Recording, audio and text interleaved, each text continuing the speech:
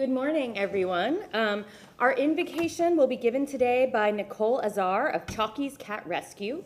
After years of working to reduce the homeless cat population, Nicole founded Chalky's Cat Crusade, whose mission is to humanely reduce the population of homeless cats in the city of Tampa through targeted trap, neuter, vaccinate, and return. This trap and return policy is more humane and provides a public health benefit to the community. If the cats are social or have kittens, Nicole utilizes local rescues to find foster homes.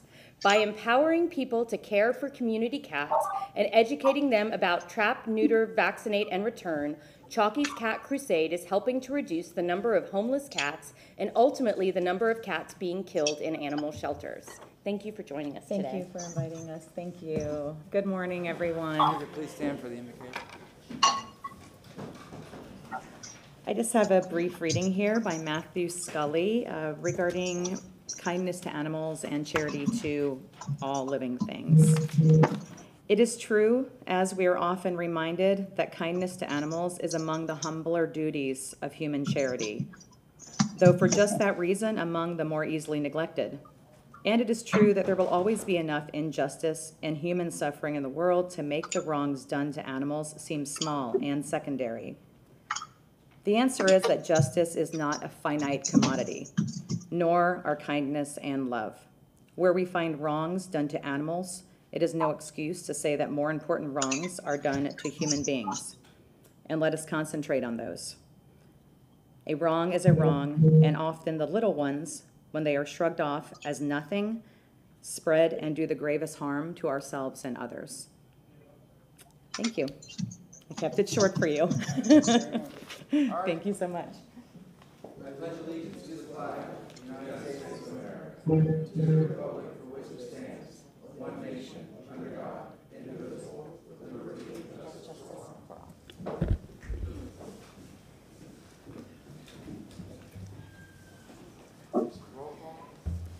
Miranda. Here.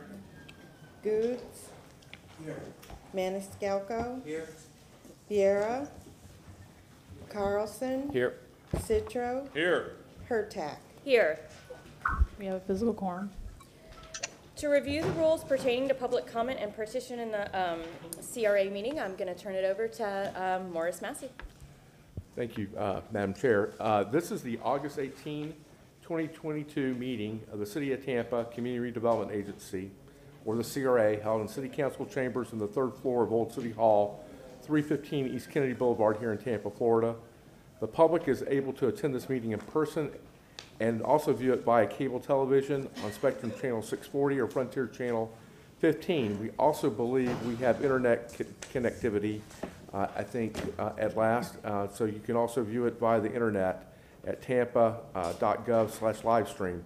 The public is also able to participate in this meeting during public comment for a maximum of three minutes per speaker, either here in person in the city council chambers or virtually by way of communications me- immediate technology, which I believe we have access to now.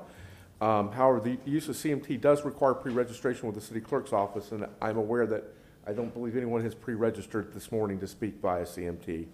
Uh, Directions for pre-registration are included in the notice of the meeting and on the agenda. Can I please have a motion waiving the CRA standard rules to allow public comment uh, via uh, CMT? Thank you. Okay, motion made by Councilmember Gudes and seconded by Councilmember Maniscalco. All in favor? Any opposed? Okay.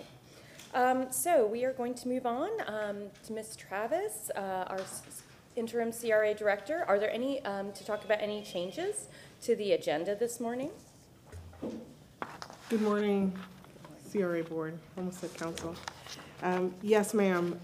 I'm, there's a request for us to continue items one and two, please, to the September meeting, please. Move to continue items one and two to September's uh, CRA meeting. Motion made by Councilmember Maniscalco, seconded by Councilmember Miranda. All in favor? Aye. Okay, thank you. And if we could move the, um, the budget conversation I'm looking at. Six. We can move the budget presentation, um, before number three, please. So moved. Second.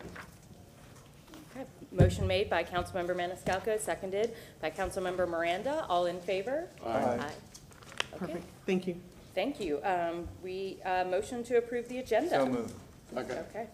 Uh, Motion made by Councilman Maniscalco, seconded by Councilmember Carlson. All in favor? Aye. Great. Okay, uh, now we are in our public comments uh, section.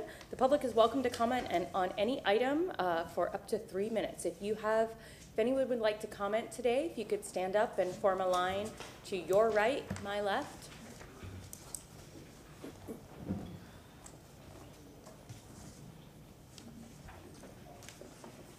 Good morning, Connie Burton.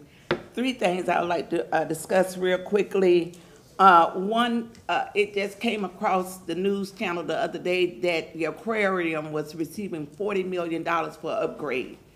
And although you might not deal with that budget, it was very glaring that water sea creatures is gonna be afforded, uh, you know, very comfort down there. Tourists coming through, aquarium is gonna be beautiful, and a small amount of money that's being set aside for this housing budget. I know we are talking about uh, federal monies being aligned with that, but I've been in this city long enough to know that when federal monies do come to town, it don't usually uh, hit the targeted intended purpose.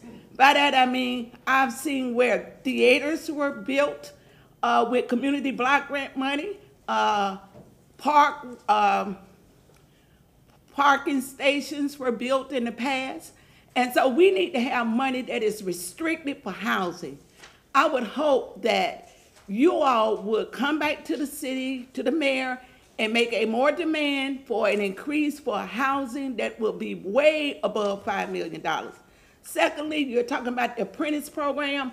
I'm looking down at the Hanna Station. I'm down there all the time. I'm trying to see where do people that look like me, where are they working at? They're not down there.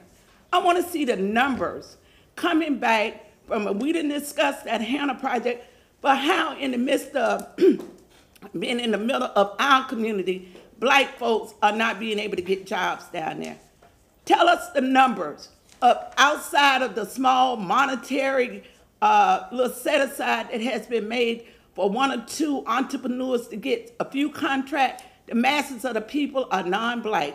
And thirdly, uh, I support uh, the women's right to choose about their body. I love the mayor's position and your leadership around that, uh, councilwoman. But something is emerging in this city that uh, has nothing to do with your hands, but it's going to have direct impact on black people living in this city. And that is the emergence of the biking while black. We don't care about what the governor is saying. This is your city. And we will hope that the mayor will move in fast speed directions to alert the police department do not infringe on the black community to satisfy the thirst of the governor. Thank you. Thank you very much.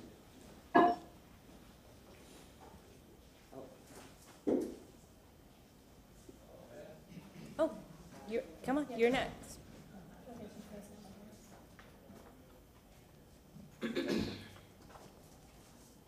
I mean, it is not Tampa, Florida. It's interesting that how relationships get normalized and people see it as just being normal. And when people, if you're having a sexual relationship with your mother or with your child, some people look at it from the outside and they say, oh my gosh, that's nasty. It's something perverted about that. If a man and a man is having a sexual relationship, some people look at it and they say, oh, that's nasty. That's not in the Bible. That's something's wrong about that. They say, oh, that's pedophilia. That's incest. That's, that's bestiality if you decide to have a sexual relationship with an animal. They say something wrong with that. But to the people that's doing it, it's a normalized relationship. And if you're having a sexual relationship with a five year old or a 10 year old, after a while it's going to stop hurting and it's going to be a normal relationship. And that's the kind of relationship this city have with poor and working class people. That's the, the kind of relationship that capitalism have with poor and working class people. They normalize it. They normalize doing poor and working class people dirty. They normalize doing African people dirty. And after a while, people just look around like the lady was here giving the invocation this morning. She's talking about making a comparison, making a comparative relationship between how you treat animals and say, hey, like really, that's just as bad as the way people say, okay, well, the way you treat humans, then so forth. But no, you shouldn't let that escape you, how animals are being treated. Well, you definitely shouldn't let the way African people in this city, poor and working class people in this city, and even the middle class people who don't know in this city get treated. $5 million of a $1 billion budget to deal with the issues and the problems of housing and homelessness and people's existence and families. $5 million, and it's just stated $40 million for the aquarium. But they have normalized the way they treat poor and working class people, so it just seems like, hey, that's normal. They can do that. The city council is nasty. Not only the people in city council, the city council itself is nasty. And if you come in here, if you walk up that step, it's a sticker on the step, on the stairwell there that's been there for months. They don't clean the filthy building. They don't clean this nasty carpet. It's nasty. And the city council members are nasty. And they're nasty the way they treat poor and working class people. They're nasty in what they did. You see all the nasty people lined up behind the governor to say they're going to fire someone, remove a person from their job who they say, hey, I have some solidarity with all the wrong things that's been going on historically for hundreds of years. And what they did, inserted someone in that position to start treating black people nasty again, to normalize those relationships. But those relationships, and none of them I speak of, incest and the other relationships, pedophilia, they're all wrong. And the way African people get treated in this city is 100% wrong. And we need better treatment. We need it to come from the city council. Thank you. Can, uh, can you just state your name for the record, please? Mentes not. Thank you. Means anything possible in Amarak. Thank you.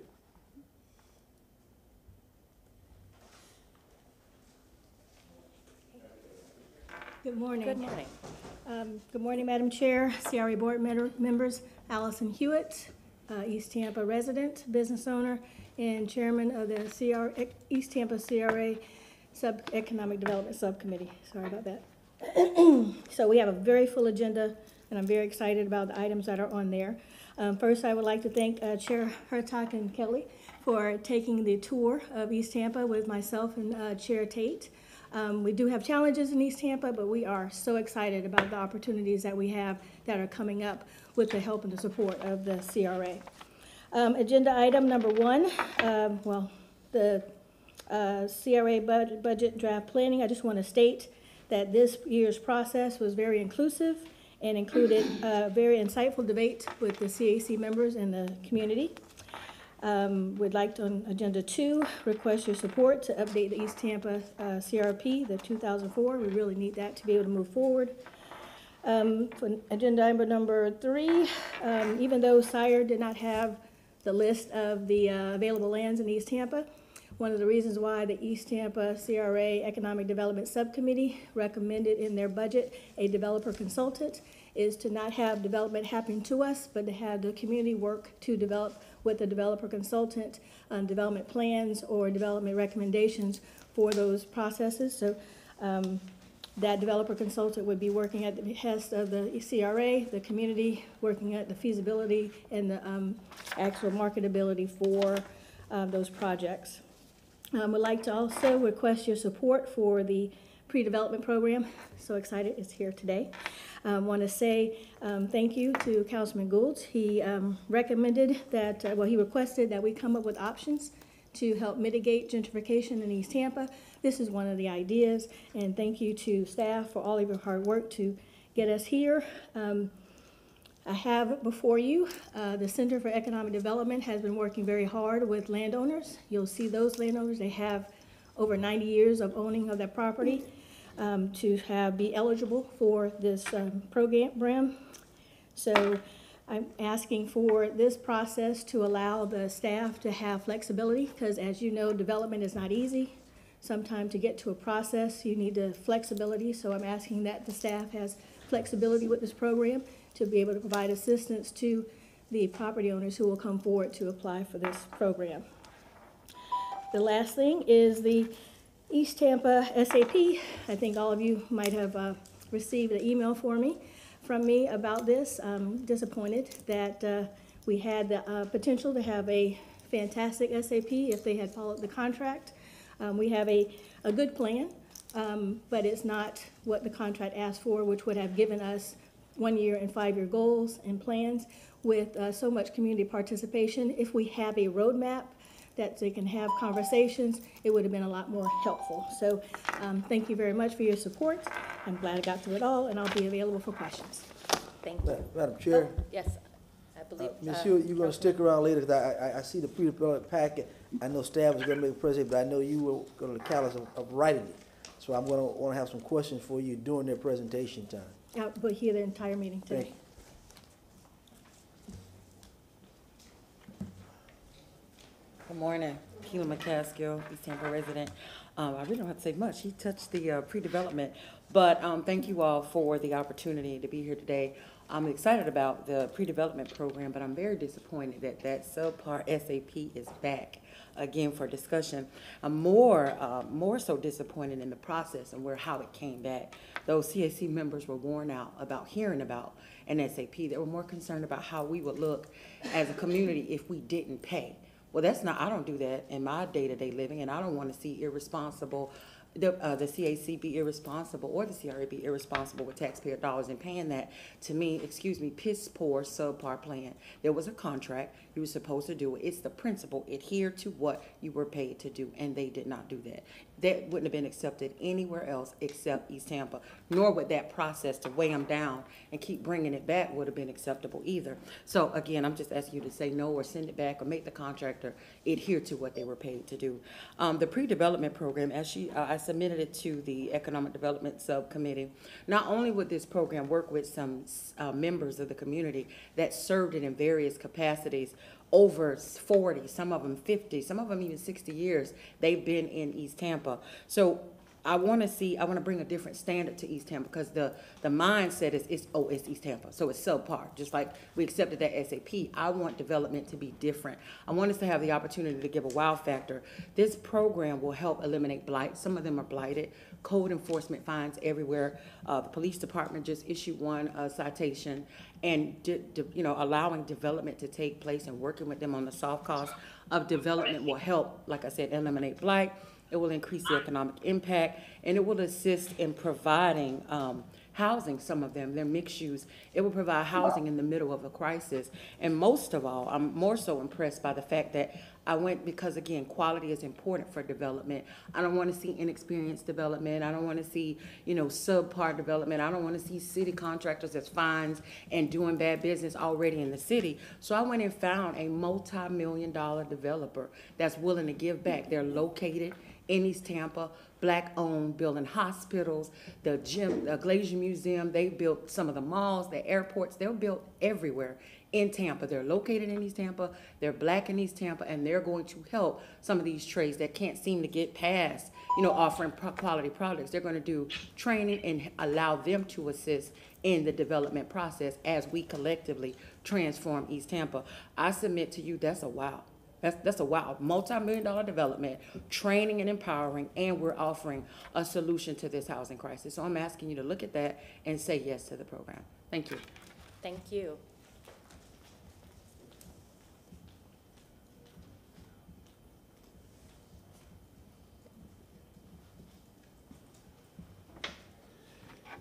Good morning, Good morning. City of Tampa and council member.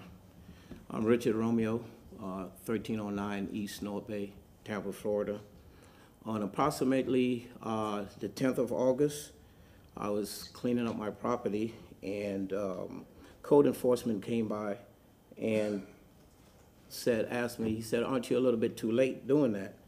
And uh, shouldn't you have uh, been all, done all this since last week? And uh, he also stated that uh, why I wasn't at a hearing last week. Uh, Mr. Gonzalez advised me that I have a fine going on on my property, which I was never notified that um, I had a court date or a hearing. I did not get a letter or, or anything of that nature. Um, I affirmed that um, I did not get anything at all, no notice, no phone call, anything at all. And uh, I'm humbly requesting that I given a fair opportunity and time to correct whatever the city asked me to do before this sign, this fine accumulate. Your property is, as you say, in compliance? And this No, is- This it- has nothing to do with, with this board, but. I was gonna say, unfortunately, the code enforcement process is not administered by this board. It's done through chapter one sixty-two and the code enforcement magistrate. So this, and, they- and they're sitting as the CRA board, not even the city council, so they don't have any authority to address that issue specifically today. Um, obviously, we can get you, and, and Ms. Travis is here, and others can get you in touch with city staff to try to address the issue. Um, and I, I don't know where you are in the process, but we'll, uh, we can definitely. uh, Well, what take can I look do at at this point? Because, like I said, I wasn't notified and fines are running, starting, I think, was last week on my property. So, so not, none of, they can't help you Okay, with that. yeah, What I'm okay. gonna do is give you my card. Uh-huh. And I want you to call my office or send me an email, and I'll have my assistant work with you and connect you with the, with the code enforcement office, and we could get that looked at and taken care of for you, Okay, okay? all right. So I'm Nicole Travis, his, um, call that phone number, and I'll have my assistant, I'm gonna text her right now to look out for a call from you. Okay. And we'll connect you with the right people, All right. okay? Okay, Thank you so much. All right, Have a good day. Yeah, thank you so much. Um, Is there anyone else that wishes to speak on public comment today? Um, We don't have anyone online, so uh, we will move forward. Um, You know what? Um, Yes, yes. Uh, So we have moved um, item number uh, six up so we are um, going to be looking at the budget.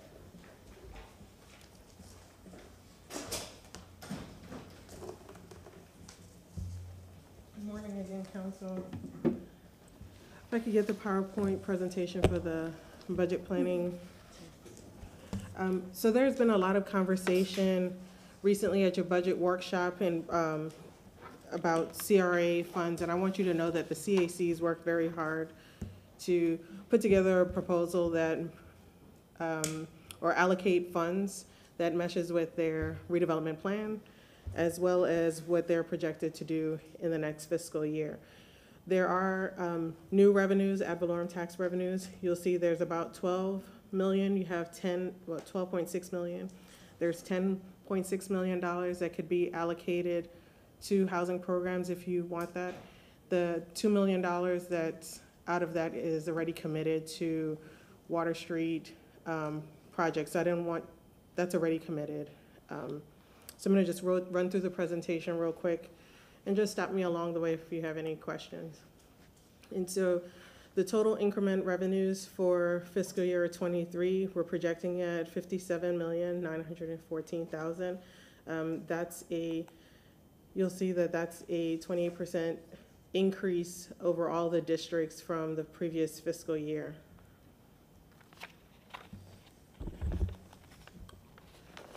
This is how the, your budget was um, allocated in fiscal year twenty-two. You had about ten point three percent um, going towards affordable housing initiatives, and then thirty-three percent going to redevelopment investments. District programs and services had about twelve percent, um, four and a half percent to operations and administration, and then capital improvement projects took the remaining uh, portion of the balance. And based on the allocations that we've worked with the CACs, this is what that um, allocation looks like. Three point nine percent for affordable housing initiatives, redevelopment investments, about twenty and a half percent. District programs and services, eleven point seven. Um, operations and administration is four point two, and then capital improvement projects is around sixty percent. So first, we're gonna talk about the downtown CRA. Um, there's about twenty-three, almost twenty-three million dollars in the downtown CRA, um, expected revenue. And what you have before you is how we project to use that, um, allocate those funds. We are going to finish working on fiscal, excuse me, the community redevelopment plan for twenty twenty-three to twenty thirty. There's a plan for the Riverwalk and Franklin Street overlay. Um, finish the Herman Massey Park and the Kid Mason Center is also included in this budget. Continue the urban CRA wayfinding project and continue working on the Union Station Rehabilitation and Public Art Project. Um, there is funds to fund an annual public art. Financially prepare for the Jackson House renovation. Um, there are some improvements and upgrades to lighting into the bridge on, for Harbor Island Boulevard. Plan the Lykes Gaslight Park redevelopment. Explore beneficial bridge Riverwalk connection. And plan self-funding workforce housing programs. And to begin contractually with the Straz and Convention Center funding.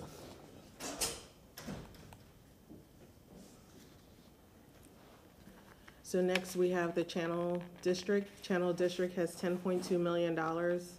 Um, their funding finished the purchase of the, for the green space, you purchased the RV lot this year, finished developing that green space and open space is a part of our budget objectives for the next fiscal year. Um, finish redeveloping the aquarium's parking lot. Finish the um, Cumberland improvements and parking. That's a GMP contract that we have. Continue the urban CRA wayfinding project. Washington Park renovations, we're gonna start that. An annual funding of public art in this area. Enhance landscaping to the public realm. Continue the green and open space development and the Channel District Main Street Program and self-funding work, workforce housing program.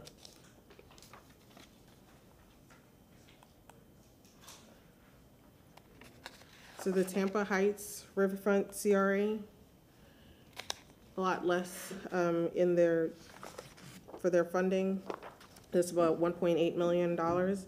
So the CRA wayfinding project is a multi-district project. We'll continue working on that. Um, Palm Avenue Public Art Project, we'll try to wrap that up in this fiscal year. Develop a CRA plan based on comprehensive grant programs. Uh, begin an annual public art allocation. Again, self-funding for workforce housing programs. Plan Waterworks Park Crosswalk is a part of this plan, or this budget cycle. The Central Park CRA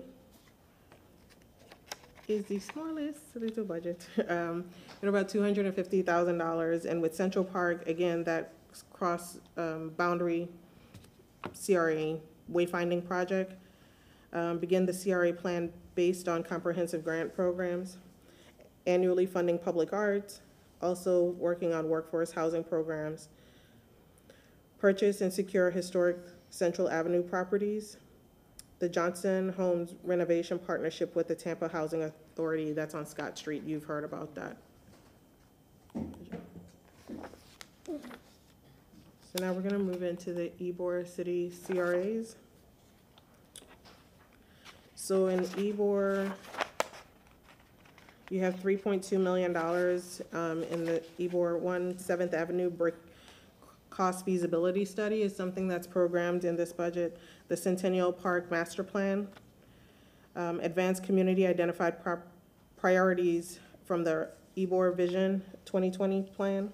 It's a five-year strategic plan to achieve economic development initiatives to promote the Ybor City safe, clean, and attractive historic district visitors, business, and residents. And then Seventh Avenue Iconic Archway Light Preservation and Streetscape Enhancement Project is a part of this budget.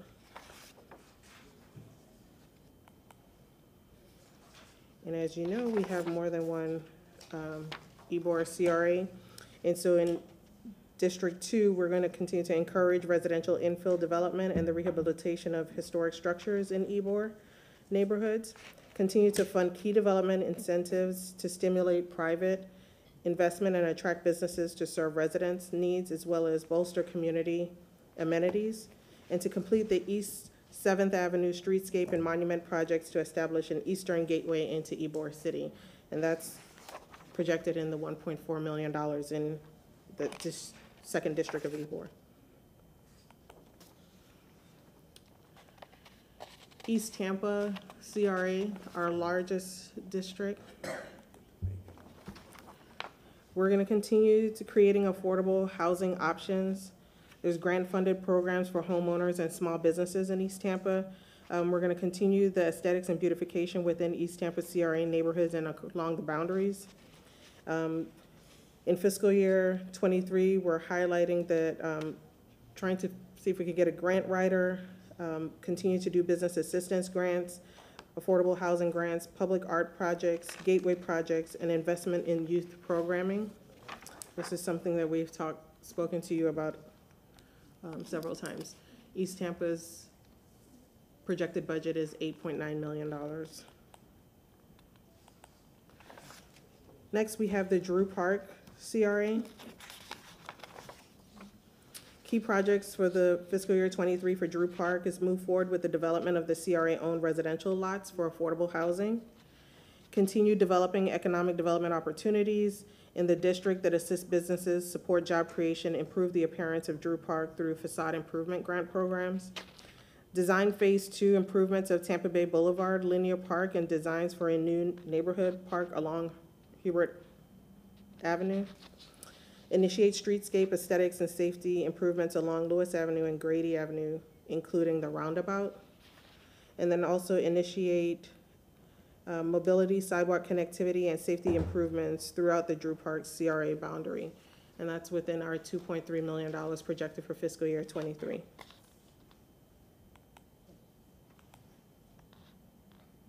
The West Tampa CRA.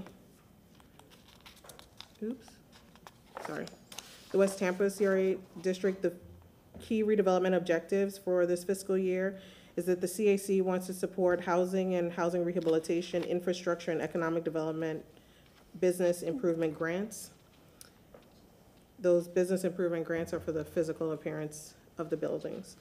Support the West Tampa facade, Vanilla Shell Restaurant and Food Services, upstairs residential grant programs. Update the West Tampa overlay code revision. Redevelop South Scenes, Salsinas, Salsinas, I thought it was pronounced differently. Salsinas Park and Ray Park in partnership with the city's Parks and Recreation Department. Conclude the West Tampa CRA parking study in the partnership with the City and Pond and Company. Support a year-round Main Street area clean team and an alley improvement pilot program. And that's projected in the six point six million dollars uh, for the West Tampa CAC budget. Um, The CRA uh, board approval of the budget book and the service level agreement is, could be done on September 8. Um, I need to talk to you a little bit about the service level of, um, agreement uh, based on the hiring of a director. And so that doesn't have to be done at um, that budget meeting, but there's some things that's happening concurrently. But nonetheless, we would like the CRA board to approve or give us some direction from this meeting so that your budget can be approved at that next meeting.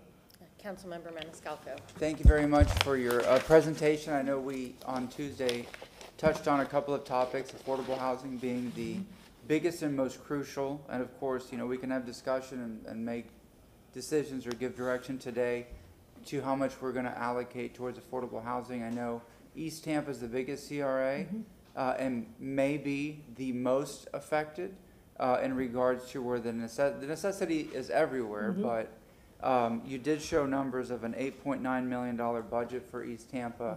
My question is, what is available there and in other, uh, CRAs that we can, available funding that we can allocate towards affordable housing? That's one part, and I know it's gonna be a bigger discussion. Second, I had to get my glasses because I couldn't see, so I came back in. In regards to downtown, uh, I missed that slide. Did you mention the Museum of Art? I heard the Straz, but did you mention the Museum of Art? I don't know that I mentioned the museum. I don't think it's you all programmed have for fiscal year approved '23. An allocation for the Museum of Art, although I believe they, they are going to request Yeah, that we do something similar to what was provided for the Straz in connection with their. I don't And, think, and, it- yeah. but it, it won't be today, it won't be discussed today? No. Okay, so No. I'll leave that, uh, apart. So we'll focus on, um, that affordable housing. Um, you know, we talked about the Sure. thirty-six, thirty-seven million dollars total. And what, you know, with the general, bu- uh, fund and then the CRA budget separate, but So What can we do? Sure, so one of the things, um, I mentioned it probably in the previous workshop. You have ten point six million dollars of new ad valorem revenue, um, that could be allocated towards housing if you wanted to. Drew Park, West Tampa, and East Tampa are the three CRA districts that have allocated eighty percent of that new revenue to housing programs. I would say that East, I probably would contend that East Tampa probably is the one that has the most programming towards um, housing already. If you, if the desire of the board is to allocate the ten point six million dollars across all CRAs, because I would have to go through and break down each allocation for each district. If your direction is for us to use that ten point six million dollars towards housing pro- programs, we'll go back and take that allocation and just put it in a bucket for housing initiatives. Any new programming, um, or however we're going to spend that money would come back to the board anyway. But if you just allocate it for housing, um, affordable housing programs, we can do that now, and that would help you get to the budget, um, budget approval timeline. So, and, and I'll stop, stop here. You know, just like we tried to maneuver COVID, it was a crisis scenario and we took it one step at a time. He- Here, this crisis is the affordable housing. Are we gonna solve it? Is there a perfect answer? No. But I think we need to, uh, do what we can at the maximum level, as you've already explained, as we maneuver this crisis until things get better, should they get better. And I hope that they will get better as it- inflation adjusts and the cost of goods and the cost of everything, you know, re-regulates itself. So, you know, are we gonna solve it? Did we declare a housing state of emergency? Did we do it? No, but we're using the tools that we can and taking it one day at a time. And this, today is that day where we can, you know, offer direction. So, um, you already mentioned eighty percent. You'll have to look at the other Yeah. CRAs and then rework the numbers, but we should take it to the maximum level of investment that we can put into affordable housing. Councilmember Carlson.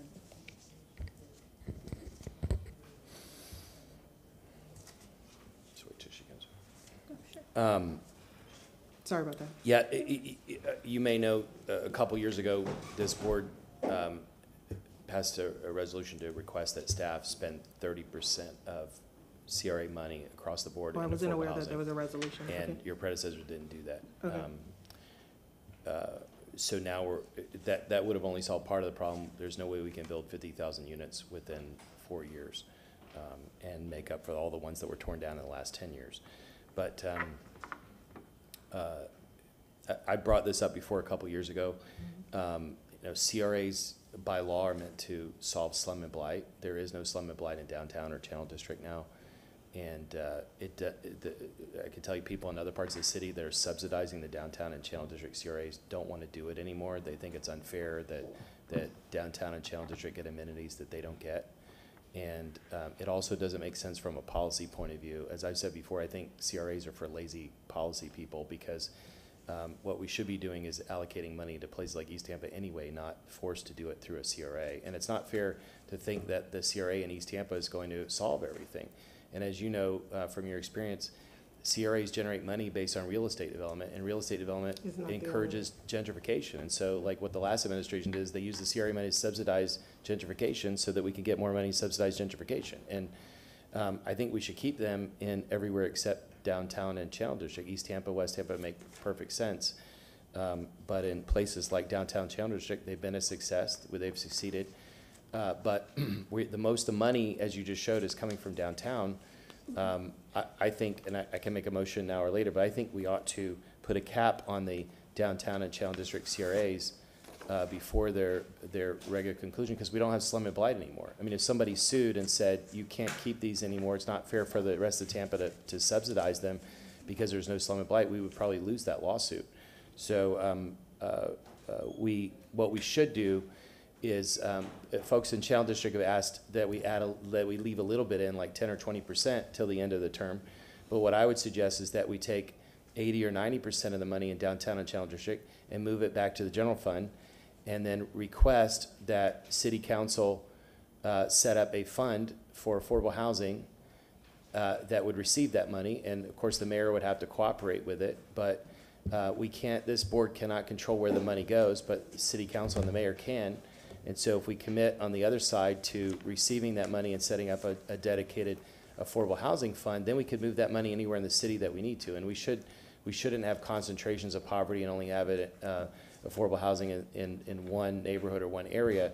Uh, but it would give us a lot more flexibility to build affordable housing wherever we can, instead of paying for the highest property prices to put affordable housing when we could get two or three times as many units if we put the money somewhere else. So I, I won't make a motion now unless somebody wants me to, but I, I think that we should seriously look at that. There's no way we're gonna have enough money, uh, to build a units. We need to think in terms of fifty thousand units, not in terms of how much money we're spending. And that five or ten million dollars a year could go to a lot better use someplace besides downtown. Thank you. Councilmember Miranda. Thank you very much, uh, Madam Chair. Uh, Thank you uh, for one thing. First of all, notice one thing that you've done that very few do. When you hand us a page, uh, an item, it's got a page number, so we can find it real easy. Sometimes, most of the things we get here does not have a page number. You gotta keep turning pages until you find it. But when you see it on the board, you know what page you're in. It's easy for us to follow, or easier for us to follow. There's a couple of things, uh, landscaping, I know we need landscaping, and I appreciate that, but I really like to see where the landscaping becomes not only the cost of it, but the maintenance of it, because we gotta get Florida, Florida-friendly type of landscaping, so that we can maintain them at a much lesser cost to promote more landscaping. Uh, that's only a suggestion. And on page nine, you, there's a downtown development for, uh, CRA for, uh, hundred and forty thousand for the ferry. And I still say the ferry does very little to take any cars off the bridge. What it does do is give you an easy ten dollars to go to St. Pete and ten dollars to return, and the taxpayers are paying for it. And that's not the right thing to do, but that's just me. And uh, the next thing is on um, page forty, I noticed something in that CRA that I didn't notice in the rest of the others, and I was checking them by page number, so I may have missed one or two of the CRAs. But on page forty, there's, under the reinvestment, development reinvestment, we have residential exterior improvement grants for three hundred thousand. What does that mean? So those are your um, owner occupied, well, not necessarily owner, but is that for, is that tenant based? Is it? Yes, West Tampa, is it tenant? Yes, for the improvement of um, residential structures for tenant or owner occupied residential. Is that a structures. total or just one? No, that's, that's the total for the program. Oh, okay, because I said it, it didn't, I, I. No, I that's not just for, apologize, no, but that's not just When I for read one. that three hundred thousand in business enhancement, one hundred, and business facade, one twenty, I want to make sure that that's just for No, one that- person, that's- One party is for many. No, it's for, it's a- for the program, Okay, the I- I- funding for the And I program. apologize, but I had to make sure. Thank you so Sure. very much, Ms. Travis. Um, Councilmember Gudes. Go to, go to downtown. Make sure I- I'm reading these right. Do you want this on the screen? Yeah, on the screen. Okay. Total dollars that downtown has right now in the CRA, total dollars. Yep, Can you add that? twenty-two point nine. Can you pull up the slideshow for me, please? I believe it's page nine, yeah. So out of the twenty-two point nine, you're saying that, that they have in their bank, these are all their programs are adding up to twenty-two point nine? Twenty-two point nine is how much they're having in revenue, so we have, we did a zero sum budget, so whatever revenue we got in is what we're allocating in the programs.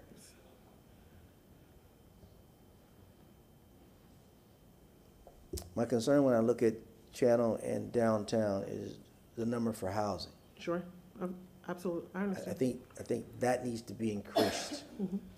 period. Uh, Mr. Carlson made that, we made that resolution a long time ago in reference to that being done as far as these CRAs with those high numbers. And, uh, he's right on that point. I mean, housing is a key point, and they have that type of money, more money in those CRAs, they'll need to go to housing.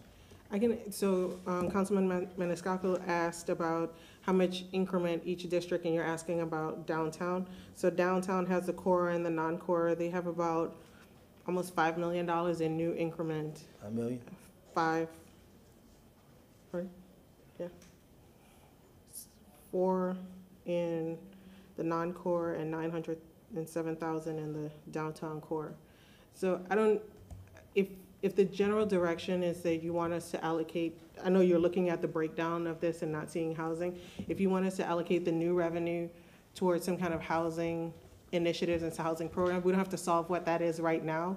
Let us take that back, we'll put it in a housing initiative buckets, just to your point, Councilman, and then we could come back and tell you um, how we will work with developers or how, how we're gonna work on, towards housing on this. What Councilman um, Carlson was talking about, we would have to, I'll defer to Morris, but I think we'll have to do something with the, um, the overall plan and sunsetting. That's, that's, and that's, that's down that's a, that's a lot to do, but right now, we're in a situation right But now. so for, I'm- for I'm- right now, right to your now, point, we can reallocate um, the fund. We can try to reallocate where we can. I know yesterday, we, uh, Tuesday, we talked about, uh, another team. Yep. I think that's gonna be important if we do that with these dollars here to make sure we have that team incorporated in that, if that's the case, uh, to move fast. Um, like I talked about the other day, we have a lot of vacant units around here. We, t- we got a crisis, but we got a lot of vacant units, which makes no sense to me at all. Uh, so I'm just, uh, looking at we, adding money to, to housing, it's crucial. I know some people have some set programs that maybe they can get away from, but I believe with the money that's coming in, I think you, you gotta look at taking the bulk of that, throwing at the housing. So just, because I don't want to do it in a vacuum, we've had previous agreements, um, there are programs and initiatives that you have approved throughout the year, right? And so we know roughly where the need- allocations need to be, but whatever is not spent in the fiscal year, what I'm proposing is to come back to you probably in November with, um, with reallocation of what wasn't spent in this current fiscal year, and then we could reallocate those monies towards housing. I think we need to do a, a comprehensive study of where we're spending the money, what, um, commitments we have out there. The Museum of Art came up, the Tampa Theater is something that's hanging out there as well. So once I take all of those things into consideration, and I understand if the intent and the direction from the board today is to take as much as possible to dedicate towards housing, I will take that charge and come back to you with the housing buckets in each one of the districts and show you how we'll allocate that money. And that may include, um, I said this to you at the workshop before, that I, we're at capacity, right? And if you add additional money towards housing programs, I need additional staff to help me, to help us administer the housing programs. And so, um, that would be shared, that's not at a co, that would not be at a cost to one CRA. It would be shared amongst the districts. Now, in, in previous years, I've, I've went along with the ferry situation because it was, it was CRA dollars and kind of a small benefit. uh, But looking at this now, I mean, uh, we can use every dime we can get. Uh, And I know the ferry is a, Mr. Morris, is that already, at- we, we already I approved think that we've ferry already, already? we- I think. it- We the approved ti- already? The timing for, um, making a decision on the funding of the ferry, that's why the ferry discussion was brought to you in April, because Right. the timing for making that decision was in that All right, timeframe. okay, I'll, I'll yield back. All right. Thank you. But to, to your point, moving forward, if that is something that the, if your general direction is to do less contributions to that, whenever that agreement comes to place, we can make that known and start to make those adjustments moving forward. I Yeah, would, I would think now, uh, going forward, I believe going forward, we have to look at that now, dealing with the housing situation. Sure. just so you, you, just to remind you, relative to the ferry, the way the interlocal agreement is structured is there is a period of time, I believe it's by June one, where a local government can decide that they do not want to further fund that program. That's why in April, we had the presentation come before you all about, and, and, and that was the time for you all really to decide whether you wanted to continue funding the ferry out of CRA dollars. That will come back before you because you have a standing motion for them to present every year in April for you all to kind of determine at that point in time if it's, if this is something that you feel that merits the CR, the support of the downtown CRA TIF dollars, and that's where that money's been coming from. Understood.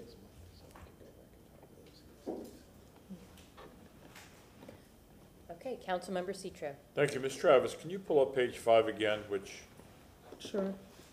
shows the, uh, the outline of the downtown CRA?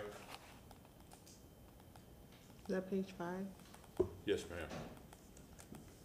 Six, I'm sorry, six. Uh, th- the whole shaded area there, is that considered, just for the public, is that considered the downtown CRA? Yeah, so you have two, two districts, so you have the core and the not core. Um, both shaded green areas are, is a downtown CRA. So, th- I, I- you know, th- there is, I'm not, I tend not to give evidence, but north of Cass Street, there is a lot of vacant land down there. And as this body did with the old Army Navy store on Tampa Street that was bought specifically for workforce housing, plus another five million put in for Mm-hmm. infrastructure around the area. In my opinion, that area north of Cass is prime Mm-hmm. for affordable workforce housing Agreed. with CRA dollars, are we looking at a public-private development specifically for affordable workforce housing? And can our dollars be used to either purchase land and/or develop it for affordable workforce housing? So the CRA dollars are going for slum and blight in the downtown area. Yes, sir. Yes. Thank you. Number two, um, Tampa Heights. Although it's one of the newest CRAs, there's so much investment going into that area. Why is there so little in the fund? And that's just my opinion. There is so much investment going on down there. Uh, it, it, it just seems to me that it's not, it's not up, it's not up to par. Uh, Well, is, is it because of recent opt-outs or? I would have to look at the, the roll, um, from the property appraiser just to see, um, I can't answer that for you right now. I, I'll look at the roll.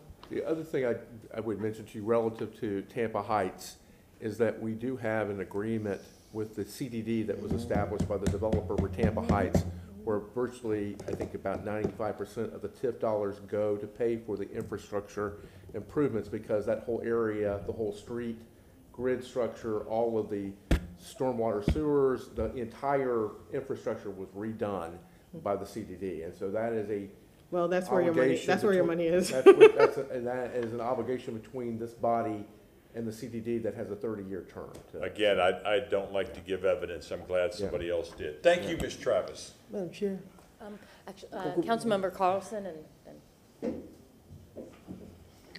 Ju- Just to go back to a couple of comments my colleague said, um, to, uh, are we supposed to call these ourselves council member or board member here? Board member? Board Board- members. Technically, board member. Board member, board member Gudes, um, talked about the ferry, um, and I think maybe board member, uh, um, Miranda did also. If, if, I- we, we shouldn't vote on it today, but I think if, if you all, you all know I support that, but I support the ferry. But if, if you all think we should cut the funding, um, I think it would be respectful to give them as much time as possible. I would suggest that we set up a time in September, October, or, or as early as possible to have them come back. It is, uh, I think they would present that it's a, a marketing tool for downtown that brings passengers and business into downtown. Um, but at the end of that presentation, if you all think that it's not convincing and that we shouldn't do it, then I think we should tr- indicate early, months in advance, that we're not gonna refund it, so they can try to negotiate something else. You saw the problem they had with Pinellas, where they, they, they almost didn't get their funding, and it just, the, the, the timeline on decisions is far out, so it would be good if we did it early. The second thing is, to Board Member Miranda's point about, uh, sustainable, um, landscaping. I- don't know if we've ever done this before, but I would encourage you to make a motion to require that CRA money only be spent on um, Florida or sustainable landscaping. Uh, This seemed like a good idea to me.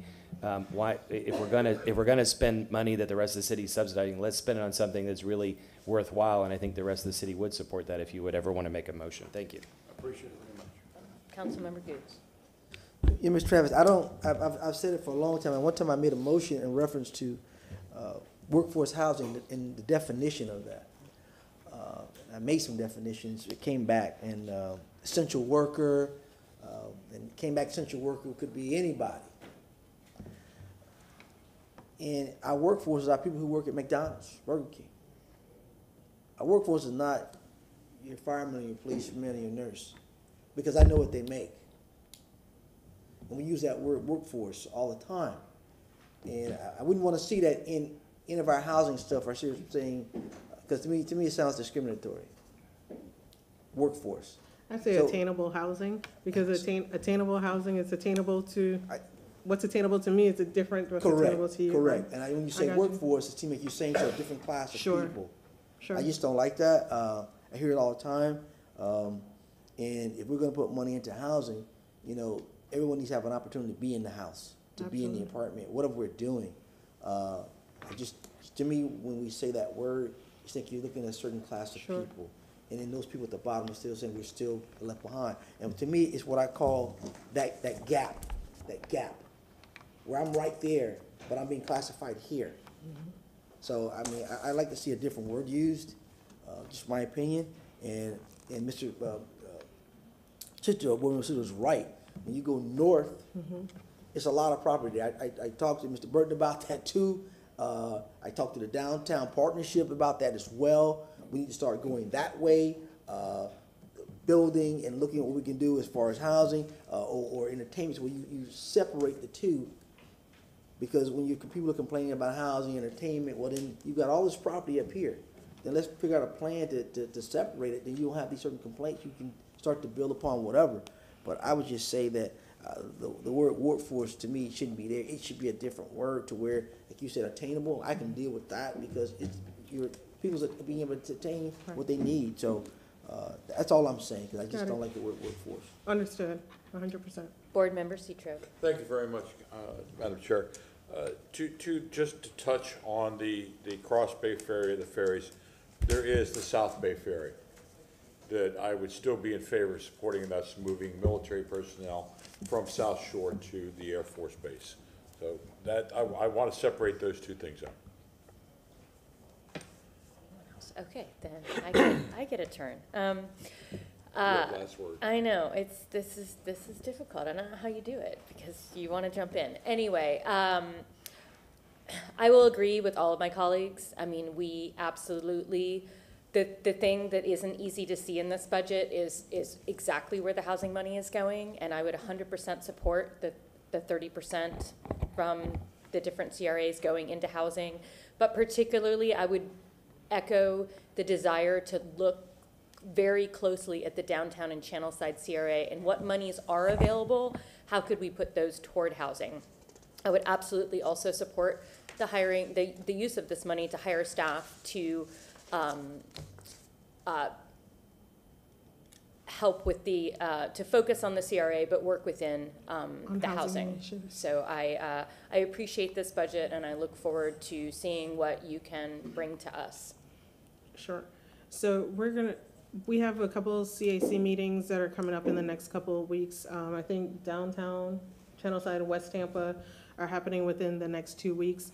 Um, we definitely want to work with the CACs. We understand the directive. If there is a motion, we'll take that back to the CACs. And so I'm gonna, we're gonna cha- make sure that the budget for when you approve it in September, or when you start the public hearings in September, that it's adjusted the best way possible. What I would ask is that, um, that I also come back to you in November, that when we close out the current fiscal year, we can show you what hasn't been used, and um, also take that opportunity to look at how we want to reallocate money, and you want to probably reallocate to housing as well. So I'd like to do that um, with you for September, and then come back at the close, once we close out the books for the current fiscal year, if that's okay with you. What's the pleasure? No? Anybody want to make a motion? Then I will make the motion for Ms. Travis. Second. Request. Can we, The, Motion okay, the motion for me to present a Yeah. budget to you Let's in be yes. September Okay. sixth at your public hearing with as much housing as possible and come back with reallocations in the November meeting with any uh, unused or unappropriated surplus for housing programs in November. Thank you for articulating my point so well. uh, motion made by Board Member Citro, seconded by Board Member Maniscalco. Um, do we need a roll call vote for this? Let's, the- roll call, please. Let's do a roll call. Yes. Yes. Gudes, Yes. Maniscalco. Viera, oh, Citro, Yes. Miranda, Yes. Hurtak. Yes. Motion carried with Viera being absent. Um, yes, Councilmember Carlson. I just want Or, to sorry, ask, Board I I won't make a motion, but I'll just ask Ms. Travis, um, when you come back with the budget, it- with all the numbers that we can spend on housing, the biggest part of it is going to be downtown and maybe Channel District. Could you please also, just, just as an aside, show us the, if, how much we could get for our dollar if we spent the equivalent amount of money somewhere else in the city? Uh, because if it turns out that, that the, the, the land, um, o- over by Army Navy is, is the same cost per acre as somewhere else, and we can get the same number of units, then it would make sense to put there. If it's only ten or twenty percent higher, it might make sense to put it there. But if we could get, on the other extreme, if we could get two or three times more units somewhere else, then that would make the case that it, that we, that we mo- move the money back to general fund. Okay. Thank you. Okay, um, then, uh, Councilman, um, Board Member Citro. No, I, I will speak with Ms. Travis later. Thank you, Okay. Ms. Travis. Um, I just received a memo from a board member Viera. There is a serious traffic accident that has shut down portions of the interstate, so he will not be able to attend today. So he is requesting to continue items three, four, and nine until the next CRA session. Move to continue, To, oh, it'd be September? yeah, move to September three, 8th. four, and nine to the September CRA meeting. Okay, uh, I, uh, I, I, I'm, I'm sorry. well, motion made by, uh, Board Member Maniscalco and seconded by Board Member Goods. Um, I want to make sure that doesn't interfere with any. yeah, Yes. so let's, Yes. so the motions were made. Go ahead and Yeah, I just want to make sure that that doesn't interfere with anything that's pertinent, that has to be done today or tomorrow or whatever. No, we're good. Okay, thank you very much, we're clear. Okay, so yes, um, so all in favor of continuing the items until September? Aye. Okay, Madam Chair, may I do a couple of housekeeping absolutely. um, items before you move on to your agenda. Um, Board members, the October um, CRA board meeting is scheduled the same time as our Florida Redevelopment Association conference. That is a big conference that is used for training. It's a really great opportunity um, for staff, and they are all going to participate. Um, Jeff Burton is also the president um, of the FRA Association and will not be here for that meeting. We don't have any um, time-sensitive items to present to you in October. I did work with the clerk's office to look at um, your agenda, your evening agendas, and trying to, try to reschedule it, and your agendas are kind of packed. So my recommendation would be to cancel the October CRA meeting, um, because staff will be at conference at, starting October 3rd, October 12th through the 14th. I mean, that, we have a published schedule of CRA meetings. We'd have to uh, notice that on both the clerk's website, and that's the desire. And I think also provide uh, published notice that we're canceling the meeting. Madam If Chair, that's doable, if that's um, the pleasure of the board. Board Member Goods. I don't recall ever getting the information about the, do, do About- we have, inf- is there inf- information out there about this conference? About the FRA conference, Yes. there is, and we, I'll be happy to send it to you. Send it to me. Okay, we'll, we'll send it to you, all, um, all the registration information, and- and what you'll do is just let me know if you would like to attend. Um, we could make sure that you're registered and their accommodations are, sure. Um, Council, uh, Board Member Carlson. I think, if I remember correctly, that we're all automatically members, like the city pays for it or Yes. something, because I've attended uh, virtual conferences with them Yes. before. Um, The city, so we have a, we have a membership, um, as a city, but you have to pay for the conference. So if you want to attend the conference, and I'll tell you just, um, from being a re- redevelopment professional, it's one of the best conferences in the state. Um, it gives you ideas of how other cities are handling redevelopment programs, um, different financing options. It's just, it's a really informative conference.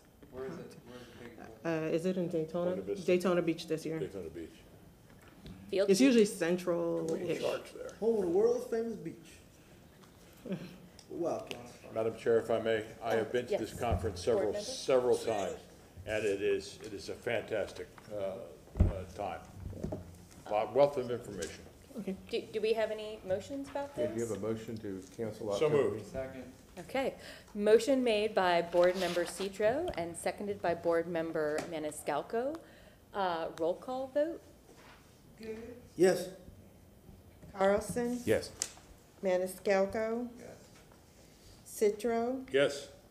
Miranda, Yes, Viera is absent, Hurtak, Yes. uh, Motion carried with absent, uh, Viera absent at vote. Thank you. Um, And then I have one other item for you, just as an update. The last, at the last CRA board meeting, um, we told you that we published for your CRA director position. We've published it, we have advertised the director position, we've received thirty responses, but we have one qualified applicant of the thirty responses. And so professionally, I have to, yes, I'll have to recommend, um, to you that, um, there's, you have a number of options. We could continue to advertise it and try to market it a little more heavily. Um, we can move forward, um, with the one qualified applicant. I just, from a professional standpoint, I think that you should have, you should have options. Um, the only thing that's imminent at this time is that you have approved for me to be your interim CRA director until the end of September. And I just want to put it before you so that you have options. I would be more than happy to continue to do that. Um, just as we're backing into time, we told you that we would do a public meet and greet for you and for the community and for the CAC members for, um, just to meet the finalists in that project. And as we back into that, we're running up against the expiration of um, my interim status. I, I'm not, tell- I'm not, I'm not kicking you to the curb. I just want you to know what the timing is and so that you understand. And I pride myself on doing what I say I'm going to do. And so I just want to be able to present you with options. We would be happy to continue marketing, um, um, pushing, um, and doing a broader outreach so that we present you with a few um, qualified candidates. Board Member Citro. Then I would like to make a motion that Ms. Travis stays director until which time we find a, a new at, new director. I would rec, I would recommend that we just add thirty days because we need to light a fire under HR to find this position. Um, I, I like you and you've done a great job, um, uh, but we need, this is a separate entity and we need a, we need a, a separate, um, executive director. The other thing I'll say while I have the floor is that, um, other boards, like the airport port, and others, um, the board members individually interview the person. Last time we didn't have a chance to do that. It came up suddenly, um, at least I was blindsided, I don't know about everybody else, but, um, I, I think we, we need to have one-on-one time to talk to the folk, who, the folks and, and give them a fair chance. Not just have them meet in, in, uh, in a public round. Remember, the, the, the, uh, police chief, uh, discussion was like that, and in fact, one candidate wasn't able to attend, and so it was very controversial. It'd be better to, uh, since the community is watching this, that we, that we spend the appropriate time to find the right person. Council, um, Board Member Goods. There, there are two good points here. I think Mr. Carlson is right about extending it thirty days. Uh, For me, what I've seen so far, I, I'm, I'm an action person, I'm not a talker. Uh, I think you got a person that's here. And from what the action I've seen, what I call your right-hand man has been doing that job. I, I see knowledge, uh, aggressiveness. Uh, and I don't know how we can flip it or what have you, or, you know, people are paid for what they're worth. But I, I think that you, you, since you've been here, you're, have been, you have been assembling a team. And I wouldn't want to break the whole team, I wouldn't want to break the team up, but be able to keep the team, and even if that person on the team still answers to this board, at least I know the team is there and there's a relationship with the team. Uh, That's just my spin on it. I'll let other chi- other chi- uh, members chime in, but I think you got a team. I think you got another person here who's come in, who's really, really made it move. Uh, the community is happy with on all fronts. And I, I think that's great when they're happy. They're not, people talk about they're angry. You know, they're angry because nothing ain't been happening. And now people are seeing things happen, they ain't angry. Uh, So, uh, that's my spiel on that, but I'll sit back here with the councilman. Board Member Miranda. Thank you very much, Madam Chair. I, I appreciate every, everyone comment by the board members here. However, you have to make the application, and let me tell you what some of those problems can arise at. That individual or group of individuals that are working now may be reluctant to get that job, to apply for that job. I was once faced with that decision, and I turned my position down because I really needed to work back in the seventies. And the prior three managers had lasted six months and they were dismissed. So the agreement that I made with the boss was that if I was dismissed, I go back to my regular job. And that might be why they're not applying. I'm not saying that's the reason, but I can tell you from experience, you have to make a choice, and you look down the lane and you say, what happens if this choice doesn't work? Where do I go? I just moved here, I gotta move somewhere else or whatever. So it's a one that's on the minds of the individuals that are applying, that are saying, what happens if it does not work? And that's why maybe no one's applied from within. So I, I agree with, uh, the time period for a delay, but I think we have to set a time certain, like the end of the year, and any time that you find one within that year, certainly we stop there and, and everything is copacetic. So that, that's how my personal feeling is. They're not applying maybe, because they feel that if they're not accepted later on, they have nowhere to go. And that's a very dangerous thing to do to an individual. Thank you very much. Board Member Maniscalco. What if there is no uh, candidate better than yourself? I mean, I praised you on Tuesday uh, as a superstar, and the team that you've assembled, as Councilman uh, Goods already mentioned, you're fantastic. You go above and beyond. I understand there should be a separation, but I think we have the best candidate in front of us. And I'm saying that, I know there's thirty other applicants, and one is qualified, whatever, meets the, meets the requirements, but you've done a wonderful job. So that's just my opinion, but if there's a thirty day extension, I get it, but I'm satisfied as, w- uh, uh, where we're at now, so. Um, Board Member Citro. Thank you. Uh, I, I can change my motion. Uh, I only said until which time, just in case something unforeseeable comes up and that we have to go a few days longer or shorter than thirty days. But I will amend my motion to say forty-five days, if that suffices to everybody's, uh, uh, wishes. Okay. Board Member Goods. My only problem is I, I don't want to overload Ms. Travis. She's got a lot going on. We're still running the other city projects, and we're talking about eight CRAs. Uh, I'm still in the mindset she has a right hand. I think you- somehow we can, we can maneuver that, I believe, to where that right hand can handle those CRA issues and still be uh, a, a- joint unit at the hip, dealing with still other city issues. But I just don't want Ms. Travis to get burned out on trying to be aggressive to dealing with a housing situation that we have, also trying to hire more people for the housing situation, and still running other infrastructure deals and negotiations with the city. That's my only concern, gentlemen, ladies and gentlemen, but I, I think you, you got a right hand, and somehow maybe we can, we can twist and bend that to make that work. That's My opinion. Um, yes, Board Member Carl- Carlson. Sorry to make you wait, but I know you want to get last.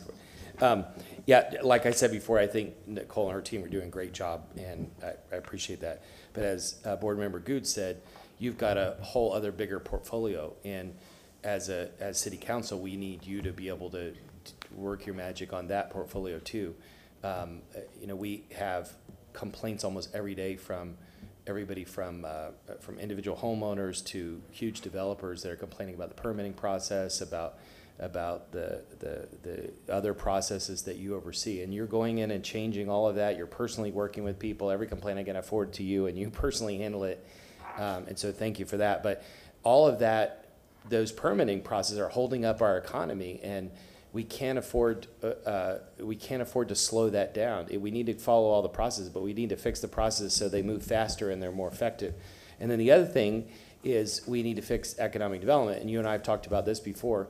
The underlying problem, that, the reason why we have a housing problem is because people can't afford it. And the reason why they can't afford it is that economic development in the city for at least the last ten or twelve years has been focused on subsidizing big companies and high-paying jobs, not on middle class and, and, and poor people. And you, if you check the census data, the, the, um, the middle class shrank most of the last twelve years. And we can't allow that to happen. The disparity between blacks and whites, the disparity between men and women have increased. And she's got a, she's got that on her shoulders also. That's the biggest problem. If we fix that problem, we won't have an affordable housing problem. Uh, because we'll, we'll have people who can afford to pay rent and, and most importantly, buy homes. And so I, I, I would love for you to clone yourself and work on all these things, but um, if you can help us find somebody really good uh, to, to run this, that would be great. Thank you. Board Member Goods. What is the salary for the CRA director? Well, I know you were gonna ask me that, I don't know. Yeah, the top of the range is about one sixty-five. One sixty-five? Yeah, the top of the range is one sixty-five. Mm, I can offer a suggestion, um, sorry, you had another question? No, I, I, Okay, I was just gonna offer a suggestion that, um, I've heard what you said, we have, um, we do have a qualified applicant, um, and I understand what you're saying about the team. Give me an opportunity, opportunity to go back and try to provide you with some options or try to figure something, something out. Um, and I can meet with you individually to kind of talk through, I've heard some of the comments, you want to meet the candidates or just I can't be creative right now. I'm also not feeling well, so I, I'm not thinking straight. But um, if you give me the opportunity, we'll continue to advertise the position, but also try to be a little, allow me to be a little creative in um, what this ma- structure may look like. Board Member Goods. if you interview thirty, and out of the thirty, you got one that you feel is the prime, I mean, Well- we didn't interview 30. We Okay. got 30. We got 30 responses. the response. And one, which is an internal, m- met the re- requirement, the minimum requirements for the position. So I have, uh, just, I'm gonna be very clear. We have don't need like no minimum, we managers somebody to from exceed, we low- don't need no minimum, we need about to exceed. No, Well, exceed, well, they exceed, they don't, but I'm just saying the other twenty-nine candidates didn't meet the qualifications. And you have managers from Home Depot that have oh, applied and stuff like that. So this is what I'm telling you. But I, but from, from an executive position, I, I always try to present you with options. I want you to make the most, the best decision with the information that you have. And I'm trying to provide you with as much information and options as possible. I don't feel like I would be doing my job or doing this board in a serv, I- I feel like I would be doing you a disservice if I didn't present you with as many options as possible. So I've heard the comments, I can go back and be, um, try to, just allow me to think about it, um, for a little bit, and I can meet with each of you individually to get your thoughts and come back to you with a proposal. Um, um, I guess I'll have, um, a moment. Uh, I think that that's a good idea. I know, um, you and I also talked about, uh, how we, um, I think what makes this, this position so difficult is we are also looking for people who understand Florida. Yes. CRA, and that, that, uh, precludes, I believe, a national National search, search. that's correct. Um, because we don't want to be teaching Right. too much. But I did say that i- if there's a possibility of finding people who have Florida CRA experience and have moved on to other states, um, might be an area we might be able to, um, find, uh, possibly more candidates. The One Mr. thing I Massey. just was going to mention is that she is serving as interim CRA director until the end of September. So you do have the September meeting for her to maybe provide an update where she is with the search, what options may be available to you all that time, and whether her term as interim director may need to be extended perhaps, depending on the circumstances, so that, I'm not sure you necessarily have to make a decision today. So I just offer that. Okay. Then I, I, I will go back to my original motion, till which time a, a new director is found. Second. Well, I think what he's saying, yeah, that you didn't have to make that decision today. You have one more chance to make that decision in So you could rescind your motion. I'll rescind, I'll, I'll take my motion back. But if I may, Madam Chair, Ms. Travis, you hide your superhero cape very, very well. But thank you. Um, Is that it? Go home. Okay. I'm going to leave you in very good and capable hands uh, today. Please don't hesitate to call me if you guys need anything. I appreciate you. We hope you feel better soon. Thank you. Okay, I think we're on to item number five. All right, good morning. Good morning. Elise Drumgo, Deputy Administrator for Development and Economic Opportunity. Uh, Agenda item number five, we have staff reports. Up first will be Jeff Burton with the uh, core CRAs.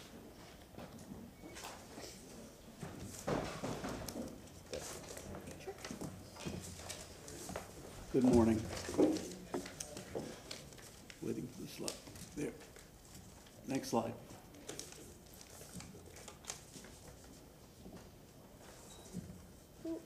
Next slide. We're stuck. Uh, Thank you, sir.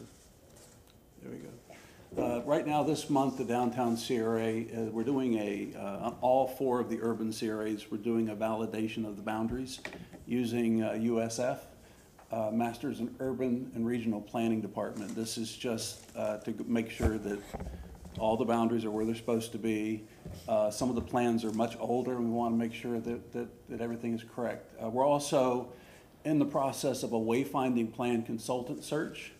Uh, We're working with uh, contract management, we're doing a pick three, and that process is going along very well. We have a team of uh, other city staffers in mobility and other departments that will be working with us to uh, get that underway.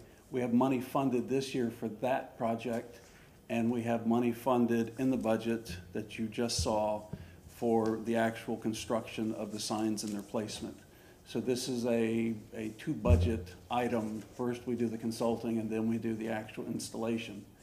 Um, The Community Advisory Committee has recomm- uh, recommends Kittelson. That vote was taken uh, to, to write the new downtown redevelopment plan.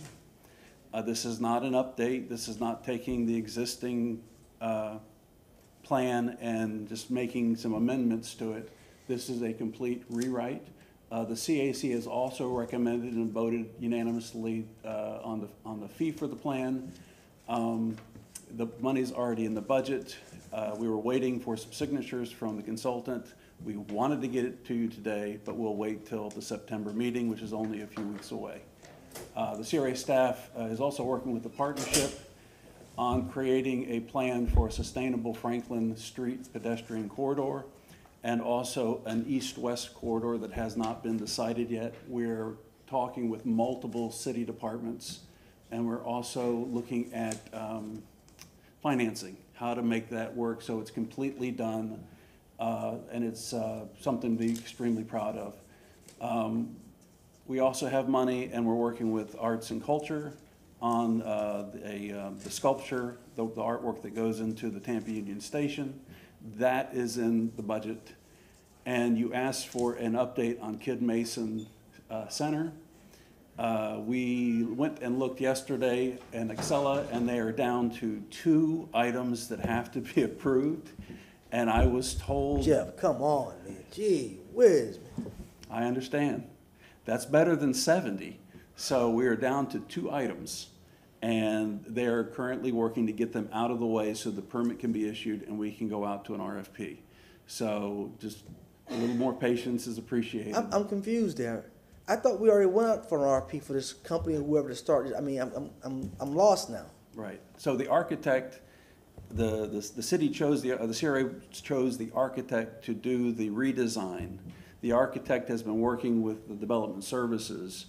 Uh, Maybe, since when I got here, there were seventy items on the list that needed to be repaired and fixed on the plans. We are down to two. Once those plans have been approved by development, by the the development services, uh, then we'll be able to go out for, for a contractor. That's what we're, we've been waiting on the plans and the permits. So we're almost there with that, and we will then turn around and put that out for bid. I'm just gonna say that, I mean, you know, I, I know, I, I don't know the situation that's going on with this particular con, uh, architect or whatever, but this is way unacceptable. This has been in twenty nineteen, and this is, I mean, this, that's unacceptable. I'm just sorry. I understand, Uh, And if that's the case, that person should have been, uh, let go of that contract or whatever, and, and it should have went out to somebody else, but, uh, no, no matter, I just say this is unacceptable. I'm sorry. And, and, and that's what a lot of people complain about these projects, you know, get back, backlog, backlog, backlog, and people are like, well, what's going on? We just can't continue to let that happen. But just, those are just my comments, so it's down to two, but I, I'm just saying, it needs to be a push on this. Yes, sir. The, uh, also, the, uh, the money is budgeted for that, and we also included an extra 250,000, 250 or 500,000 in this next budget in case we have escalation in prices. So we wanted to be prepared for that because we should just expect it. We've done that for both Herman Massey and for Kid Mason. We go back to the slides, okay. Channel District, we're also doing the, uh, the, the- the boundary surveys. They were doing them for all four. We're doing the wayfinding for all four.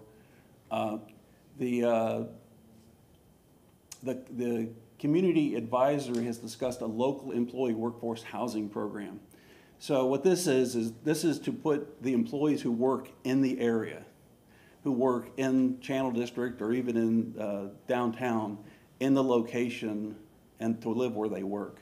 This is, would be a self-funding program, which means that we would work with developers who are coming online to uh, guarantee so many market rate units to the CRA, and we would work with uh, the the housing department, and we would, and I I concur, that if we do this, we will need to have a staff member in, built into the housing department to manage this, to put those workers into those units so they don't have to drive all the way in from some other location.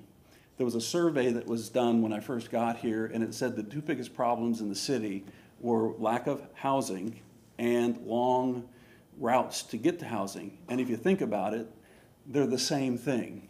They're exactly the same thing. If, if we have housing in the downtown and the Channel District, then we don't have the long commutes. The other thing is, is the statute's very clear. It says slum and blight, absolutely. Or a lack of affordable housing in the area or the need for crime prevention. So that's what the statute says, and if there's one thing I have learned about Channel and District, there's a lack of affordable housing. There's a lack of workforce housing. I tend to like to use uh, the federal government definitions, which is based on average median income, usually about 120% AMI. So we will be working to bring you a policy and even a program and how to fund it to bring the workers into the areas where they can walk to work. And even think about using the streetcar to get them, so they might not be that close, but they could use, and we want people to use that streetcar. That's why we fund it, to make it free. We need more people, more bodies on that streetcar. Uh, the CA, the CA, yes. No, go. Uh, Anyone? I actually have a question about that. Um, I would really love to see you focus on um, eighty percent or lower, because hundred and twenty percent AMI five years ago was something, but today it really isn't, because we have such a higher AMI due to the, to the businesses we are getting and, and the people, um, the increases in, in salaries. So if you could focus on the folks who are really doing the jobs that people in Channel Side need them to do, th- 120 is not gonna, We'll bring It's not you, gonna we'll work. bring you a, a, uh, results, we can actually create an adaptive spreadsheet where we can plug in the right percentage, and you can see the differences in how much, how many units we can gain with the money that we have. And then the board can decide, they, they might wanna, um, do both, and just spread it between both, so. Okay. Because there are people who work in the downtown and, and Channel District that make eighty percent AMI or less. Yeah, I think the program needs to have some details filled in, and mm-hmm. what we need to tie it to is actually the state definition of affordable housing, mm-hmm. which does have income levels, hundred and twenty percent does meet, I think, a certain level of what's deemed affordable, but they also have graduated levels of mm-hmm. medium, low, I think eighty percent is the medium, uh, level, and so we can, as we, as we roll out the program, we can define what those levels are and what you all would be willing to put the CRA funding toward, and the Absolutely. Board Member Carlson. Yeah, I, y- y- you know, I've been a big advocate for putting affordable housing in all the districts. Um, and two years ago, we decided to put thirty percent in and, and nothing really happened. Um, uh, If, if it's possible to, in this proposal, I think we need to do like they said and keep a very narrow definition. It needs to be the federal government, state's definition of it. Um, And if we're able to do that cost effectively, again, if we could compare it, if we use the money in another area, would, is it cost effective? Then it makes sense because people should be able to work and we need affordable housing distributed. But we need to look at all of our options. The reality, though, is that there's no land in Channel District. And uh, we just paid four-plus million dollars for a little postage stamp as a park. There's no land for parks. Um, The only land that's available there is the working port, which I, I would heavily defend against developing into something else. Um, We don't, w- e- even if we got the land, it would be incredibly expensive. And, uh, and, uh, and, and land that could be available, all the other developers are salivating. We don't, we, we have one parcel, we might be able to put a fire station just because the developer is, is, is being generous and wants a fire station there, but otherwise, there's no land. And so, um, uh, we, uh, we moved forward a year or so ago to, to update the plan of the CRA. Uh, the, the reality is we need affordable housing throughout the city. Uh, we have, we have parks that are falling apart all over the city, including South Tampa. Uh, we have sidewalks that are, that are falling apart. We have potholes. We have, um, places all over the city where we can't put, um, sidewalks. And, uh, you know, I think our sidewalk budget is still around six hundred thousand dollars a year. If we just moved a million dollars out of this, uh, CRA and put it into a sidewalk fund, and it's complicated to do that, but if we did it, that would more than double our sidewalk, but, which would make kids and families safer throughout our city. And so I, I think it, whatever decisions we make, we shouldn't just make the decision because we happen to have the money there. We have to make the decision about how could we better use this money if it was outside. And because we solved the, the, the, the situation of slum and blight. This is not 30 years ago where uh, where we had uh, empty ware- former warehouse property. We, we have a full redevelopment, robust community, walkable neighborhood. Every, it's been a huge success. But, but we, uh, we need to carefully look at how we're spending taxpayer money. And if it makes sense to, to uh, keep it there and we can hit that, that tight definition, fine. But if not, we need to seriously look at moving it into either a parks fund or a sidewalk fund and or a, a for, ideally affordable housing fund uh, that we could use in the best places we should throughout the city. Thank you. Thank you. Also, um,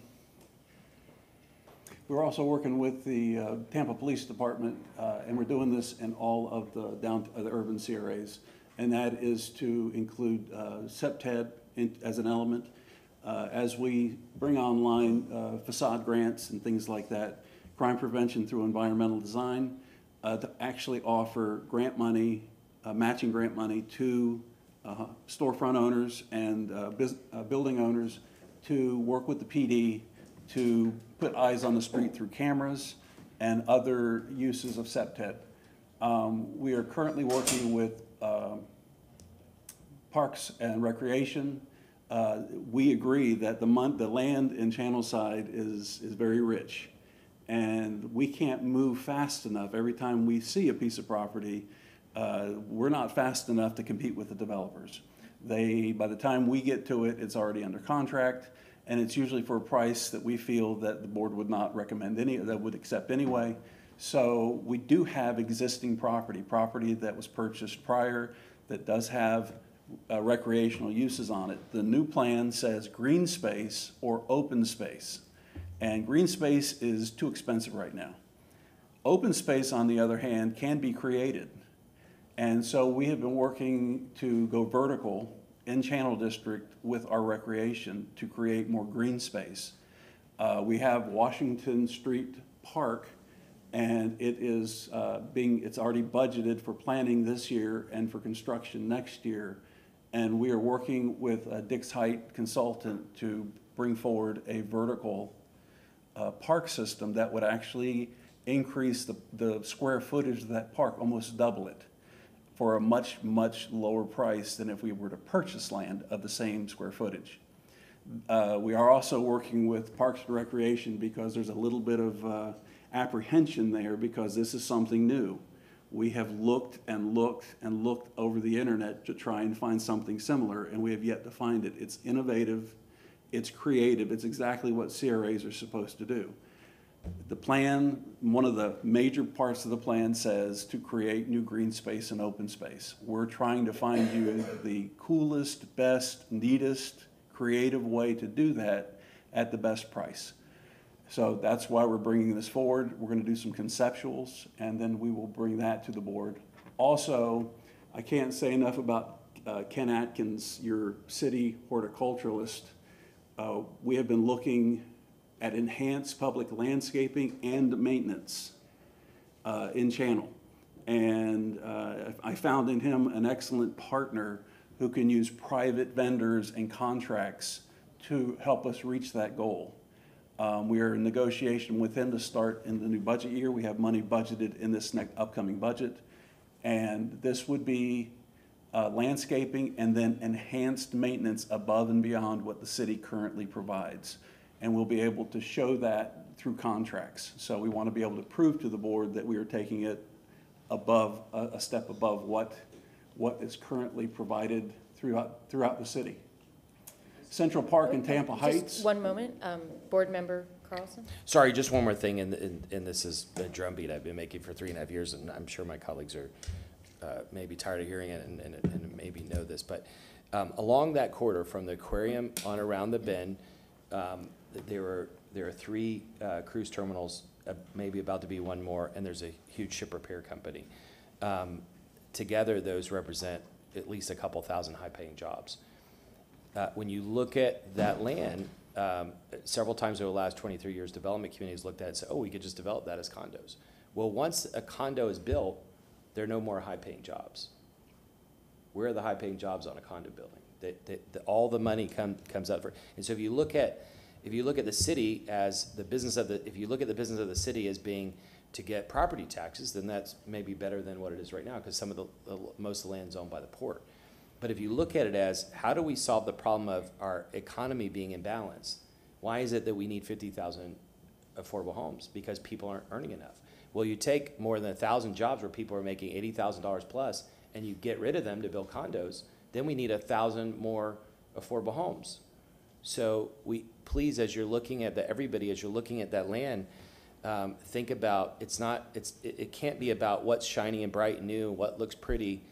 Um, you know, sometimes when people move near the port, they say, oh, if we could just get rid of that ugly stuff. Well, that's thousands and thousands of jobs, not including the economic impact of it. And think about fifty or hundred years in the future, Tampa is, is, has been slow compared to our other ports in Florida, but it is gonna take off in the next few years, um, because the other ports are crowded out. We, the thing that we have that other ports don't have is land. And if we make the mistake ten or twenty years ago, they said, we need to do like Baltimore and build the inner harbor and all, that's how Channel District was first built, and it failed. Um, har, uh, inner harbor has failed. If we give up that land and build condos there, we'll never be able to get those jobs back, and then we're gonna have a distribution problem. All of Central Florida relies on our port. Uh, Orlando gets its oil and gas from us. Um, we need to absolutely protect those areas uh, to make sure that we keep those jobs. We, we, and we need to look at this as an economic system. We have to get more high-paying jobs, not fewer. And if we get more high-paying jobs, we need fewer affordable houses. Thank you. Yes, and I will agree. I just took a port tour last week, and it was amazing, the economic driver that it is. So, thank you. We go back to the next, to the slides. Central Park, which is one of the smaller CRAs in the urban area. Uh, Again, the first two are underway, working with the other CRAs. Uh, The CAC has recommended uh, to budget for um, the purchase of the Paradise Baptist Church and stabilization. Uh, That's in the budget. We have been in discussion with the family that has that church. Nothing has come of it to the point that we need to move to uh, real estate, and that budget would need to be approved by the board prior to us really doing anything, but just wanted you to be aware of that. That plan strongly urges the CRA to um, protect and encourage the Central Avenue history. And that church is one of the largest few remaining buildings that still exist in that area. And, um, and it is, uh, it houses a huge uh, collection of memorabilia and, and different types of artifacts from the area, plus a lot more. Board Member Maniscalco. I'm really happy to see this, having toured it. Councilmember uh, Gudes was there as well.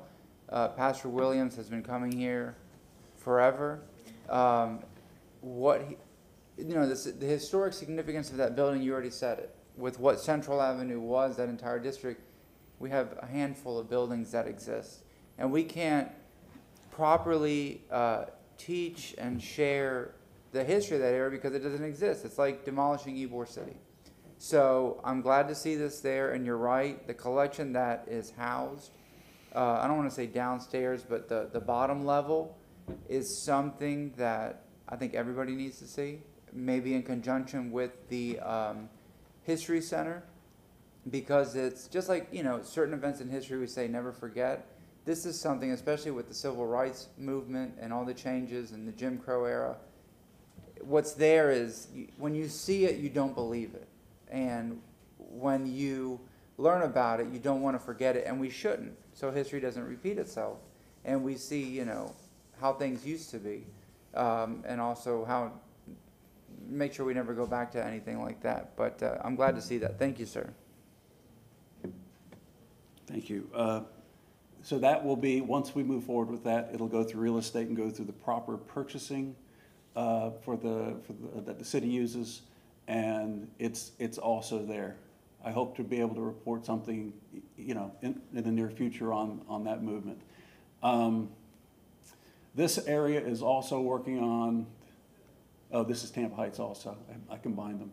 We're also working on a um, roundabout that was, uh, the CAC approved, uh, or recommended the approval of an amount of money uh, for the roundabout on, uh, on, um, over by the Pearl. And the, uh, it will come to the board, and we'll also be working with um, Public Art and uh, Culture.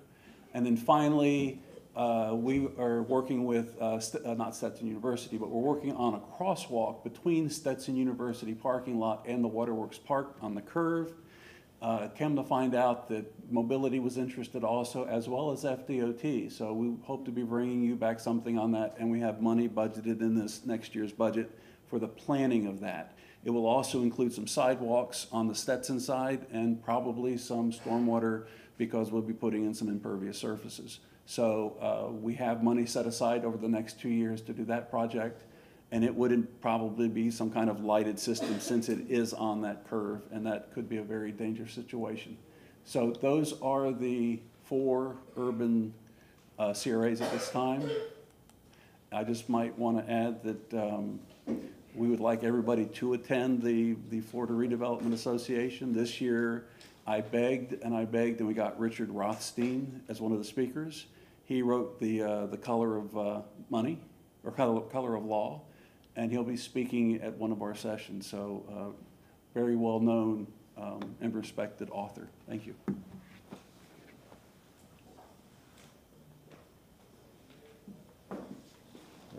Up next is Jesus Nino with West Tampa and Drew Park updates.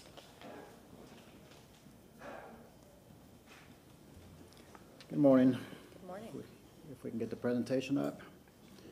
As far as West Tampa, there's a lot going on in West Tampa, many, many projects, but I try to keep it brief here. We just concluded last week Phase Six of our cleanups for the alleyways uh, on the southwest portion of the CRA. And we're about to release at the end of this month an RFP to go out there and clean up all the alleys all at once. Uh, The reason why we had it in phases is we had to figure out what was what, what was vacated, what was in use, and, and so forth. So this RFQ will go out there and just clean them up. CAC is probably gonna recommend that we do it four times a year, just as a courtesy to the residents. We'll try to educate them on their role and responsibilities to keep those alleyways maintained. As far as, um, let's see, we also hired a full-time clean team that started this week for Main Street. So they're out there cleaning up. I've been out there talking with them, talking to the new company, making sure they're doing what they're supposed to be doing and not missing any areas. But it is a learning process for them up front. But once they get the hang of it, all little nooks and crannies, then they're good to go. It seems like I'm missing a slide, but I take responsibility for not making sure it's not, it wasn't put in there, but it's okay. Uh, basically, we have, um, we did a request for proposal for Ray Park and Sassine, so we're expecting to get those back pretty, within this month. They're for design build, uh, for the parks. We decided not to go a design bid build process, we just felt that it would work better for us to just have a designer work directly with a contractor to get a design and get it built. Um, and as far as a, October 9th, we have the West Tampa Historical and Culture Event, which is strictly for the CRA. CRA is putting it together, and it's for us to give out our information to the community on our projects, our programs, and other city services. So it's not an outside organization, it's us putting it together for the community. That's West Tampa. Any questions? Board Member Gudes. You know, I, uh, I went to a function, a back-to-school function. Uh, And I known West Ham in the back of my hand, but I did not know about that park. Why don't you tell the board about that park back there and what the church over there is doing? Fremont Linear Park is a park right in the center of West Tampa. It's, um, it's been there for a while. It's actually streets that were closed off back over a decade ago by police and fire and the city in general. But um, Revived Church put together an event on the weekend, I think last weekend, at Fremont Linear Park. I had Parks and Rec go out there and clean it up.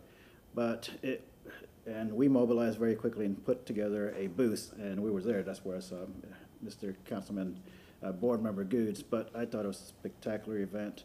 Community came out in force and just enjoyed themselves, and it's a jewel right there in the middle of West Tampa. We actually have concept des- designs for it, but that's after South Scenes and Ray Park. Thank you, sir. Any other questions? For Drew Park, uh, we had a very successful public listening session last night at Hillsborough Community College for uh, the improvements that we're going to make to Tampa Bay Linear Park and a new potential neighborhood park um, on Hubert Avenue. So it, it was very well attended from the community. Usually we struggle to have quorums, but this wasn't a CAC meeting, it was a public meeting. So very interactive with the landscape architects, the community, business owners, and um, I think it's going to move forward very, very well. We have a second meeting scheduled for August the 30th at Hillsborough Community College, and we're hoping that if you want to attend, you can attend. And individuals that are involved in West and Drew Park that you know of, let them know about the event.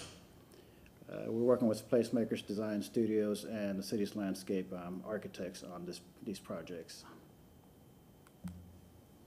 As far as other projects we have going on in Drew Park, we did hire a consultant, Una, um, Una Landscape Architecture, to look at Lois Avenue and Grady Avenue, to kind of give us an audit on what's worked and what hasn't worked in the past. And then after that, then we'll go out there and bid it out to fix up those streets and make them safer and more aesthetically pleasing.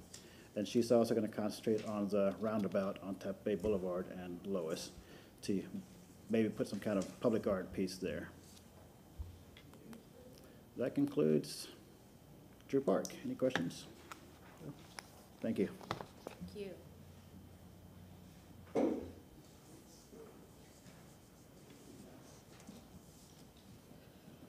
Good morning, Courtney Orr, Ybor City Development Manager. Let's see, we have this slide.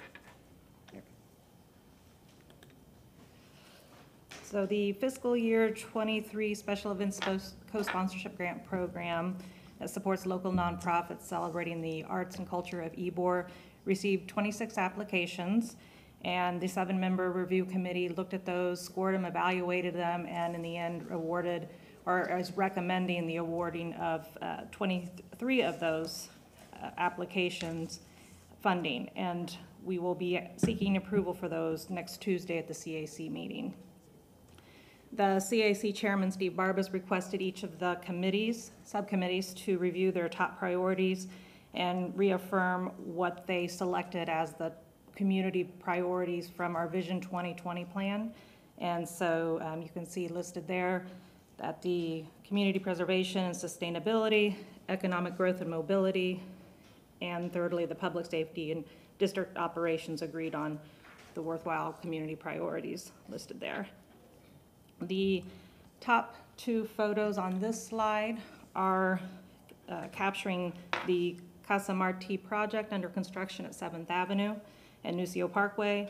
This development will include 127 residential units and 9,000 square feet of commercial space, and the anticipated completion of it is later in 2023. WSP, the consultant selected to work on the Seventh Avenue bricking cost feasibility study, recently was issued a notice to proceed. And so an internal kickoff meeting with mobility and Ybor CRA staff will take place later next month.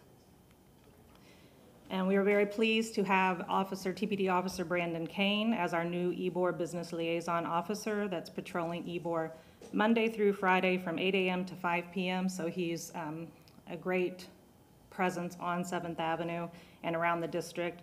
And he uh, pops into our office regularly for updates. So that's great communication between CRA staff and, and police. And then lastly, when you have a chance, please check out the first WEDU PBS short form episode on Greater Ybor. This episode is highlighting the famous Cuban sandwich, and it can be viewed at wedu.org slash greater. It's also on YouTube, Instagram, and Facebook. So they'll be rolling out some more short form episodes that we look forward to seeing. And thank you. That concludes my report. Board Member Maniscalco. Uh, I see here the consultant has started work on the Seventh Avenue bricking cost feasibility study.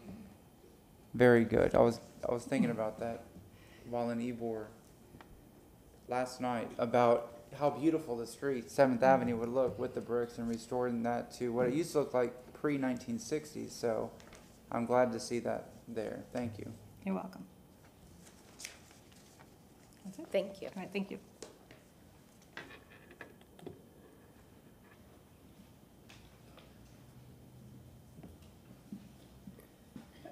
Good morning, Cedric McCray, East Tampa CRA Manager.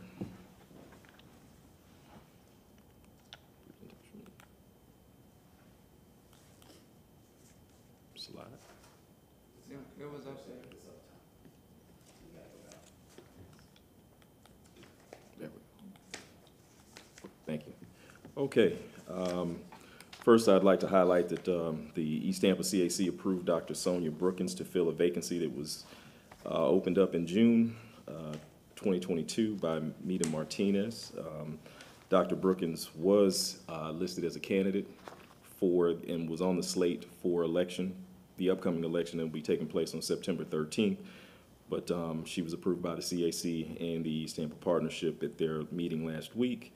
So uh, she will be rolling off of the, uh, the slate of candidates. Next, I'd like to highlight the uh, approval of the CAC uh, for eighty-five hundred dollars in working in concert with Parks and Recreation for a Kaboom build at Williams Park. Um, Really excited about that opportunity.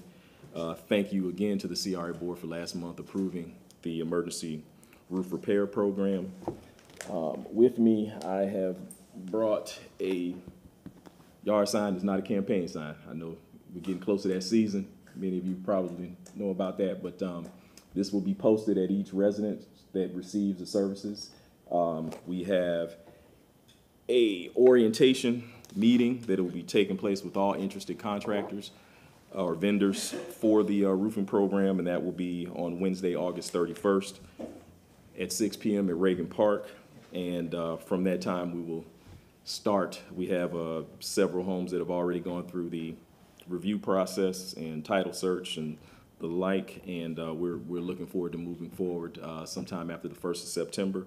And um, the applications will also roll out the uh, second week of September for the uh, program, but we're getting calls daily, and residents are really excited about, about that upcoming program. Um, Next, I just wanted to let everyone know also that uh, we have been having conversations with uh, Tampa Electric Company as it relates to some of the poles. Um, As you go through some of the thoroughfares on 22nd, Lake, 34th, um, some of them need to be repainted and touched up. I know that we're coming to the end of our uh, contractual obligation as it relates to the relationship. So we're looking at either painting or upgrading the poles at some point, um, just waiting for them to get back with us on cost and design styles, styles, and then we will share that with our uh, East Tampa CAC at some point. And we also would like to have the opportunity to place banners as we're talking about uh, branding East Tampa, you know, having something similar to the logo that was on the um, sign would, I think, go a long way as, as people are coming into the uh, intersections that are crossing uh, 21st, 34th, 22nd, MLK, and Hillsborough on the uh, city-operated roads. Okay.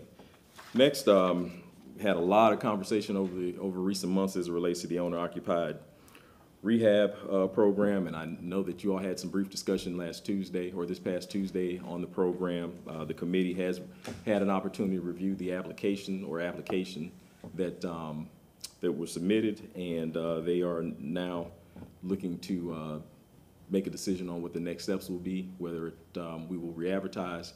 Um, They were not uh, pleased with the, um, the, the one applicant that was approved through the process, and um, we will have to either move forward with updating the, S- the uh, RFP and uh, re-advertising, or there may, there were some conversations about um, conducting and running the program in-house, which would, um, you know, also be discussed, but um, hopefully we'll have more to report back um, at the uh, September meeting.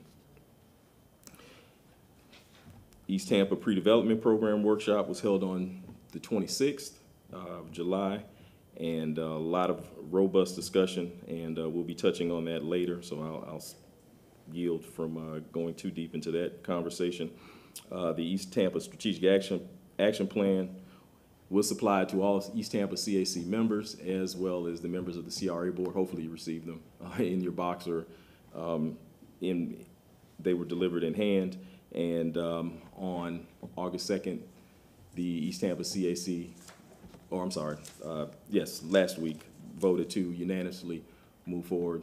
I'm sorry, no, not unanimously, six to two vote to uh, approve and move forward with the approval of a uh, strategic action plan for East Tampa. And uh, you have a presentation that will be coming up here later this morning as well.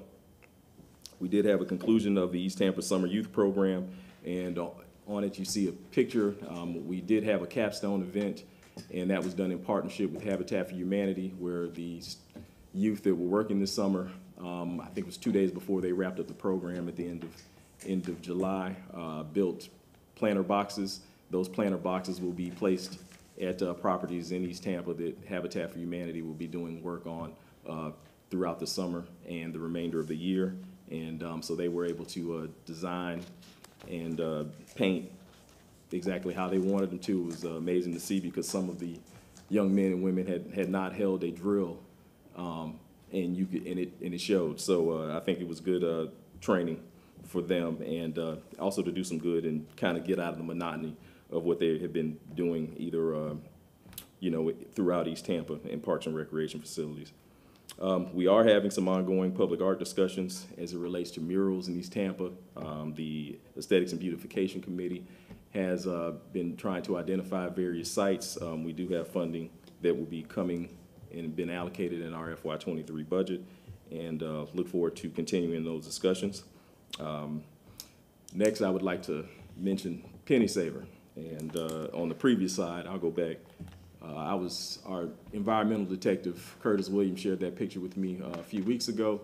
And uh, you may have received notice that uh, the demolition will be taking place on August 24th at 10:30 a.m. So I'm, I'm imagining it will probably be a groundswell of participation from residents in East Tampa. I'm sure Ma Bell is listening, and she will be there as well with her hard hat on. And uh, looking forward to uh, seeing that come into fruition as we move forward on that project. Um, Last but not least, I would like to take a point of personal privilege to uh, thank Miss Eva Hughes. Uh, Ms. Hughes has been working in the East Tampa CRA office for nine and a half, maybe 10 years. Um, She will be transitioning to a new department in the city. Um, But she, in my returning back to the city of Tampa, Ms. Hughes has been a, a wealth of knowledge and support, historical information and data that I've, I've requested, just not being here or in the, in the midst of the CRA um, previously. And I just wanted to publicly say thank you for all her time, effort, and service to the residents of East Tampa and the East Tampa CRA. So thank you, Ms. Hughes. Board Member Gudes. Well, I know Ms. Hughes a long time, and we, we thank her for her service to the East Tampa residents, because, you know, it, it is hard. I know it's been a long road. So, uh, but again, uh, thank her for what she has done for the folks and residents over there. Uh, want to, uh, thank you. I've received a call from some residents and, uh, one of your board members of the job you did this week of going out to a, a house that had a situation out there and taking care of that. Uh, Miss, uh, Miss Copeland personally called me. You- You know, she likes something, she gonna call you. When she don't like, she gonna call you. So, uh, she called me right away to say, uh, Councilman, you, you make sure that you say something good, but said you did a good job out there. so I want to let her know that I'm keeping my word to what I said I was going to do.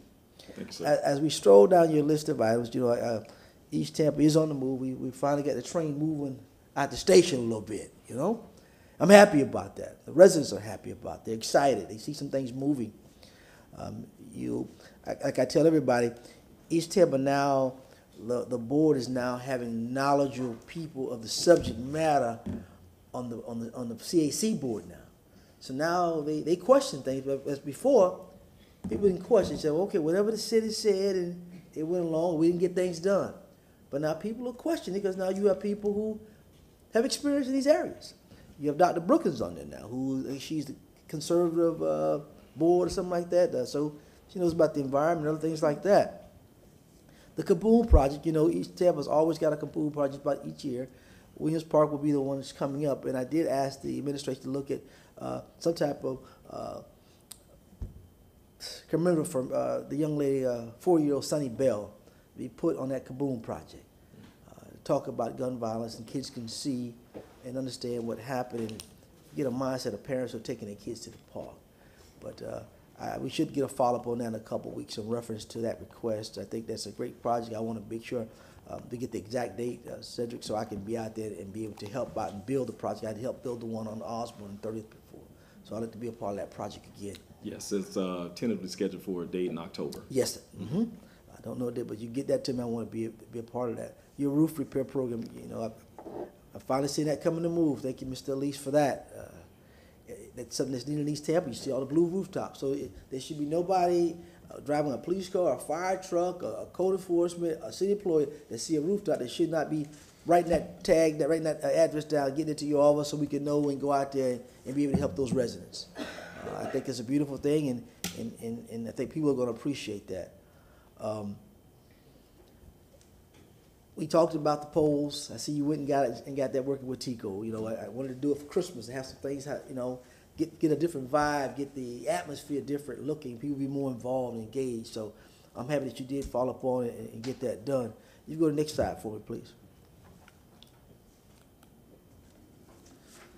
Disappointing on Aquapack Rehab. I thought we should have been way, way, it's been a long time coming, and now we're at a standstill again. I'm just hoping, Mr. Drumgo, that you, we, we, we can kick that into gear. I think that's, that's very important, because if you can kill that blight, you can bring on new joy. If you're able to help some families without stringent criteria to help that outside, that inside, that house stays there, and it doesn't become vacant, it doesn't become a drug hole, it doesn't become uh, a place of just destruction. So we got to get that moving. I think that's critical. That's critical for each part of town and for this whole city because there is housing stock. And these kind of programs here will help, but a lot of times the criteria hinders people from being able to get the help or we just, they just don't know about the help. So I'm hoping we can get that jump started quick. I know we got to put out RFP or maybe in-house, but we got to get that moving. That's very critical. Um, I'm glad we got the retreat going. That, that's very, very, very, I can't say that will help people understand how the CAC is supposed to work, how the subcommittee is supposed to work. And that we won't have this turnover or we won't have this flip-flopping every year to where you, you're training every year. I'm hoping the bylaws are gonna change that a little bit too because it's crucial to have continuity. And they haven't had that in a while. When I get into that pre-development, of course, I wanna ask Mr. Drumgo and uh, Hewitt about that pre-development, but that's crucial. When I talk about, you see that those buildings that I've been talking about forever are in there that are all along the corridors that we, the city should already been approaching these people to see how we can get those back into circulation. Two of those big buildings could be used for apartments. Could be used for a lot of different things. Uh, So I'm, I'm happy to see, and I, I got some details on that. I'll get into the strategic action plan. Um, I'm a little disappointed with that a little bit, but we got to move on. Um, the summer program, normally I go, the beginning, I go and I meet the young people in the summer program. I didn't get a chance to do that this year. I don't know why, but uh, long time the council member of District Five, I want to make sure that I'm there to meet and greet them. And at the end, uh, don't have it on a Thursday to where at the end of the program. I mean, I, I just, I, that's a pivotal point for me and whoever's the District Five person sitting in that seat to meet the young people who are out there working, to be able to give them inspiration motivation, understand the three Cs and what they need to do. But again, good presentation. A lot of things are moving. We're live in five. We just gotta make sure we keep the coals burning in the train. Yes, thank you. And uh, as it relates to the summer youth presentation, I believe it was initially scheduled for Tuesday. I wasn't able to make it either because we were here on that Thursday, so, but um, we'll definitely keep that in mind. And have my hard hit for Penny sake. Yes, I'm sir. ready to knock that down. Anyone else? Okay, thank you so much. Thank you.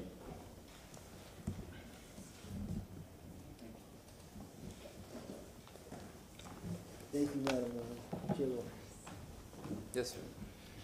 All right. Um, So item number seven on the agenda, uh, the board requested Administrator Travis uh, appear along with uh, Manager McCray to provide a report regarding amending the CR, the East Tampa CRA plan and suggestions for uh, improving the governance uh, within that uh, particular CAC. So I'll take, uh, I'll take those slides. Thank you. There's your motion. And uh, just for background, the, the CRA has a formal board policy uh, regarding the organization and operation of the respective CACs. And so currently, only East Tampa and Ybor CRAs have representative community organizations, with East Tampa being the only CAC without ex officio membership. Uh, For East Tampa, that organization is the East Tampa Community Revitalization Partnership. Okay, and that is a broad-based group of civic and neighborhood associations, institutions, and residents that uh, have interest in East Tampa overall. The current structure uh, of that particular CAC is a total of 13 members. Uh, Four of those, it- it's four residents minimum, one for-profit, one business owner, one not-for-profit representative, uh, one property owner, and then the rest are at-large. Uh, And so, you know, I think this has come before you as a, as a board several times over the past two years. And so I wanted to provide you with a couple of options on how to really address the governance. Um, and so this, this final slide here really breaks down those three options. And, uh, the first option is really for the board to revise its policy on CACs. And so with that revision, you can request that the, the partnership amend its bylaws that aligns with, uh, something that is more amenable to the, I would say, the rest of the CAC so that they all have a consistent and similar structure. So that's your first option. Uh, your second option would be to uh, update the redevelopment plan. And so with that update, you know, the, the way it's currently structured, the CRP is tethered to your CAC. And so uh, what, what that update could do is uh, basically go in and attack the, that governance structure and make sure that those two entities uh, come out separate and standalone entities from one another. Uh, and then the third is uh, really for the CRP to revise its own bylaws, which it can do with two-thirds member votes. Um, and, and of course, that would probably be uh, the, the most challenging in, in getting the CRP to do that solely on its own. But uh, I just wanted to provide you with those three options, and, and from a staff recommendation standpoint, I can tell you that the, the best way to probably go about it is to update the redevelopment plan and then make uh, changing government, uh, governance one of those key features that you would like to see as an outcome. And, and you could do that and make that recommendation. Um, your CAC has already voted to update the redevelopment plan, even though we just had a, an SAP, uh, update that, that is before you today. But I think that that, uh, that redevelopment plan update and focusing on the changing governance or the governing structure, uh, could be a, a more favorable outcome because then the, the consultant can work with the groups, talk it through and figure out something that's amenable to, uh, to the membership and to the CAC and to the community, really, to make sure that the representation is sufficient. And then I'll just stop and I'll stand for any questions. Um, yes, Board Member Gudes. I like option two. Uh, A person who actually has sat on that board and had to understand the difference between the, the partnership and the board was totally confusing. It's totally confusing. People don't understand their roles or what lane they need to be in. Then you have the subcommittees. It's, it's total chaos. I, I'm- sorry, it's something, I hope I don't offend anybody out there, but it's chaotic at times you got new people coming in all the time and nobody knows what is the chain of command or assume what the chain of command is. It's very difficult. I've been to several meetings and they're getting better, but you know, just the mere fact of the bickering. It's a lot of that because you, it, it's, it's really confusing to everybody. And I, I think for me, I, I would put a motion to actually look to get them to update the plan. Uh, I think that's needed. We all agree it's chaotic. I hate to say that way, but, we got good people there, but I think with your, with, with, with updating the plan and having the retreat would be able to get it all in line. And with your bylaws, get, get everything in line to where it's going to be able to be more functional versus dysfunctional. And have people happy about coming to the meetings versus not at the meeting. And then, I'm gonna be candid, also, the voting process at those meetings. Uh, people coming late or well, people leaving early before votes can be taken. Now you don't have a quorum to vote on items. That's a challenge. Or you, something's not voted upon where, where, where one person likes it now, you still got items to vote on, but other people have left the meeting, now you can't vote. I mean, it's factual. It's, that's factual. I've been there, I've seen it. I've sat on boards where that's happened.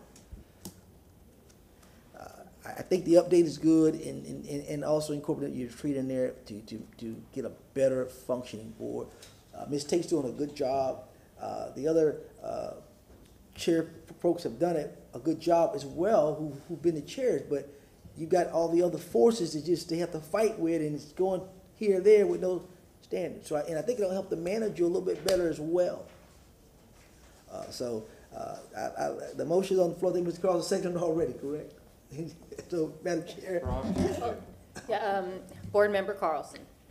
Yeah, um, I agree with everything he just said. I, you know, o- over the years, I've been asked by several people in the community to either, uh, sit in or listen to these, com- these meetings, and they were very confusing, and, um, I think staff was confused, and to some extent, staff didn't, didn't give them the resources they needed either, and we, I think have fixed that. That's why we had so many people come out and complain.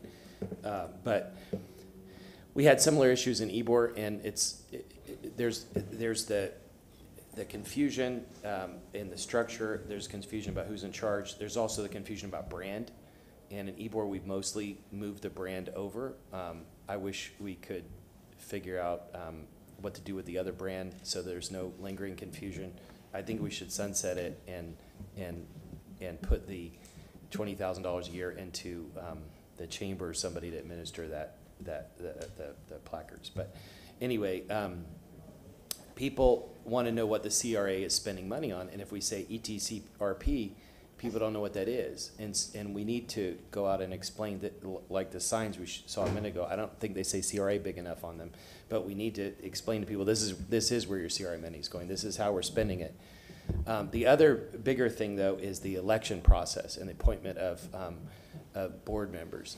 Uh, massive confusion, ma- massive uh, disagreement in the community. The way it has been in the past, as I understand it, is anybody who's attended a board, a meeting in the past can, is eligible to vote, but then there's been confusion about who owns the list, who qualifies, who can vote, and then there's campaigning in the community, and there are these factions that fight each other. We saw them all come together, by the way, to, to complain about how the CRA uh, was working with them.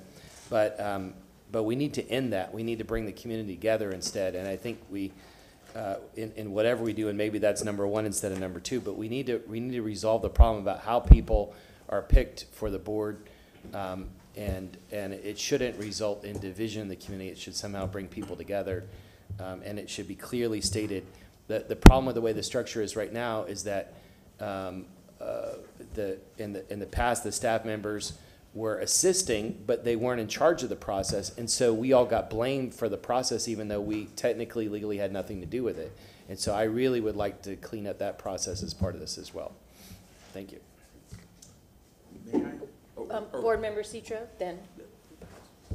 I, I, I just need to put in my two cents. Uh, coming from my background with the CRA in Ybor City, uh, to take The Rock, we all know the wrestler The Rock, his famous line, know your role.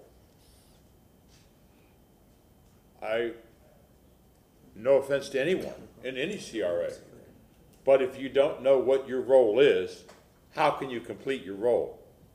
How can you add your, your wisdom, your knowledge? Uh, I, I go to several CRA meetings.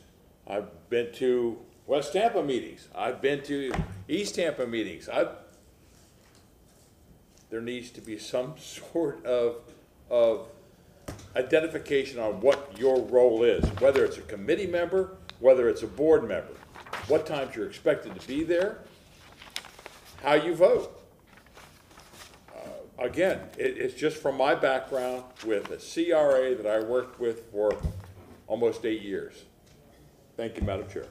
Yes, uh, Board Member Viera. Thank you, Madam Chair. No, just for the um, public, I just got here, I, I got on the interstate on I-75 at about 7:55 or 8 AM, and I just got here. There was a very, very traffic double fatality, it appears, about 200 feet ahead of me, and so I was on the interstate stuck for like two and a half hours. Never had that happen, but, so just to explain my absence. Thank you. So we have a motion um, made by uh, council member, I'm sorry, board member, Gu- Gu- can you The repeat the motion would be please? to go with option number two, along with the retreat and bylaws, uh, to be added in the update. And that was seconded by Board Member Carlson. Uh, Roll call vote? Carlson, Yes. Maniscalco, Yes. Viera, And, and I'm so sorry, I just got in. What, what, can, can we, what's? We're on item number seven. We're Okay, talking so we're about just the approving? governance. For the restructuring, we're choosing Yeah, option. Which, which option? Update the community redevelopment plan. There, staff presented three options Mhm. for the board to consider about how to consider the potential governance issues and the possible restructuring of how the East Tampa CAC is structured. And so what the current motion that's before the board is option number, uh, approving option number two, to review and come up with suggestions on how to revise the governance issues through the, the update and the rewrite of the community redevelopment plan for the East Tampa CRA, which is within their bu- Okay, budgeting for I'll- next year. So that's, Let me- I'll, I'll trust the maker. Go ahead. May, Yes. may I say one thing, Board Madam member, Chair? yes. I- This is not unique. I, I believe all the CRAs are structured the same way, am I correct? To some degree. I mean, you have people that want to attend, that want to be board members, that get voted in or out. We don't make that choice. No, the, let me, let me, just so you all understand, the, the, we're not, we're talking about the CACs, the, com- uh, Mhm. the, the advisory committees for each of the CRA areas. Um, of your eight CR, CRAs, CAC, CACs that you've established, by policy, the slate actually comes before you all to approve. Right. Except for, there are two exceptions. The two exceptions are East Tampa and Ybor. Um, the CAC for Ybor is the board of directors of the YCDC, and that's the confusion that, uh, uh, board member Carlson Newport was City talking Development about. Corporation. And then the, uh, the CAC for East Tampa is the board of directors for the East Tampa Partnership. Partner, Revitalization Partnership. And so they're, they're selected differently. Now, you do have to give final, your final blessing to their slate of candidates and their board members, but it, it's not something that formally comes before you. And the, and the other CACs have designated spots, ex officio, ex officio spots for each neighborhood group or major organization that has a interest within that area. But at the end, we still approve those, no matter which area you're in. Yes, sir. It's the same thing, in a way. In a way. I, I, this, this board has never, uh, not approved, you know, the I- election understand that. by the, the YCC, YCDC board or by the East Tampa, uh, folks in, in connection with their. Let me ask another question, Madam Chair. Un- Under what I've heard, I've been silent for a while, just listening. Is there anything on- the, on the, on the record that if you miss so many votes, you're out, or something like that? I don't know. They're all different. They're all the same. They are different, um, board member, and I- I'll tell you that East Tampa, they do have some provisions in there for missing meetings, but I will say that it is very scarce. Um, Currently, in order to vote in the elections, uh, the, the partnership members only need to attend two meetings. And I know that there was some discussion at the last CAC meeting to tweak that, and there was some pretty, I would call it assertive, uh, you know, the, the- the folks didn't want to have to attend more meetings despite the fact that they, they have ninety-three opportunities to attend the meetings. Um, they only have to attend two of those in order to be able to vote It's in the crazy. election to s- choose the CAC members. Ninety-three meetings, subcommittee, regular meetings, Then how do you partnership. solve that without changing the process? That's what we're talking about. Yeah. I think that's what we're talking Yeah. about. I think, I think the concept is that, that, that we're gonna ask the consultant through the update of the, C- the, the community redevelopment plan to come up with suggestions how that process should be changed. But if we change the process and you have the same people, what changes?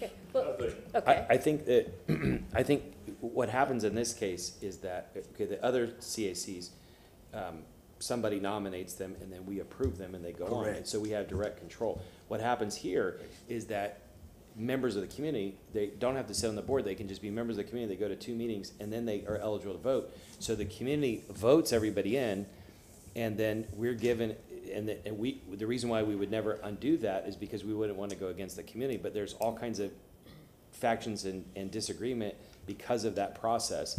And I think everybody in the community would like us to clean it up, uh, so that there's no more, um, arguing. Okay. Uh, Board Member Gudes. Miss- Mr. Jones, though, uh, I, I heard about it, Mr. McCray, I, I heard about that. Uh, And I didn't know how many meetings there were. But I'm gonna tell you, to have ninety-three meetings a year and only attend two, that's unacceptable. You don't know what the heck's going on to be able to vote, going to two meetings. You don't, you just come in and you gonna vote because somebody take the votes away and you have no idea of the work that's been put in and you're voting a certain way.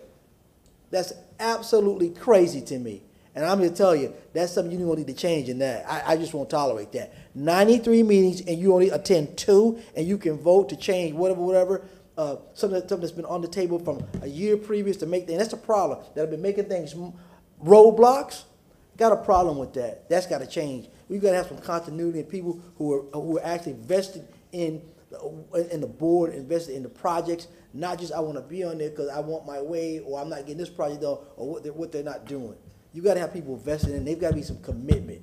This commitment here, if you miss any meetings here, eventually somebody's gonna say, they don't need to be on this board anymore. So I want some commitment with that. Yes. We, we have two people who attend these meetings regularly, who sit in the back. Is it possible we could get them to each give us a thirty-second feedback on whether they agree or disagree?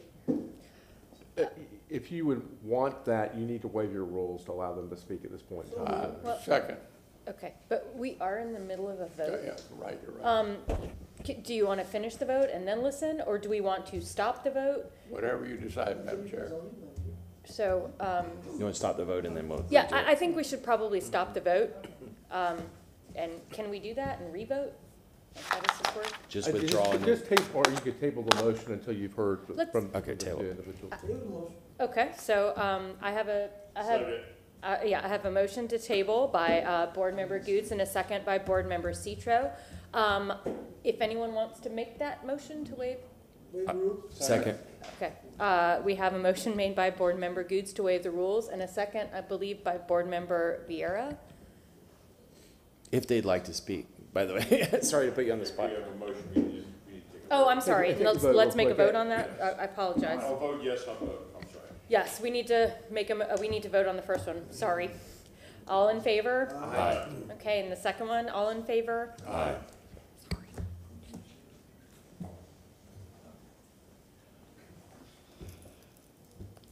Still good morning. Allison Hewitt. Uh, um, I sit on the Evaluation and Planning Committee. When uh, Chairman Tate became chair, she put uh, Clint Paris, another CAC member, as chairman of the CAC. We have been going through the bylaws. Pretty much a disaster. If you have folks who don't attend the meeting uh, as CAC members, the only recourse you have is to be able to send a letter saying, please attend the meeting. So it's no warning, it's no able to remove um, the, the, uh, the person who may, or people may who keep you from doing a quorum. So we have been spending a lot of time going over these, uh, the bylaws. And one of our main challenges of that is, as you have been discussing, is continuity.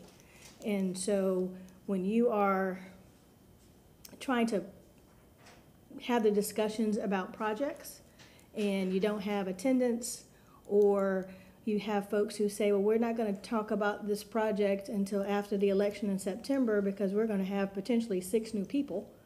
Um, and so then you have to wait for a presentation that was gonna come in June, and then we'll say, okay, we're not gonna do anything until after the election because we have a whole group of people, new folks, that we've gotta have to educate about the process or the project. So I will, I will say that the Evaluation and Planning Committee um, is really looking forward to um, working with staff on changing it um, because there are inconsistencies between the partnership bylaws and the CAC bylaws. the CAC goes to meetings and don't, don't have a clear understanding on which bylaws actually govern the projects that they're talking about. There's a misunderstanding on who gets to vote at a partnership meeting and how you vote at the partnership meeting. And so we have this well of interest and these more people attending meetings, but as more people are attending meetings, they're getting frustrated because the rules, the roles, the understanding is um, unclear. So we are looking forward to, as a member of Evaluation and Planning, and of those 93 meetings, I probably go to 80 of them a year. And so I uh, definitely agree, we had a very energetic discussion at the committee because the committee actually said eight meetings. And then um, at the CAC, um, went down to six and then down to four um, because they just don't, don't know what you're going to be doing and you can't attend the meetings. But we have some real world issues that we're dealing with.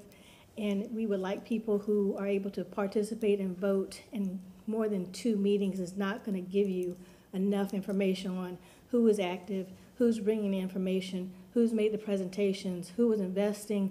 You know, and quite honestly, we've got contractors who are not taking care of uh, their people houses that, you know, were contracted through the city to do work. So, you know, if you're not participating, if you're not listening to the meetings, then you can come in to the two meetings and someone says to you, well, you know, you've been to two meetings, we need you to vote on this. I mean, they're not making it based on to see all the work that people are putting in. And we have a group of folks who are there, coming to committee meetings, signing on. That's one thing I will say, if I can put a, a shameless plug, if we can also put in our budget to invest in some technology, because we do have a lot of seniors who participate, but they are not comfortable coming to the meetings, and so we have a hard time with the teams or, or whatever to be, for them to be able to hear. So we will have even more participation once we invest in technology for our seniors, because as you know, in East Tampa, we have a significant senior population, but thank God they're very active.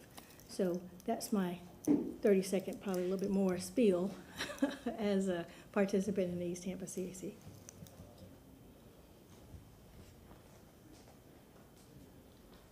Good morning again. I'm Keela McCaskill, and I sit on the subcommittee for membership and outreach, and I support the revisions, as many of them as possible, because it is somewhat confusing. It's, to me, it's downright embarrassing to have, you know, you all come to the meeting and half of them not there, so you don't have a quorum, you can't do anything.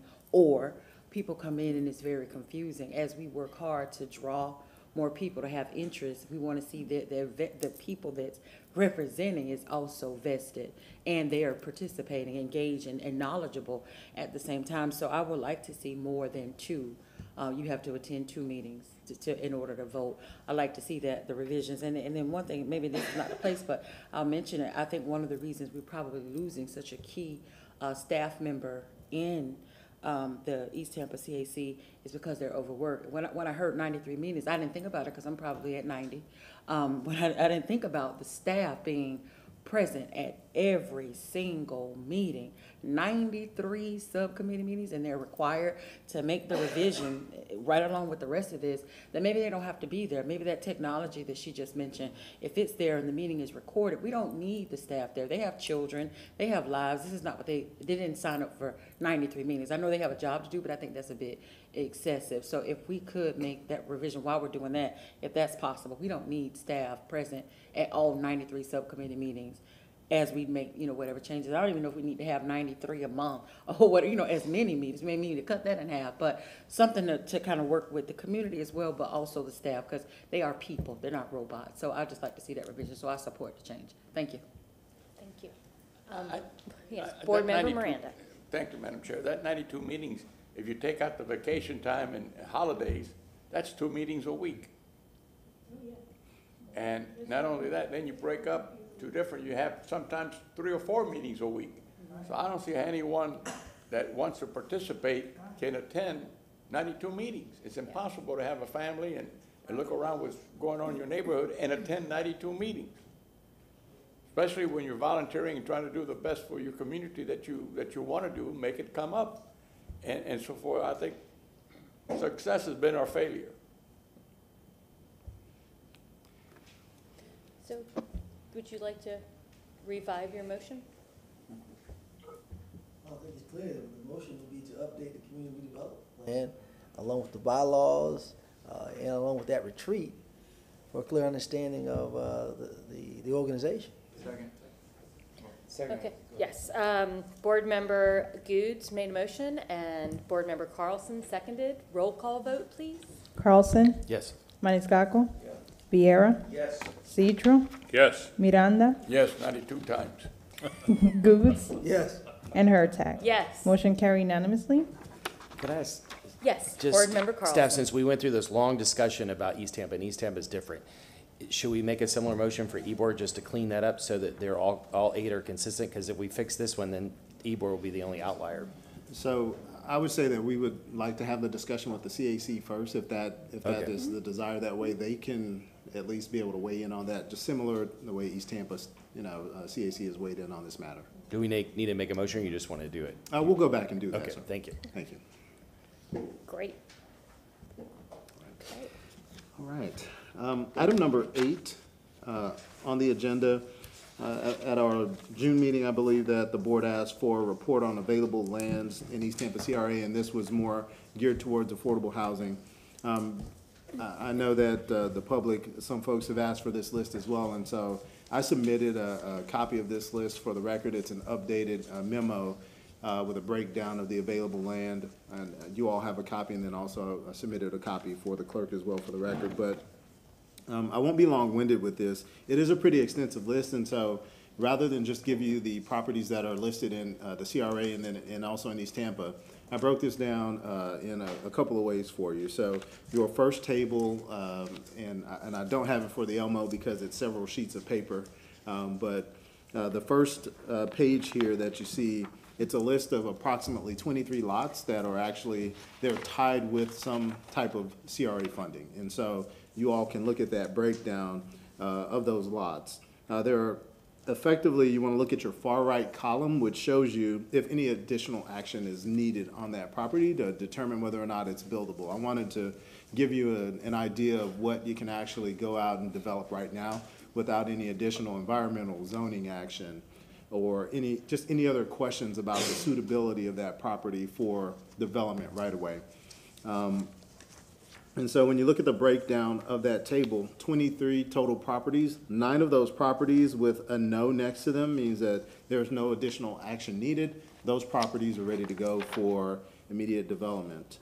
Um, and then your second table are properties that are not funded by the CRA, but, uh, they also have, uh, excuse me, the, the list shows you what, uh, properties may need additional action, so all those say, that say no, you see one through twenty-seven there, so there are twenty-seven lots that don't require an additional action. Those properties are properties that are within the CRA, but have no CRA funding tied to them, okay?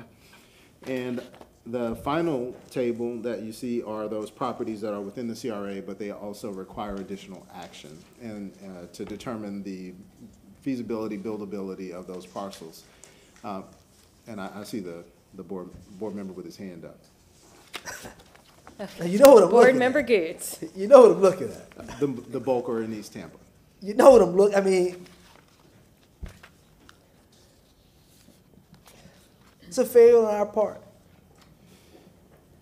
We have this many properties, and the CRA has been in how long in existence in East Tampa? We should have bought all these properties.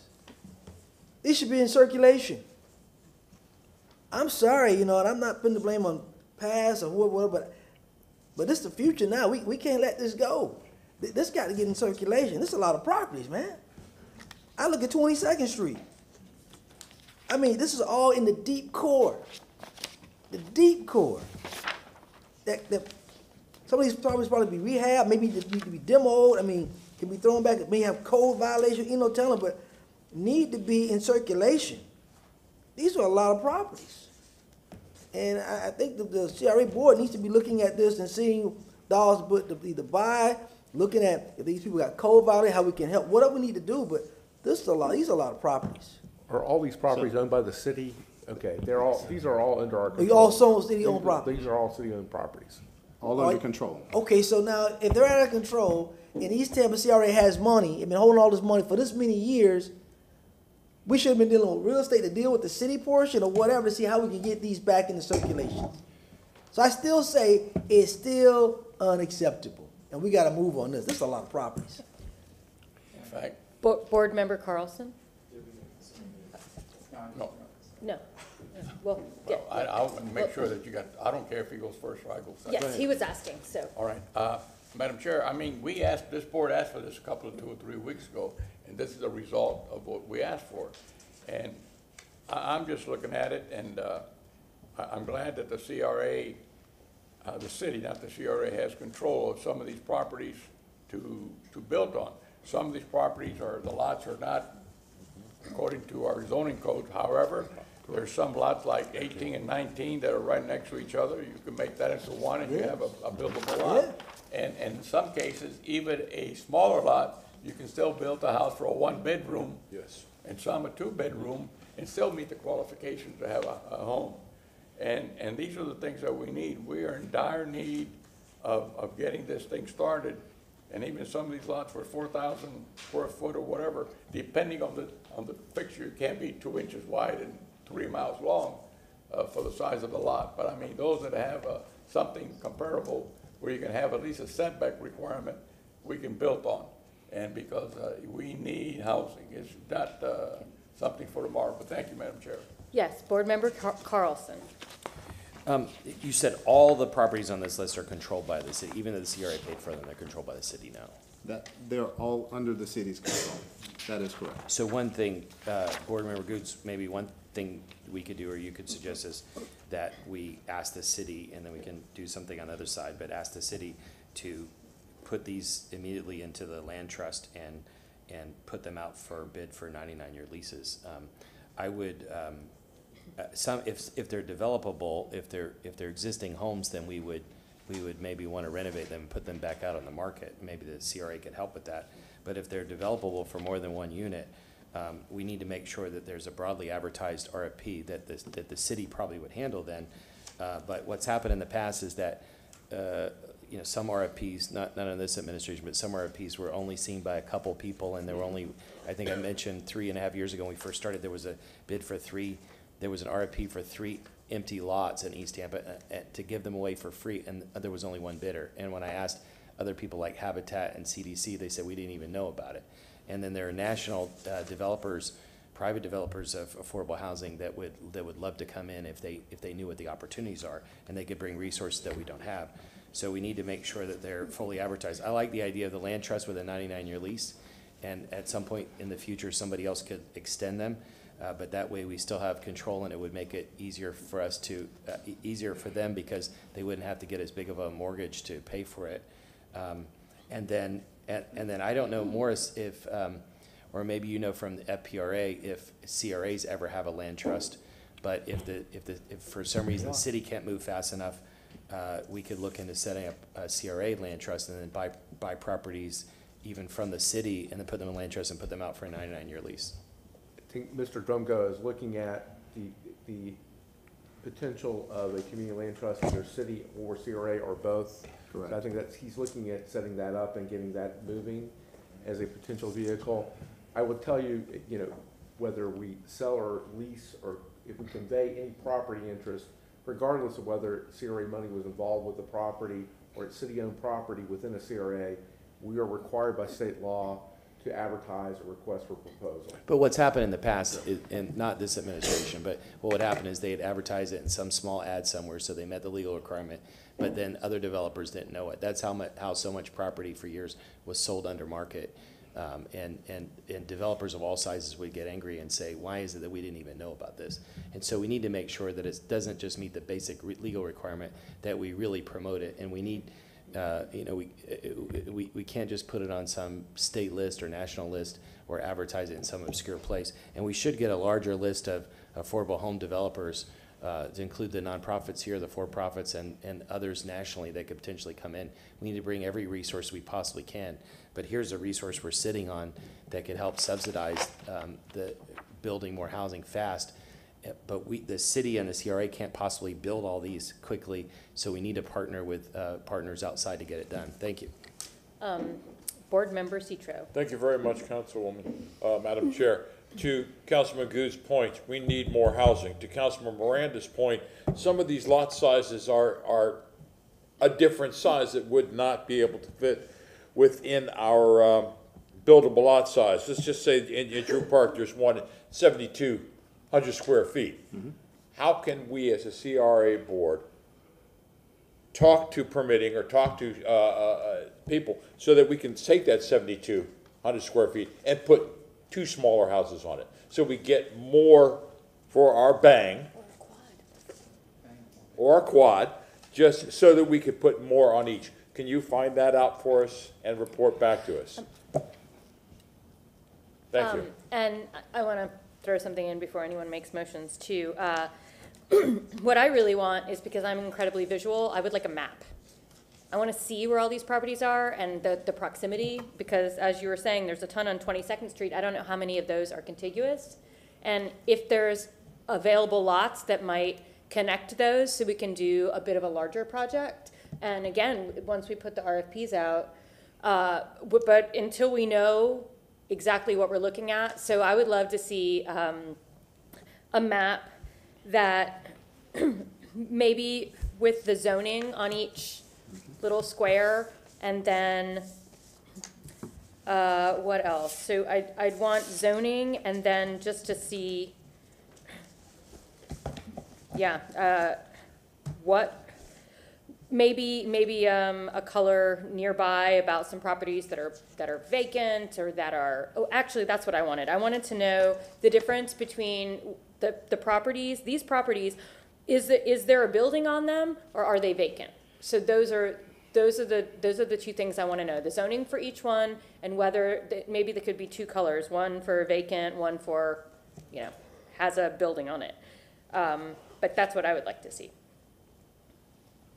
Can I, I So- don't think I can make a motion. If I. No, he- he wrote it down. If I, if I may, I, I, I am taking notes. I just, I, I'd like to just add in there, you know, I know that our housing team has done a phenomenal job issuing the RFPs for the infill program.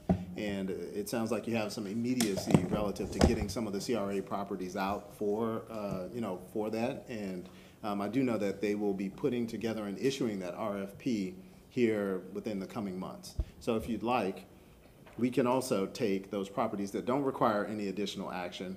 We can report back to you and let you know what, what type of density that we can probably get out of these parcels, but then also, uh, let you know, um, that, like, hey, if you'd like to, we can move forward and put those in the pot. And they will go out to a multitude of developers, uh, similar to the last round.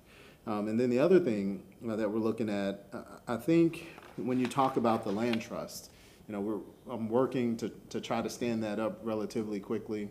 Uh, and, you know, putting those properties out now would be a little bit premature, uh, if you, if your intent is to establish, you know, the land trust, if we, if we have the land trust. So just, just thinking about, you know, the timing of it all, we can, we can certainly go forward with some of these properties, but I think those properties that also require some additional background and, uh, and research, uh, maybe those are the ones you want to hold in consideration for the trust. But then also those properties that are within the CRA and owned or held by the city that don't have CRA funding tied to them.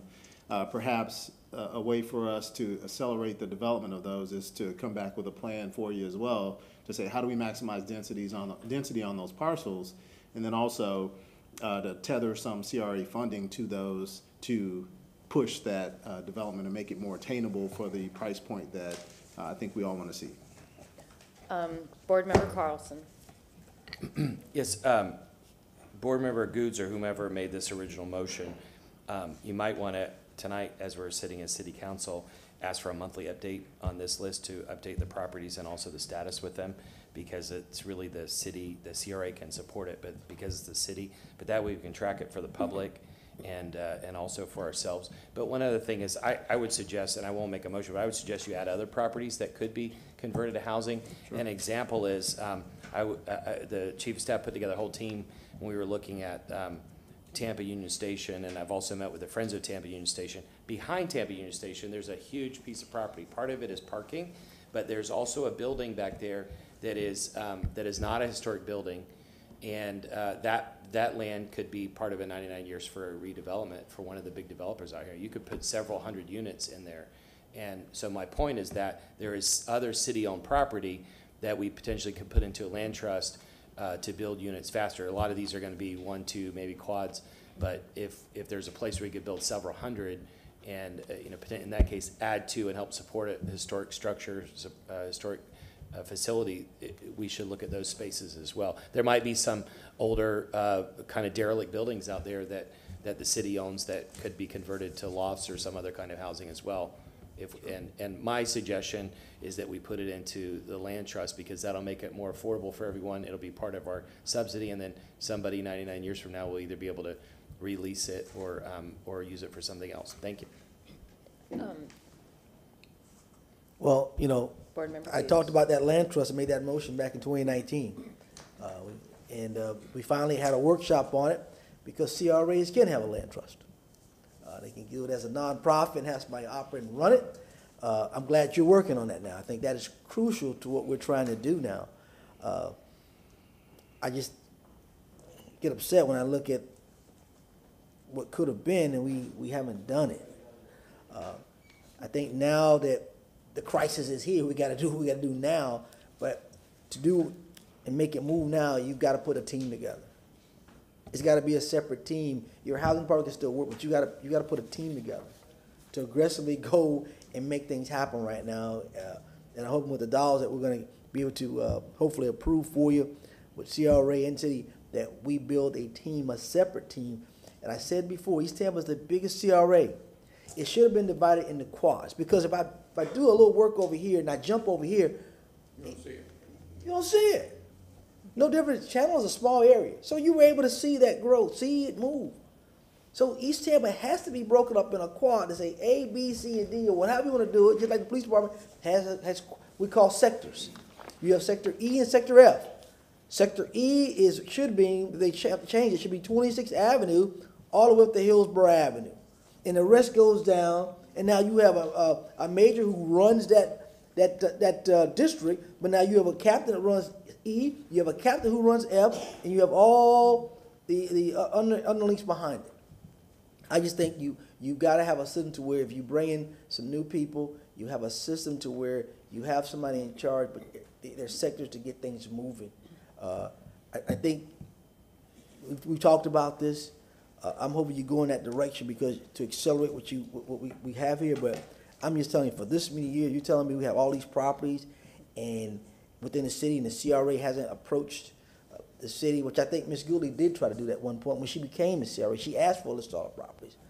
But sometimes we, we, we get kind of hesitant on the information we want to give because Mr. Carlson asked for this, this back in 2019, if I'm not mistaken, a reference to all of the properties. And we, we're just now getting it now. I'm, I'm, sure, I'm sure this is not everything. I'm sure uh, we got other properties in the city, but I, I like to still see what, what we really have as a, as a council board of in, what's in this city so we can build this team. So I, I know I, I can trust you and Miss uh, Travis will, will get it together, but we got to build the team quickly to make it move. Thank you, Madam Vice Chairwoman.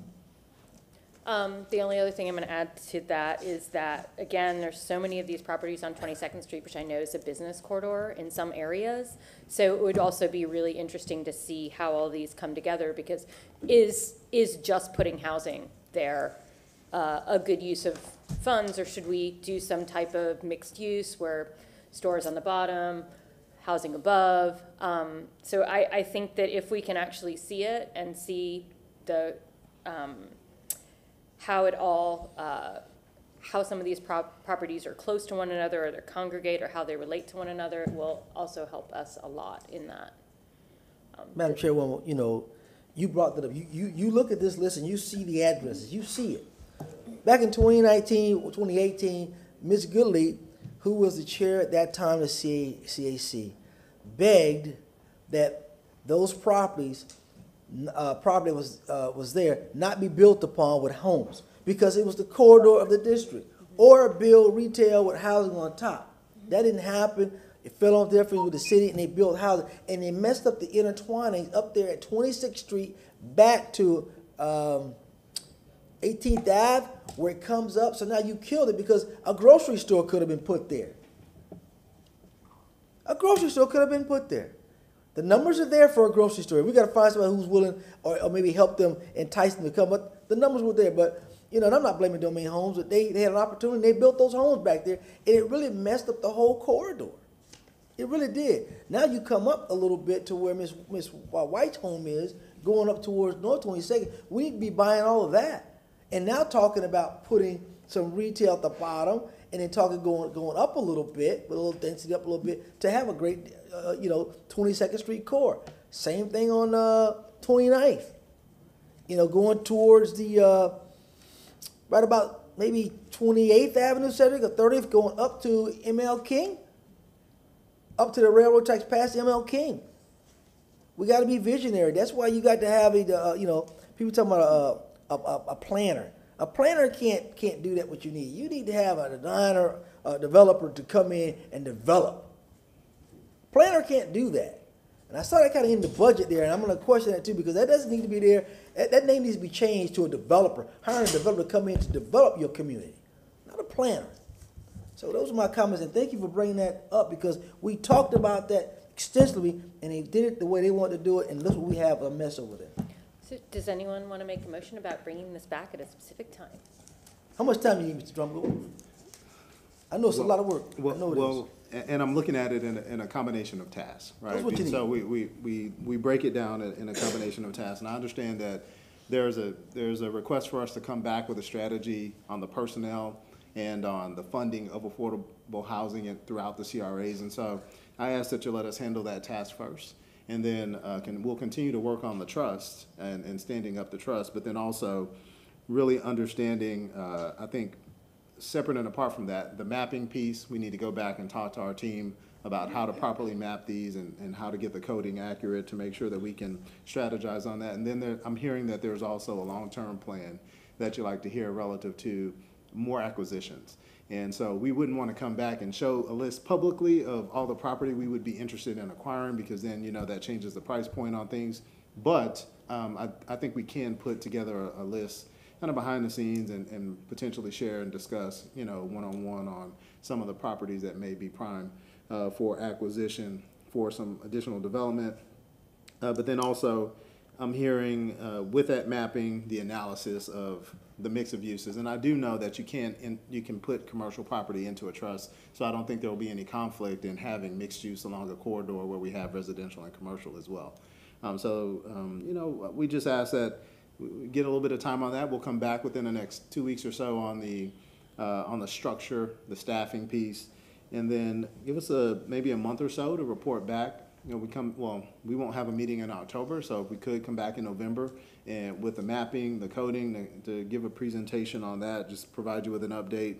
And, um, also, we'll provide you with an update on the, uh, on the land trust progress as well. Um, Councilman, since you're, you're asking for, for that to be a prior, prioritization as well, so, um, and if I missed anything, please let me know.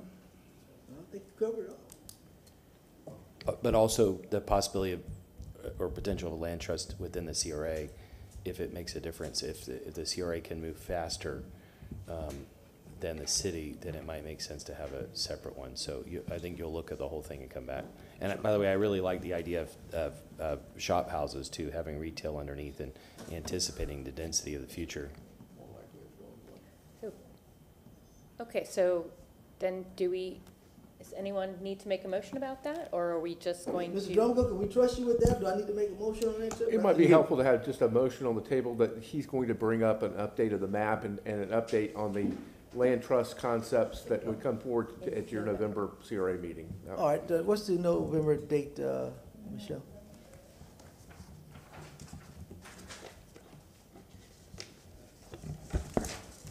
That is November tenth, nine thirty, uh, nine AM.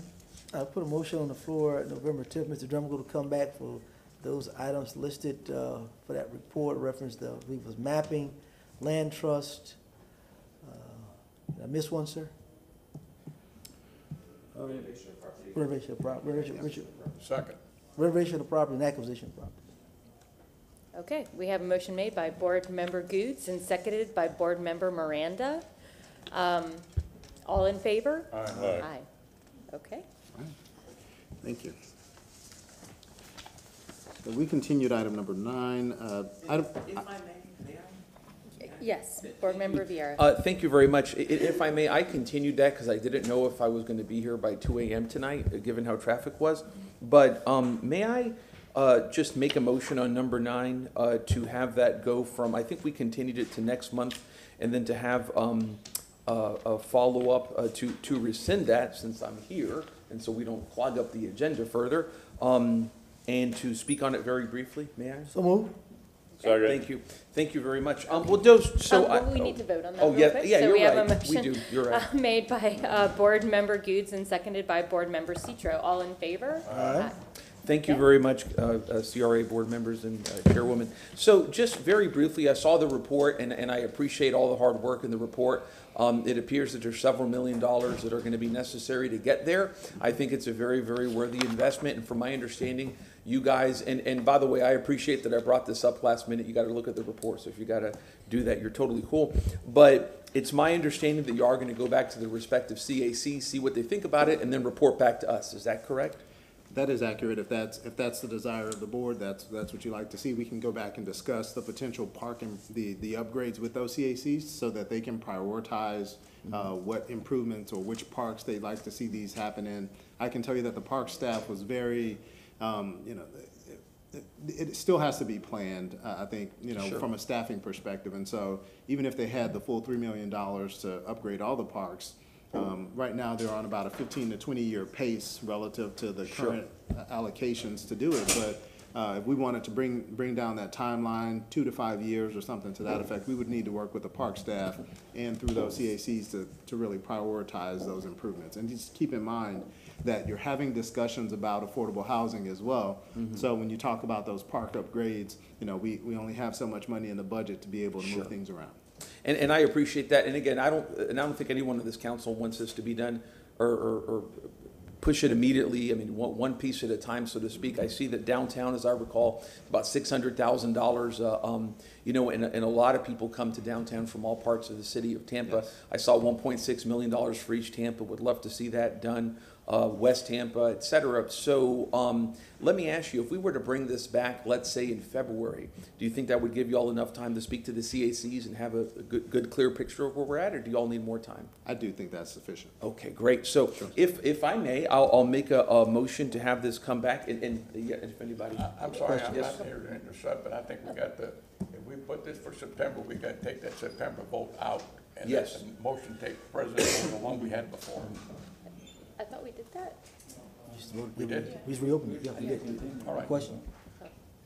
Yes, um, Board Member Gudes. Ms. Drumgo, I, uh, I attended the Florida League of Cities last week, met with several, uh, playground, uh, people, uh, and, uh, a couple caught my eye, especially we talk about accessibility equipment.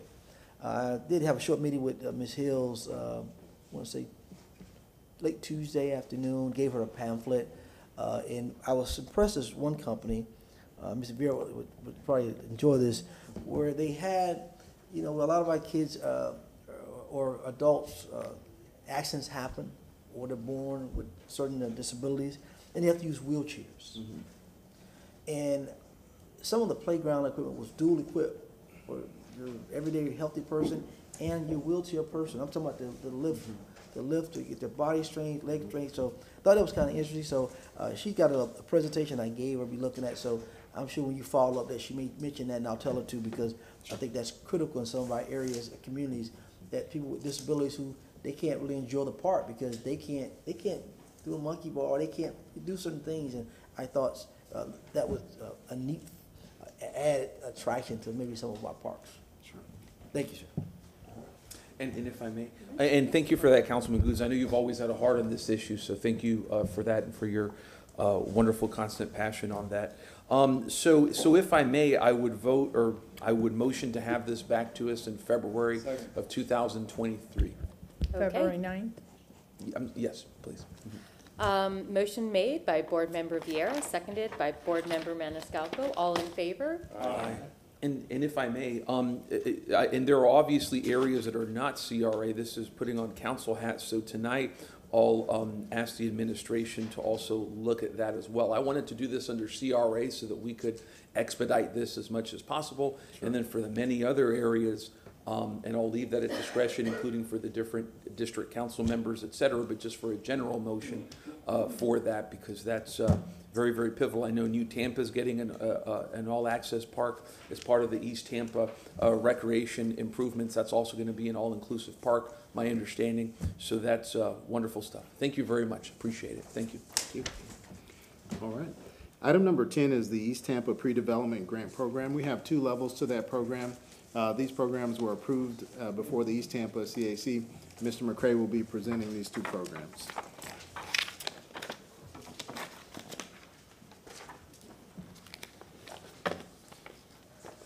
Good morning or good afternoon. At this point, uh, Cedric McCray, Tampa CRA Manager. And If I could have the uh, Elmo on, please. Okay. Um, I know that there's been a lot of discussion as it relates to pre-development, and um, ultimately, the program has been discussed to spur development along our commercial corridors uh, in East Tampa, north and south. Uh, So we're primarily looking and discussing 15th Street, 22nd, 29th, and 34th. And um, this is a part of our uh, community redevelopment plan. Uh, Level one, as Mr. Drumgo said, we have two levels. Level one uh, was to, designed to provide up to $15,000 for applicants. And uh, level two is a grant, loan-to-grant program that is designed to provide up to $300,000 or no more than 15% of the overall project value in reimbursable loan-to-grant funding. Um, And it would ultimately be a forgivable loan. Eligible services, uh, for the fifteen thousand dollars, um, it would, the owners would either have to own the property or have produced that they are, uh, renting or tenants of that specific property or address. Um, one-on-one consulting would be covered in that, uh, in that amount, preliminary design concepts, sketches, and the like. Also, a development of the scope or particular project. And, um, once they have been able to reach that point and, and produce that information and, and uh, have been reimbursed, then if they so choose, they can go on to level two. Um, and those eligible services would be uh, ultimately schematic design and other basic, basic architectural services, uh, mechanical, plumbing, plumbing, engineering, and uh, IT. Um, landscaping and uh, purchase of site control would also be included in that as well. And uh, those overall scope of services, um, any renderings or drawings for final revision and uh, construction documents that would be needed for the permitting process. And they ultimately would have to be signed and sealed by a registered architect um, or other applicable personnel. The general conditions for level two, um, applicants that receive funding, uh, the business pre-development loan to grant program are eligible for, for one business pre-development grant per every five-year period. Um, applicants who receive funding must submit a copy of all final work products to which grant funds are applied, and, uh, these will be, you know, for public record. All projects will display signage, um, similar to the sign that I sh- showed earlier this morning, um, as it relates to that, you know, the project did receive, uh, East Tampa funding from the CRA specifically. And, um, applicants also have to agree to be part of, uh, publicizing the, the fact that they did benefit from, uh, CRA dollars as well. Um, and East Tampa reserves the right to consider exceptions, um, to these policies and guidelines on a case-by-case discretion. Um, During the subcommittee meetings and uh, workshops, uh, there were several recommendations that came out, and uh, these are just a few of them that we thought were important. Um, It was mentioned to partner with uh, various agencies or nonprofits to assist small business owners or in help building out their ideas. Um, Some of the items that may be covered would uh, possibly be able to be conducted and could do a little bit more hand, hold, holding of their hand uh, through that process. So there, there are some entities uh, that actually do that here in the city of Tampa. and um, would welcome having some conversations with them as well. Um, The idea of a first step meeting to manage the work assignment, and um, that would be kind of started and conducted by uh, staff internally. And uh, this is just to make sure that all the deliverables that they are requesting have been uh, solidified and uh, before any compensation uh, is approved. Um, There was a recommendation by staff uh, for level one to uh, go up to ten thousand dollars. Uh, Following the workshop discussion, we went up to fifteen. And for level two, it was, we started at hundred thousand dollars and it went up to three hundred thousand dollars um, as it relates for the individual product, projects for level two. Uh, They would also, the suggestion was made that um, we include a budget and pro forma when financing plan. Ultimately, the businesses that are going through this plan or program would um, have a packet of information that if they needed to seek additional funding uh, from a lending source, they would have all of that in hand when they went to uh, make that request. And uh, we also did include a rubric or scoring application. And I think ultimately, each organization would, on a hundred-point scale, they would have to simply get sixty points uh, to move forward um, and for the next step of approval. Okay. Um, Board Member Thank you, Miranda. Madam. Thank you, Madam Chair. Mr. McCray, on. uh, Yes, sir. uh, uh, And uh, do we have an idea of basically how many you think are going to be in from that 10 going to 15 and from the 100 going to 30A? And the Part B would be under from 10 to 15 is a 50% increase in the amount of money. But when you go to one, it's a 300% increase of money. Can you tell us why? Um, ultimately, the scope of services would be more expensive, um, depending on the size of the project. Um, when we looked at the other programs around the state as a staff, uh, you know, we thought that, uh, the ten thousand was about right. And then some of the, some of the programs that we looked at, they were a little less than hundred. We knew that we wanted to do a little bit more. So that's why we moved it up to hundred thousand. Well, what you just said, they caught my other ear, left ear, that you had some a little over 100. How many did you have over 300? None, none currently. We haven't had any formal conversations or advertise a program, but I- I'm just not, I'm not concerned, but it just, uh, the numbers don't match. One going up 50%, the one that you don't have any on going up 300%. Right. So I'm, I'm a little concerned about the 300%. Yeah, that, and that was the recommendation uh, from, from staff, and then we had ongoing conversations, uh, workshop with the Economic Development Subcommittee. So then they overruled you guys? That it? Uh, Not, not exactly. Well, I Um, understand a vote is a vote. No, we, we, we we agreed, um, we- we, it was, uh, it was a few sticking points that uh, came up, and, um, you know, ultimately, we would, you know, yield to the uh, CRA board for understanding. Well, I understand, but I don't understand. Yes, sir. If I may, I just want to support what Mr. McCray is saying. Um, you know, we did, we had some extensive conversations about the various programs. We looked both in-state at best practices from other CRAs, and we looked at out-of-state programs. And so I think, you know, he, he omitted some of the nuts and bolts of our process, uh, and, and, and a little bit of the back and forth. And so, you know, in the closed-door session with staff, we looked at the numbers. Uh, we wanted to go for some lower thresholds. I mean, this is a risk, and so, without, you know, we wouldn't be forthcoming and, and doing our jobs if we didn't tell you that we were, that it is a risk. And there's a chance that some of these projects will go forward, there's a chance that some of them won't. Um, but at the end of the day, looking at today's current market values and the scale of projects that need to occur in East Tampa, um, and, and the support that those projects would need, um, you know, we, we thought that we, we probably needed to move alongside with the, uh, with the recommendation from the CAC. They wanted the three hundred thousand dollars in there, but he is correct, at the end of the day, you are the board, and you can, you can recommend a lower threshold, or you can go with the recommendation from the CAC. Also, keep in mind that we can pilot this for a year. You know, we don't have to keep these numbers exactly where they are. Uh, we can start at a certain number and, and, and adjust up or down depending on the number of applications that we get. Currently, I think the recommendation is six hundred thousand dollars to kick off this program, would, which would encompass both the level one and level two. And we would hope to see uh, a lot of participation that doesn't exceed or max out the three hundred thousand dollars. May I continue one more? So then you're telling us that the total amount of monies you have here is 600,000? For the fiscal year, That is For is the fiscal year. So Yes, if sir. you have two, three hundred thousand, you got no more money. That is accurate. Oh, muchacha mia. I don't like it that so much. Board Thank Member Gudes. Well, I was looking at that too, because I'm looking at, and I'm gonna ask Ms. Hewitt, that's why I asked him to stay, she'd come up. I know she helped kind of work with staff a little bit on this project, which is good that we have outside people that can work with staff and, and get things moving. And I'm happy that, you can come up, Ms. Hewitt. And when I look at some of the land projects here, some of these are monumental places. Uh, I look at Jackson Store, which is thirty-four oh two. They, they have a lot of property over there.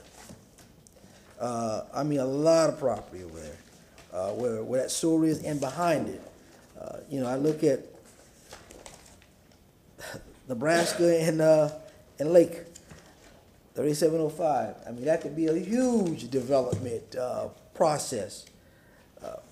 Some of the projects I'm, I'm looking at, could, could be a game changer in East Tampa and take a lot of blight away. Uh, and I just wanna thank Ms. Hewitt for, uh, hearing what I've been saying and, and made most of the staff, and I guess she, uh, went, went back to her committee and, and got to work on this. So I just wanna thank her for the, the efforts to work with staff to move this, so I just wanna get some of your thoughts on some of these projects you're talking about and, and the threshold Mr. Miranda was talking about. Um, Thank you, uh, Allison Hewitt, Uh, thank you, Councilman Gudes. Um, Yes, we have uh, been working on this on over a year now. And the initial request from the Economic Development Committee was three hundred thousand. And that was based on the Florida Housing Finance has a pre-development program that is in Florida statute that outlines eligible uses of tax dollars to be able to help um, do the pre-development soft costs for um, development opportunities. And what is needed, especially for those potential projects that you have in front of you, is um, a very strong soft cost budget that will allow them to have a development plan that they can, because these folks will not have just on their own the money to develop this. So they're gonna need to have a plan that they can take to investors, they can take to banks, and, and, and again, this will also require, because we are in the district that we are, a layering of financing. New market tax credits, opportunity zones, brownfields, and so to be able to have someone to be able to help them go through that process, to be able to have someone to pay those soft costs. And I will say, these people have been paying their taxes for longer than we've had a CRA. And so they have invested already in the money, in this pot of money that we're going to be um, asking that you consider that we use. And so if, one of the things that came out of the workshop is um, DMS at myflorida.com. They have a free guide to calculate A and E services, architectural and engineering. So I did share that my concern with fifteen thousand for the phase one may be a challenge. Um, just to be able to get you to the phase two, to be able to do the schematic drawings. We cannot continue in East Tampa to try to have to go to get the discounted rates because you're not gonna fund a gas works for them trying to get discounted rates to be able to bring you the information that they need to know to be able to build a gas works, to be able to build the things that they're building over in South Tampa. So I do have a challenge, that's why my public comments, I asked for flexibility in this, because, uh, the schematic drawings and everything that you need to get you to phase two, I have a concern that you won't get to phase two because you won't be able to get what you need, well, the, the potential, uh, projects for fifteen thousand dollars. But if we do, and we get to the three hundred, to be able to actually put together a development plan that has a pro forma, so that these folks who own the property will know how much they need to charge per square foot for the commercial, and how many, how much they need to charge and how much they need to keep rented for their housing. So these folks have had these businesses for like a combined ninety years. So they are committed to this area. They are gonna stay in the area. They live in the area already. And so as much as they say it's a risk, I would respectfully disagree because these, this is where these people lived and has raised family for generations. And they want to be a better partner in the development of East Tampa. And so if you have a strong development plan at the end of that phase two. Because example, the Jacksons, right next door to where we're gonna knock down and do the community center. When you are, especially what the- they want to do senior living there. So you have section two oh two that they can, uh, apply for for HUD to be able to fund that. And then when HUD sees, when you apply for that, you are more competitive when they see, one, you have a significant senior population, but two, you are now right, right next door to the services and the senior center to be able to fund that product. Unfortunately, or fortunately, with this program and with the access to the uh, technical assistance, we're gonna be able to walk these property owners through this process so that once they have a plan and once they're financed, they also have a management plan to maintain it at the level that we would like to see it in East Tampa. So I think that we may have some challenges with the fifteen thousand. I'm, I'm not quite sure that we can get all the schematic designs that we need for that price to be able to move it forward. But we will be, that's what we were able to get through with staff.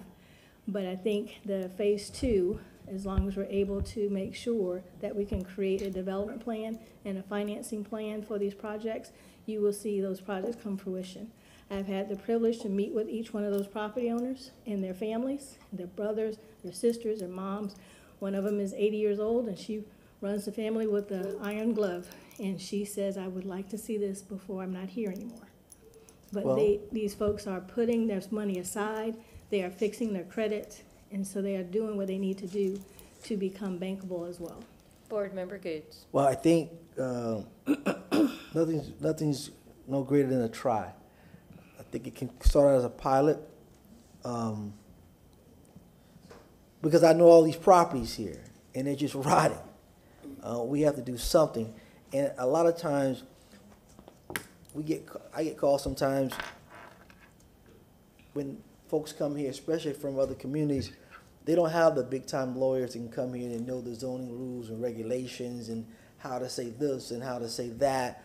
Uh, They get lost in the shuffle and then they don't get their projects done, or they say, I, I, I hear all this stuff, but I don't know how to do all that, so they don't get it done. So I think board members, it's, it's a, it's a craft to say, how can we help those people who, who, who don't know to know and get them some help to move forward. We won't be able to do everything, but if we can get them over the hump a little bit, I think that'll be good to where if they have an architect or they have somebody who can do the zoning, who can do the plans, I think that is just a, a, a great incentive to, to get some blight out of East Tampa. Board Member Carlson. Yeah, um, this city a- and the county, but the city has spent a lot of money on economic development, hundred millions of dollars over the years subsidizing big companies, big developers. Some of them didn't even ask for it, and they, you know, prior administrations just gave them money. Um, and, um, uh, I think the community over the years thought that money could be much better spent. Well, we know from the numbers that, that all of that money failed. Uh, it made a few people richer, but it, it hurt the community by shrinking the middle class and making, uh, the numbers of people in poverty higher and increasing disparities. What we need is real economic development. I think this kind of program is real economic development. It's helping people in the community. Um, you have the bios described in it, that it's helping real people in the community, uh, to invest in properties in the community. Um, when we started, there was a lot of money being banked in the, um, in the East Tampa, uh, district. And it looked like last administration was trying to land bank money for massive gentrification. Instead of spending money on a big project, um, uh, some big project with one big developer who's not from East Tampa, I'd much rather see the money spent in smaller buckets to help, uh, families, uh, to build, uh, wealth and multi-generational equity, uh, instead of, instead of subsidizing somebody from outside just to kick everybody out. Um, so I'm very in favor of this. My only question, and sorry if I missed this earlier, for staff is, um, is there some kind of, uh, um, uh, restriction that, like, if, if they, if they sell within ten years, that they have to pay us back? Um, Yes. Because we wouldn't want somebody just to flip it and, and, and then we can keep the fund going. If they make a hundred thousand dollars a profit after doing this, and they, then they can afford to pay our fifteen thousand dollars back, right? Correct. So, um, the, thank you, that's a great question, and I'd love to reiterate a couple things. Um, ultimately, the CRA board would review and approve any of the, uh, the level two applications before they're able to receive funding. Um, and as I s- stated earlier, it's a loan-to-grant program. And, uh, so for twenty years, uh, I'm sorry, not twenty years, twenty percent for every five years. So over five-year period, every twenty percent would be forgiven. So if, if the possibility of them, if they close their doors after two years, then, um, they would be responsible for paying back the remainder. And the of same those thing if they dollars. sell? Correct, If yes. they, if they sell, then they have to pay, okay. Correct. Yes. And the, uh, the fifteen thousand dollars for level one is, you know, ultimately for schematics, and we want to make sure that, the- before the projects move on, that they are actually viable, because you'll have uh, a ton of folks that will be, you know, seeking funding to assist them through those, that process, but we want to make sure that, you know, they're, they're able to sustain and move on to that, uh, that second level. No, Yes, uh, in my Board opinion, Miranda. no one's trying to stymie development. The problem is that when you look at the numbers, fifty percent versus three hundred percent, that's number one. I'm just looking at it that way. And then you look at the amount of money, you don't have sixty million available, you got, what? Six hundred thousand available, so it could in tend to be two projects, and that's the end of it. And the little one, the little person who wants to do something with the fifteen thousand, he's out of, he or she's out of luck. I'm trying to look at the whole picture of it. A and B, no one that has two point seven acres, and I don't know these people, I'm sure they're great, wonderful people. No one that has that can't go and get their own financing at a bank, including the big developers. The big developers and the little developers are all the same, because sometime and somewhere, somebody started small. Nobody started building a thousand unit apartments complex somewhere until you had the funds and the capability of handling it. So what I'm saying, I just want to be ultra fine that that six hundred thousand is not taken so that the little guy with fifteen thousand doesn't get anything. That's what I'm looking at now. And how many fifteen thousand do you get into three hundred thousand? A lot. That's all I'm saying. So you're gonna cut out somebody that could do much more because you don't have the funds to fund the little one. You're gonna take it all, if you have, this is one, so you only got one more left, and your, your whole budget is gone. And that's what I'm looking at. Yes, Board Member Maniscalco. I say we move and approve it, but as a one-year pilot program.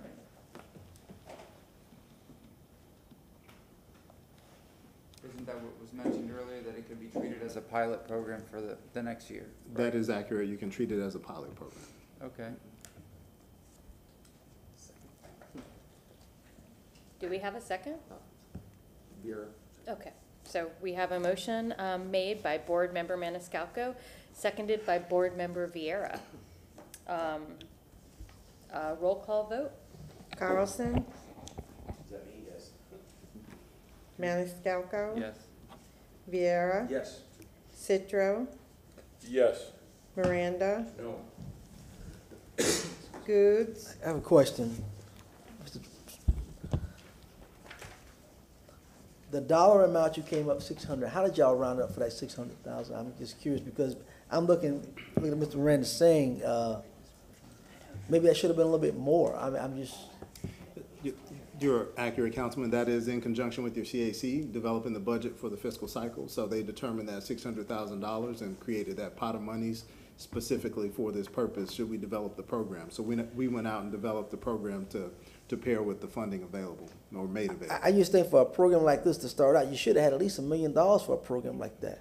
If you're talking about four properties, or Mr. Miranda said some smaller properties, this should be, you should have been a million dollar program. Sure, and we can always come back before you and reallocate funding. I mean, we reprogram uh, funds as well, so. And You could do a budget amendment later on this fiscal year if there were, if you wanted to expand the program and it was that I successful. want to put that on the record, because I'm looking at this, and I see, I, I understand why he's going no, because you're underfunded, but we haven't started, and it's a pilot, Mr. Mr. Maniscalco said, so if it starts to, to take off, then, uh, all, all means, you, I want you to come back, because I think some of these properties here would be a real wow, especially that, that one at Nebraska and Lake. All right, uh, I'm gonna vote yes on it. Hurtak, Yes. motion carried with Miranda voting no. Yes, ma'am. Um, I want to make a motion, actually, uh, that they, that you come back in six months with an update, just to let us know how it's going. That way, we can find out if the six hundred thousand is um, adequate. Motion from Chairwoman Hurtak, second from uh, Board Member Gudes, all in favor? Aye. That's all right, that's six-month report That would be. uh, regarding the status of the uh, pilot program. Thank you. I can't do the math. Um, so, uh, just a point before we go any further, it is almost twelve thirty. Uh, how does everyone feel? We have quite a few more things, although I think some of them could, we could approve pretty quickly. Uh, what are, what are folks' thoughts? I say, I say we go through, I don't see any, anything controversial. We've discussed Okay, so much, so it should be all right. okay, then, uh, then we're gonna aim for twelve forty-five. How's that? right. Uh, The next item up is the uh, East Tampa slate of candidates being uh, set forth for approval. Mr. McCray has that. Good afternoon again. Um, You all should have received uh, a spreadsheet. We, we had uh, 12 applicants that were approved by the East Tampa Ad hoc Committee.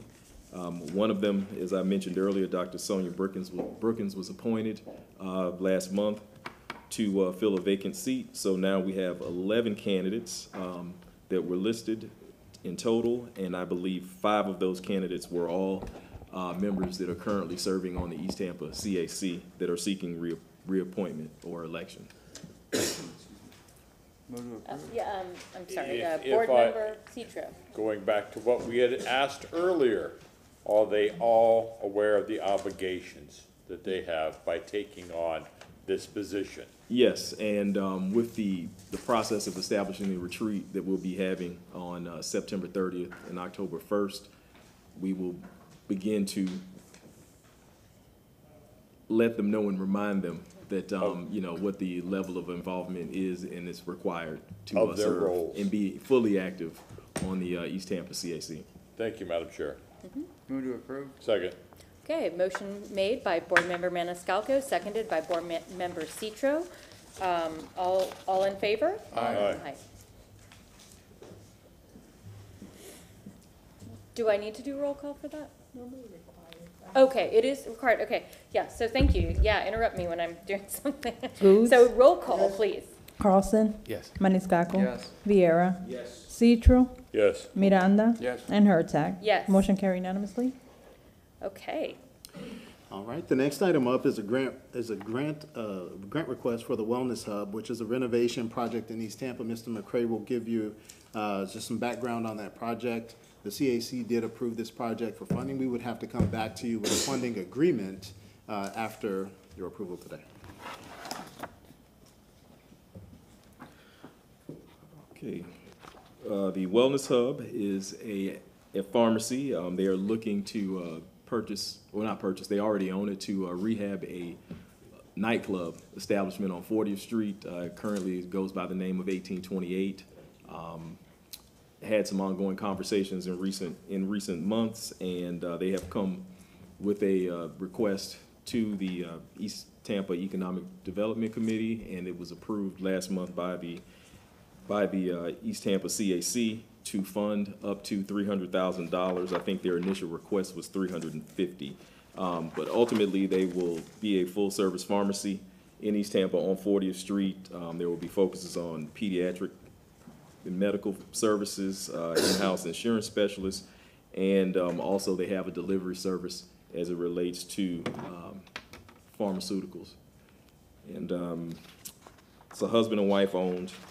Um, Dr. Wright is, was the uh, primary person that made the request from, and that they also are residents and uh, have, have owned a current business on 50th Street, which is right outside of the CRA boundaries, and now would like to bring it a little closer in to uh, be able to take advantage of some of the benefits that we have as it relates to the East Tampa CRA and the funding. Move to approve. oh, I think we have a couple questions first. Um, Board Member Gudes? I I think it's a wonderful idea. You know, Miss Regina will be happy with that. That's right behind that, that residential community. Um, Yes, sir. uh, The only question I have is, uh, just like with the Straz, we gave money away, uh, a grant, we're gonna give this amount of money. What, what, what are we receiving? Are we, wha- uh, wha- how, how are we benefiting as well? Well, we're, we're actually, the, uh, that location, Councilman Gudes, or Board Member Gudes, um, as you know, has a history. And, um, there have been, you know, several complaints about the noise, about some of the uh, activity that, that has gone on in years past. Um, Now I believe it's only currently open for uh, smaller special events during the day, and uh, that was supposed to have phased out, um, I believe, at the end of this month. So now they're looking, you know, to convert that, that location into a full-service pharmacy. The only thing I asked, just like we did with Straz, that, you know, with this type of money, is that, you know, in their publication, something that the, the East Tampa CAC was a contributing factor to help to move so the community can know that we just didn't give away some money to some folks that they're helping to build the community. We have a lot of seniors over there as well. Pharmacy could be close, you know, our place is close by there as well, so I think it's a good, uh, a good avenue, but I just wanna make sure that people know that we help contribute to help get this thing moving. Yes, sir. I, I will tell you that um, we've had some controversial conversations when there have been requests made. Uh, I, this was uh, unanimous across the board as it relates to the subcommittee and the uh, and the CAC. So everyone felt uh, very positive, and they did, did an excellent presentation. People, know in the readings that, hey, we, the partnership and the CAC help provide this sub service. Yes, sir. Uh, Board Member Madam Citro. Chair, thank you very much. Uh, I met this, this doctor, uh, who owns the pharmacy several years ago with Candy Lowe's Black Business Bus Tour. She is very bright. She's helping the community, and I think in this new, uh, uh, location, she's going to be able to provide much more to the community. Thank you, Madam Chair. Uh, Board Member Ca- Carlson. Yeah, and just like on the last one, um, I, I think this is the kind of economic development we should be doing. It's the kind of thing I was asking for three or four years ago. Um, we should be helping people in the community. We should be bringing assets and resources to the community, making the community more livable, um, instead of funding gentrification and outside people to come tear down everything. Um, and it sounds like you're, re- they're replacing a use that's not popular with one that will be popular. My only question and, and for the public is, do you, what protections do you have in the contract? Is there like a five-year earn-out period like on the other one? Are there any other protections if they change the use of it? Uh, they can't just take the money and then convert it back to a I, nightclub, I right? would defer to Mr. Massey because We're, he we're would going to have to ultimately bring would forward fund an the agreement. agreement before this is finalized that, that spells out how that will be protected. And so those are things that will have to be considered. They, they're just asking for your general authorization or moving forward with the grant concept, but there will have to be an agreement that spells out all these terms and conditions. Uh, w- And so if they do convert it back, frankly, there'll probably be a, a, will be a payback Yeah, what I, w- just a- as you're writing de novo contracts, I would suggest that we go at least ten years, uh, because we want some protections in with the community, and then also, uh, it should include a change of use also. Um, it doesn't have to be restricted to a pharmacy ma- necessarily, but, but it, that it, it, w- within whatever tight confines that can't be, it can't be converted back to a bar or whatever. Um, and, and the only reason to do that is we, we've seen past, uh, not, not in East Tampa, but in other places where somebody bought a property because it wasn't advertised properly by the city and then they turned around and flipped it, and made millions of dollars. We want to make sure that we're protecting uh, in every neighborhood and across the board, uh, protecting the community's money here because as my colleague said, it is a lot of money. Thank you. Second. Okay, so we have a move, um, motion to approve by, uh, Board Member Maniscalco, seconded by Board Member Gudes. Roll call? Carlson, Yes. Maniscalco. Viera, Yes. Citro, Yes. Miranda. Yes. Gudes. Yes? And Hurtak. Yes. Unanimous. No motion carried unanimously. The next item is, uh, it's a reprogramming for Ybor CRA uh, for streetscape improvements, uh, contract between the City of Tampa uh, CRA and Tampa Contracting Services. Uh, This amendment is uh, change order for approximately forty-seven thousand dollars, which represents a three and a half percent increase on that contract. Staff recommends approval. So moved. Second. Okay, we have a motion made by Board Member Maniscalco, seconded by Board Member Miranda. Roll call? Gudes, Yes. Carlson, Yes. Maniscalco, Yes. Viera. Yes. Citro, Yes. Miranda, Yes. and Hurtak. Yes. Motion carried unanimously. The next item on the agenda is the East Tampa Strategic Action Plan. We have a final draft, and a representative from GAI is here, Pete Seckler, uh, has a presentation for, uh, for the board. Great, good afternoon. It's now the afternoon. Um, appreciate being here today. Um, We have two documents, um, the actual strategic action plan, and then there's a companion document, and I noted your comment earlier about maps. There's a companion document that's maybe less exciting to look at, but it's the appendix. And this includes all of the public engagement, includes the entire economic and TIF um, analysis as well as other socioeconomic data for the area. But it also includes um, over 35 maps that we have uh, gathered um, from various sources at the city. It's a little difficult because they're not all in one place. But we now have a freestanding GIS database with um, 40 or 45 data points, including vacant properties, um, all in one consolidated GIS file that is specific to East Tampa, that can actually be managed by one of the um, staff members with East Tampa, which is actually pretty exciting.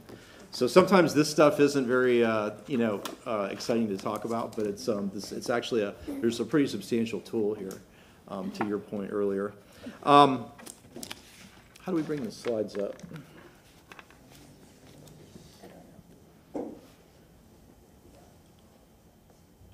believe our T and I folks should be able to do that. It's up right Oh, there it goes, just like that. Okay, great.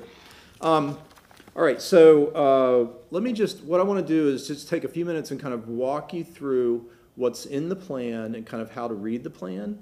Um, and then maybe a couple of kind of closing comments kind of about the process and, and kind of what the outcomes are. So, so this fundamentally, um, is a plan. It's, it's, it's, you know, we started in a place, um, uh, uh, Mr. Gudes mentioned earlier, you know, um, lack of, maybe lack of knowledge, some chaos, some difficulties in sort of managing the CRA. And we started this at the beginning of COVID, which kind of doubled down on all of those issues. And, and, and, and then we began in a process where the manager actually resigned. And so we really were in a very difficult situation starting this process in terms of community continuity. And the mission of the project at the end, and what I believe the report conveys, in the, in the big picture, is that there is a lot of common ground about what the community aspirations are and about what the realistic possibilities are for East Tampa. And the future is bright. And it's time for East Tampa to take pride and ownership in that, which I think is part of what you're talking about, taking ownership of the, of the opportunities and the responsibilities. And also for the outside world in, in terms of the general city, um, other entities that are in and around um, uh, the Tampa, the greater Tampa area, that this is the time. This is, so this is about telling a story about the people and places of East Tampa, renewed possibilities. It's about putting some inspirational ideas out there to help people maybe see East Tampa in a new way, in ways that kind of articulate the things that people told us in the field.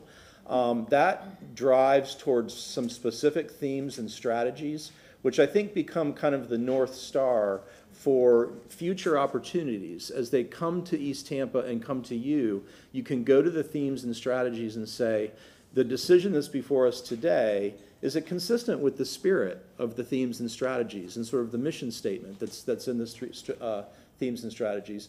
And then finally, I think it's really a call to action. You know, we've said the time for East Tampa is now. Things are on the move.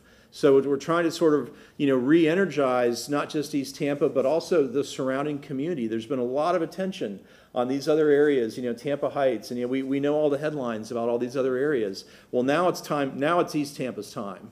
And, and, and everybody should be paying attention um, at all levels.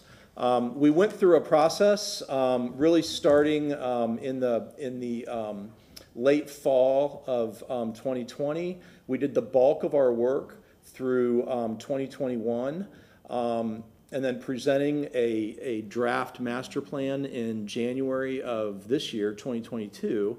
Um, and then we've been refining and editing and, and, and working with staff, working with the community, um, additional public meetings, additional revisions um, to get to where we are now. Um, you know that it's, it is a large area. This has been mentioned several times. Um, it is the biggest CRA. Um, but we went into every single neighborhood and walked the neighborhood with the folks that, um, that, that live and work and are raising families and investing in new businesses. So we walked every, you know, every one of these neighborhood areas um, to really try to understand it through the eyes of the people that are there. Um, to see some of the big problems, but also, you know, the broken sidewalks and some of the little issues. And what I would say about this process um, is that, you know, just this morning I've written down some notes, and I'm just going to go through these super fast. But I've heard, I've heard just in the conversation today, which has been a big East Tampa conversation, you know, housing, uh, housing programs, acquisition of, you know, difficult properties or sort of problem properties in the neighborhood, beautification, grants, marketing the CRA, governance of the CRA, CRA engagement, new housing types um, to get multiple, maybe multiple units on certain key lots, how we think about corridors, having a mapping system, um, 15th Street corridor pro- uh, property development, corridor funding grants, small business finance, um, assigning the management of work responsibilities, concierge service for small developers that need help, right? Um, an educational retreat session for CAC members. Um, all of these things are all things that really came out of the plan and are now being discussed as, you know, this is the mission. And these were all things that were very much, you know, sort of ill-defined or up in the air or not really discussed. Um, and I think the point about having broad representation, you know, and really thinking about that governance structure, this, these are important ideas. And I think the plan has kind of sussed these issues out and it records them so that they're on paper and you can come back to them in the future. So you understand that there's 10 community themes, um, you know, residential, neighborhood beautification, community health and safety, infrastructure uh, uh, improvements, um, livable streets and transportation, parks circulation, or parks and recreation, community commercial services, community-based commercial services, um, employment and job creation, um, culture and how we market ourselves, and then ultimately leadership, partnership, and the capacity building of the, of the staff and of the CAC. These are the big themes. I'm not going to go through every single one of them today in detail because we don't have enough time. But it, when you, you know, I'm sure many of you have read the report, um, probably in full, but as you read the report, I think the things to sort of be looking for as, as you go through the sections is that is that we're trying to sort of talk to multiple audiences at different altitudes in the report, both internal to East Tampa as well as external to East Tampa.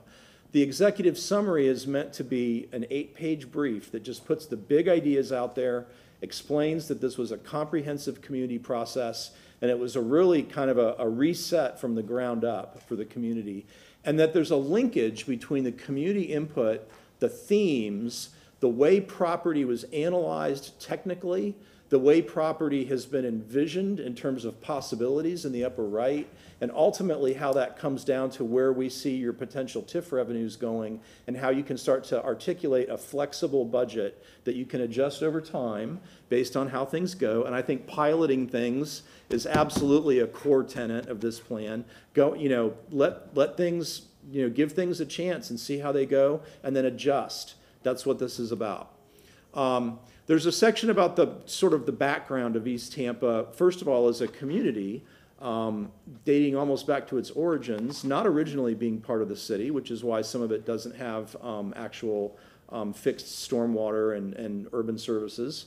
Um, but, but then specifically kind of talking about the movement um, to engage East Tampa as a collected CRA and getting that kind of documented so that we understand that, so that, so that the report makes reference to the original topics of the CRA, which I think are still very much in play, just in different formats. But those original, those original topics all still matter. We also make a couple points about some things that, that have happened over the years of the CRA. First of all, the point that's been made many times is that this is the biggest CRA. You can put all the other CRAs in this area and you still have room to spare. Um, and, and the other point being that this CRA was particularly hard hit during the recession. And there's some lost time. It's not just lost money, it's lost time and lost sense of momentum and lost community cohesion. And so you can do what you want with this information at a later date, but we're sort of laying a basis here for the, for the possible consideration um, in 2034 when this CRA sunsets that you may want to extend the CRA um, under some negotiated terms, and that, that's not going to be discussed today. But we're kind of trying to lay the predicate for that. This is a big, complicated area, and it's, it's been through some tough times. Um, however, despite that, we also documented an enormous number of accomplishments. It's just hard to see them all because, as you said earlier, you know you could do something over here and you don't notice it over here, right? So we there are there has been a lot accomplished by the community, but we need to up our game and continue to advance. And we now are really going to have the resources to do that. That's really the point of that of that section, um, talking about the background and history. The, the public input is simply to say that there was a very diverse, multi-dimensional um, approach to public input. We had to do a lot of things kind of out of the box and on the fly, responding to the COVID situation, um, and we did those things. And every single word that was written down um, on one of our surveys that were handed out online or in person was tabulated, organized, and brought into the language that's used in the themes. So the things that are in the themes are either either either direct direct quotes or they're direct paraphrases of combinations of things that people told us. Um, all of the ideas essentially came from the community in one manner or another, either on the walks, in meetings, or through the surveys. So lots of points of input on this project, I think, is, is the point. So we want to have that in the report, kind of for the record. Um, the other point that I think is important for this body and, and other bodies um, within the city is um, simply to say that, you know, all this community input came in and we started to formulate these themes around that input. And as we started to look at what, you know, and we interviewed each of you, minus one, we interviewed each of you in the sum, uh, uh, last a year ago summer to sort of talk about your thoughts about the area. Um, and what came out of that, I think, is really alignment between what the community is saying, what you all are interested in, and frankly, what a lot of aspects of the mayor's T3 program are. And so I felt like it was worth it to take, you know, take a moment in the report and make that comment because I don't believe that's been the case in the past. And it is the case today. I think we have real opportunity today that wasn't there um, in past years, past administrations, whatever, you know, however you want to contextualize that. You're talking about the same types of issues, you're using maybe some different words, but the time is now. The time to align Tampa moves to what the key streets are in East Tampa and partner money, you know, and, and you know, and, and work together. That this year, the, the, the dominoes are set up for that to happen. Um, so talking about the themes, I mentioned the 10 themes before. We, we presented them initially in April um, of 2021, um, refined a little bit with the community. We brought them back in September with some pretty substantial work on what those themes mean in terms of actions, as well as some illustrations of what it might look like if you were to put those actions into motion. And you've seen the illustrations in the, in the report. And then we've been refining and writing the report and dealing with budget and stuff ever since. So here's the key point here, is as you go through this section, we, we actually paired up the input and photographs of the input that we took in the field with the community. We paired them up one for one with what sort of the initial actions are. So there's sort of a, there's sort of a set of issues and there's sort of a response, and they're paired up in that way intentionally so that you can look at the images on the, on the, on the input thematic side and some of those captions, and then you can look at the very next page and say, you know, we have this, but we, we need to, we want more of this, or we want to start thinking about this, or we want things to move in this direction. So that's the way all 10 themes are set up and described. And then they're transposed. I'm just showing theme one, which was really one of the big drivers, obviously, housing. But then for each of the themes, they're, they are all identified in terms of projects, programs, um, uh, uh, and partnerships um, within the budget. So each theme is identified, or each, each action is identified within the budget, and then there's a run out of money over time that you can allocate and be flexible over time in terms of how you apply those dollars. Then what we felt like was um, in chapter four was we felt like, you know, there's, I've, I've worked on dozens of CRA plans for all different size situations, different locations, and everything. And what we really felt like in this case was we really needed to literally articulate what some of the possibilities are so that people can better understand what the words mean because a picture is worth a thousand words but also to really sh- maybe show East Tampa in a new light, in a way that maybe people haven't considered it before. That there are special types of opportunities that really are available here, and it's time to look at it through these, these lights. So we started small. You know, East Tampa was a place that had um, an inordinate number of stormwater ponds, and there's really kind of an, an, an environmental equity question here. I mean, you wouldn't just go into Hyde Park and say, we have a drainage problem, let's go buy a block tear down the houses and put a stormwater pond in, right? That's, that's environmental equity. Um, now, those are decisions from decades ago. There's nobody in this room that's responsible for that. But that happened. And it happened in East Tampa. And it's time now to, well, well, what do we do about it? Well, this is a call to action to say, you know, we know that we want better parks and recreation. That's a theme. We know that we want better local walkability and mobility. That's a theme. We know that we want um, our stormwater and our physical environment to, to look better. That's a theme, appearance, right? But what if we could put those together?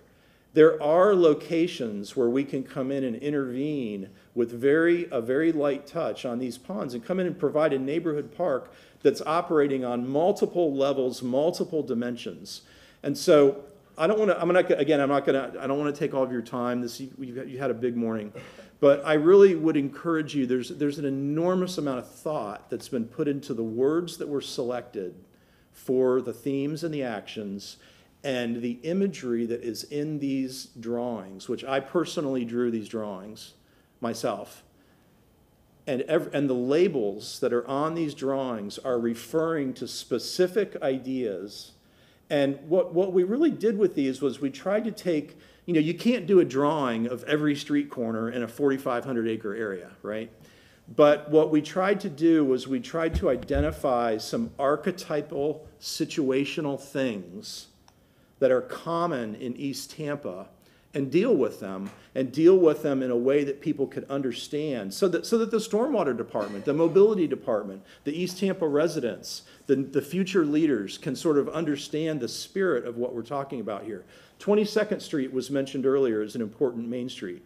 Um, we wanted to be very careful about what we showed on the renewal of 22nd Street. We didn't necessarily want to pick a privately owned building and say, well, this building should be acquired and taken away and something should go back.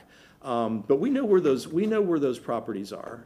And the CRA knows, you know, where, where the target properties might be and where some deals might be had.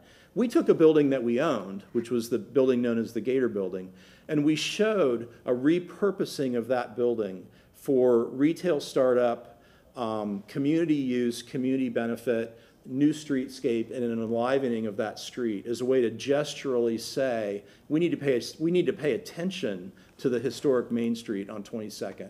Um, we looked at the at the barrio area, and this is you know this is obviously 15th and Columbus, and there's there's a whole set of ideas here that have to do. Someone mentioned earlier a grocery store. I think it was Councilman Gudes, and I want to tell you when I found out that those properties on 26th where 22nd and 21st split, and that, that triangle piece, that was like a knife through the heart. Because I, I wanted to draw that drawing so bad for a small grocer to go in on that property. But that train had sailed. You know, it was already out. It was going to be it was going to be single family. Said, so well, where's another spot that's like an important kind of main and main location where you might be able to recruit a small grocer? And I think there's one, and this is kind of an out of the box idea but I think there's one at the corner of Columbus and 15th. Now, right now, you've got that triangle flatiron site. I understand that. And we went ahead and drew some plans for how this entire area could be improved. But there's, some, there's a couple of these plans where we did some set aside drawings. And what you see on the right is kind of a bold idea. If Columbus was two wayed, and there is a serious conversation about two weighing those one way pairs, they're just, they just don't need to be one way, and tra your transportation department acknowledges that. If Columbus was two-wayed, there's really no reason to have that, that, that property coming through on that triangle. And if you could put all that together, I took an absolute, you know, the 1A standard, you know, 15,000 square foot grocery store that, you know, eight different grocery store companies put on the ground, because I know what they are. And I put it on that site and said, you know, we, you could do something like that in the future. The possibility for that is there. If you want to get something like that in a prominent location that would be, from a, from a grocer's perspective, would be meaningful to regional traffic, connected to Ybor, connected to East Tampa, et cetera, et cetera. So we wanted to talk about those. And again, it, it killed me when I heard that that property, you know, was going to be, I, I saw that property right away, uh, Mr. Gudes. Um, we want to talk about the corridors, and you know, here's this is an important note. Um, again, connecting issues that are abstract with issues that are physical. You know, a lot of conversation about the need to quote clean up and improve Burrell Park. Okay, and we know that that's on the park system's um, plan to do that work.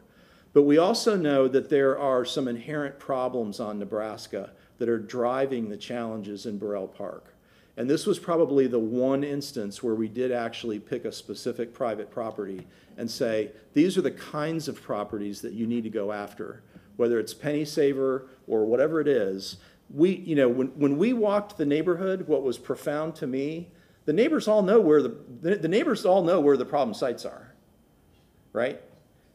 And it's time to start intervening. And I frankly think whether you want to wait for the market to do it, because the market will do it, or if you want to get more proactive. But I think that that hotel property that's, that's, you know, advertising essentially, you know, hourly rates, you know, that should be acquired. And the opportunity for townhomes, someone mentioned earlier, you know, where can you assemble properties and put together maybe larger pieces of property to have smaller lots to get things in at a different price point, a different housing choice. We're trying to show that in this drawing. The corridors are the places to do that, not the heart of the single family neighborhoods. Um, and then, of course, you know, humanizing and even showing the banners and so forth, and turning Nebraska into an address. So these are very multi-dimensional drawings that really are talking about a lot of things at the same time, but they're all things that are firmly embedded in the 10, in the 10 community themes. Um, uh, again, um, Columbus Drive. Um, this is a very, very diverse area. It's got a lot of different land use types. I think the Columbus Drive area was just sort of seen as the back. And it wasn't really a focus, frankly, for the community. And we wanted to say, wait, wait, wait, wait, wait, wait, wait. We're all talking about jobs. We're all talking about employment. We're talking about, you know, commercial development that can create TIF, TIF dollars and new opportunities that can, that can generate revenue back into the neighborhoods. This, this commercial this, this, this, this manufacturing and, and, and, industrial area along Columbus Drive is an unbelievable resource to the CRA, both financially as well as jobs and education and workforce training. And we need to capitalize on that. And there are now wheels in motion to start to explore that, as some of you may know. We also wanted to talk about, you know, we've got these other kind of large corridors like Hillsborough. Um, you know, there is a time and a place for um, what I would call sort of more contemporary suburban retrofit development, mid-rise development with different types of commercial. Um, what you can see here is this is the flea market site in the lower right, and then you can see um, uh, you can see the the um, the educational facility is immediately um, next to it in the old Sears building. And what we said is, okay, look, the place for the place for mid-rise development is not in the heart of the neighborhoods. But these corridors, you know, that are just commercial corridors, they are underperforming. And it is a slam dunk to come in on these properties and do a different type of development that there is an audience for and put these properties into motion. And the fact that you now have the, the, the city's um, employment center going to be right near here, you know, even doubles down on that premise. And so we did a drawing that said, well, maybe over time, you know, we need to think about these corridors in different ways. And so we drew something here that was urban, it's walkable, it has blocks that are interconnected with sidewalks. Um, it does put retail up on Hillsborough, but starts to treat Hillsborough as a parkway road with trees and proper, um, proper transit um, opportunities and so forth. But then, but then it starts to break down as it goes back to the neighborhood into sort of a townhome kind of a concept that can start to relate to the existing single family behind. And then to the left, you see eventually, I mean, eventually that's, that, that, that Sears building is going to become obsolete. One could argue it's obsolete now. There is an opportunity for a new tech campus that continues the tradition of, of um, multi-institutional training and education in that space. There could also be other officing, um, maybe business incubator sites there, maybe even a business class hotel could go into that site. So enormous opportunities. We're trying to help people sort of see, you know, we, we wanted to tackle what's in your front yard, which is that ugly stormwater pond. But we also, you know, this is a big area and we want to understand the value and the importance of these large corridors too. It's all part of the same picture of East Tampa. And then finally, we ended on this, this um, kind of more dramatic sketch of, of the, the pond on 20, 26th. There is opportunity, and you mentioned again, putting properties together. You know, we are showing in this drawing, you know, opportunities to come in and do incremental improvements to existing homes. And on vacant lots, we're showing townhomes and, and incremental development. You talk about other builders that would want to come in and do this. We're showing incremental development. We're even encroaching into the pond a little bit. We did some engineering analysis with our subconsultant. We think we can encroach a little bit into that pond and buy some, buy some land back and get some eyes on that pond in the form of front door townhomes. Um, and then turn the pond into, a, into, a, into an environmental amenity, an educational amenity, a community gardening amenity, and ultimately something that provides value for the neighborhoods around to continue to um, improve and enhance quality of life. So then I get to technical inventory, and I don't want to bore you with this, but this, ironically, this is the map, and everything in purple is um, uh, vacant and publicly owned. Um, uh, we did some maps, and again, this is a whole, this would be a whole nother discussion, but there's a whole series of maps in the middle of the drawings. You know, we, we did, we did the, we did the 40, 40 or 45 sort of inventory things that are in GIS, but the question is, how do you communicate that in a way that makes any sense? And so we, we did some diagrams in there that talk incrementally about the different layers of community and why Nebraska is different from Hillsborough, is different from um, the Columbus Drive corridor. Um, and, and the differences between those arterials, they're, they're, they're, three arterials, but they're actually very different. You know, 40th, Hillsborough, and Nebraska are very different. And that those are actually different from the historic main streets, which you see in the lighter pink running north-south through the middle of East Tampa. You know, these roads like 34th and 15th and 22nd and so forth and so on. That's the place to reinvest in this incremental sort of locally owned business, maybe a little bit of mixed use if you can get some live over work. You know, that's the place to think about those things. And the planning department right now is completing a new look at the zoning uh, regulations to better enable this type of development on 15th as, an, as a case study um, that could be applied to other areas. Also in the technical section is, you know, the whole, the whole TIF generation thing. We try to be pretty conservative with the TIF generation. Um, you know, we, we, everything that we did in our budgeting was based on the low projection, and we set a common low projection, recognizing we drew numbers from a year ago when we did this. We set the low projection for this year, where, where you've got well over $8 million. We set it at 7.8 across the board and then we started and then we then we started doing our projections from there. I think reality for you is is conservatively somewhere between low and medium, and the potential is somewhere between medium and high if you look at the coming years. However, for the purposes of budgeting for the document, we completely stuck to the low projection. That's I mean, and we really feel comfortable that that is again, unless there's a major disruption in the world, you know, in the way that there was in 2009, we feel very solid about those low projections as being the floor.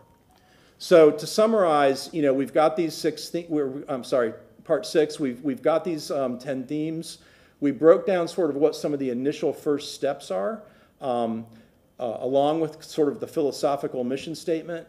They are baked into the budgeting spreadsheet, and I think this becomes a tool again, for the community to think about what East Tampa is in a new way and be able to more um, thoughtfully and in a more, in a more holistic way, think about opportunities in East Tampa that can really elevate opportunities for everyone. And that's, that's what this plan is about. Thank you. Anyone? Um, Board Member uh, Miranda. Thank you very much. I, uh, I was very interested in your presentation. Uh, There's no doubt in my mind that that community can come back where it was once. And when you talked about 15th and uh, 21st Street, uh, 21st Avenue, I should say, at that corner, there used to be a grocery store called El Recurso. Right.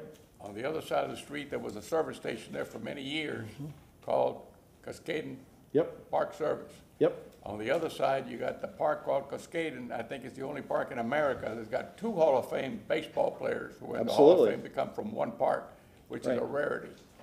And uh, Cuscaden Park Pool, we spent a lot of money in past and present to make it what Yeah. it is today. Yeah. So there's some spark there, or it needs a little energy to, to catch on and be a Yeah. fantastic area.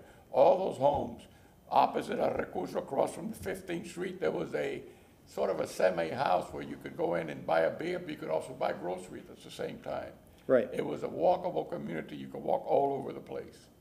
And on Fifteenth, um, and Twenty-Sixth Avenue, there was a, uh, a little called, little place called, before that was of all things, sold feed stores, sold feed for hogs and cattle and everything else.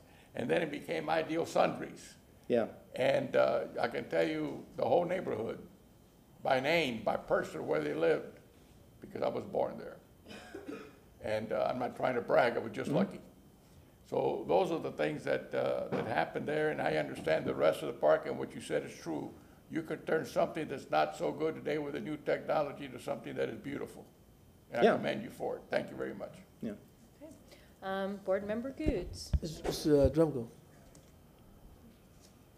Uh, Mr. Drumgo, uh, fourteen and fifteen, uh, are we talking about the dollar amount to pay this today, uh? So there, that there- there, there are Let's talk two, about there are that. two items. The first is the acceptance of the SAP itself, and, which was uh, voted six to two by the CAC.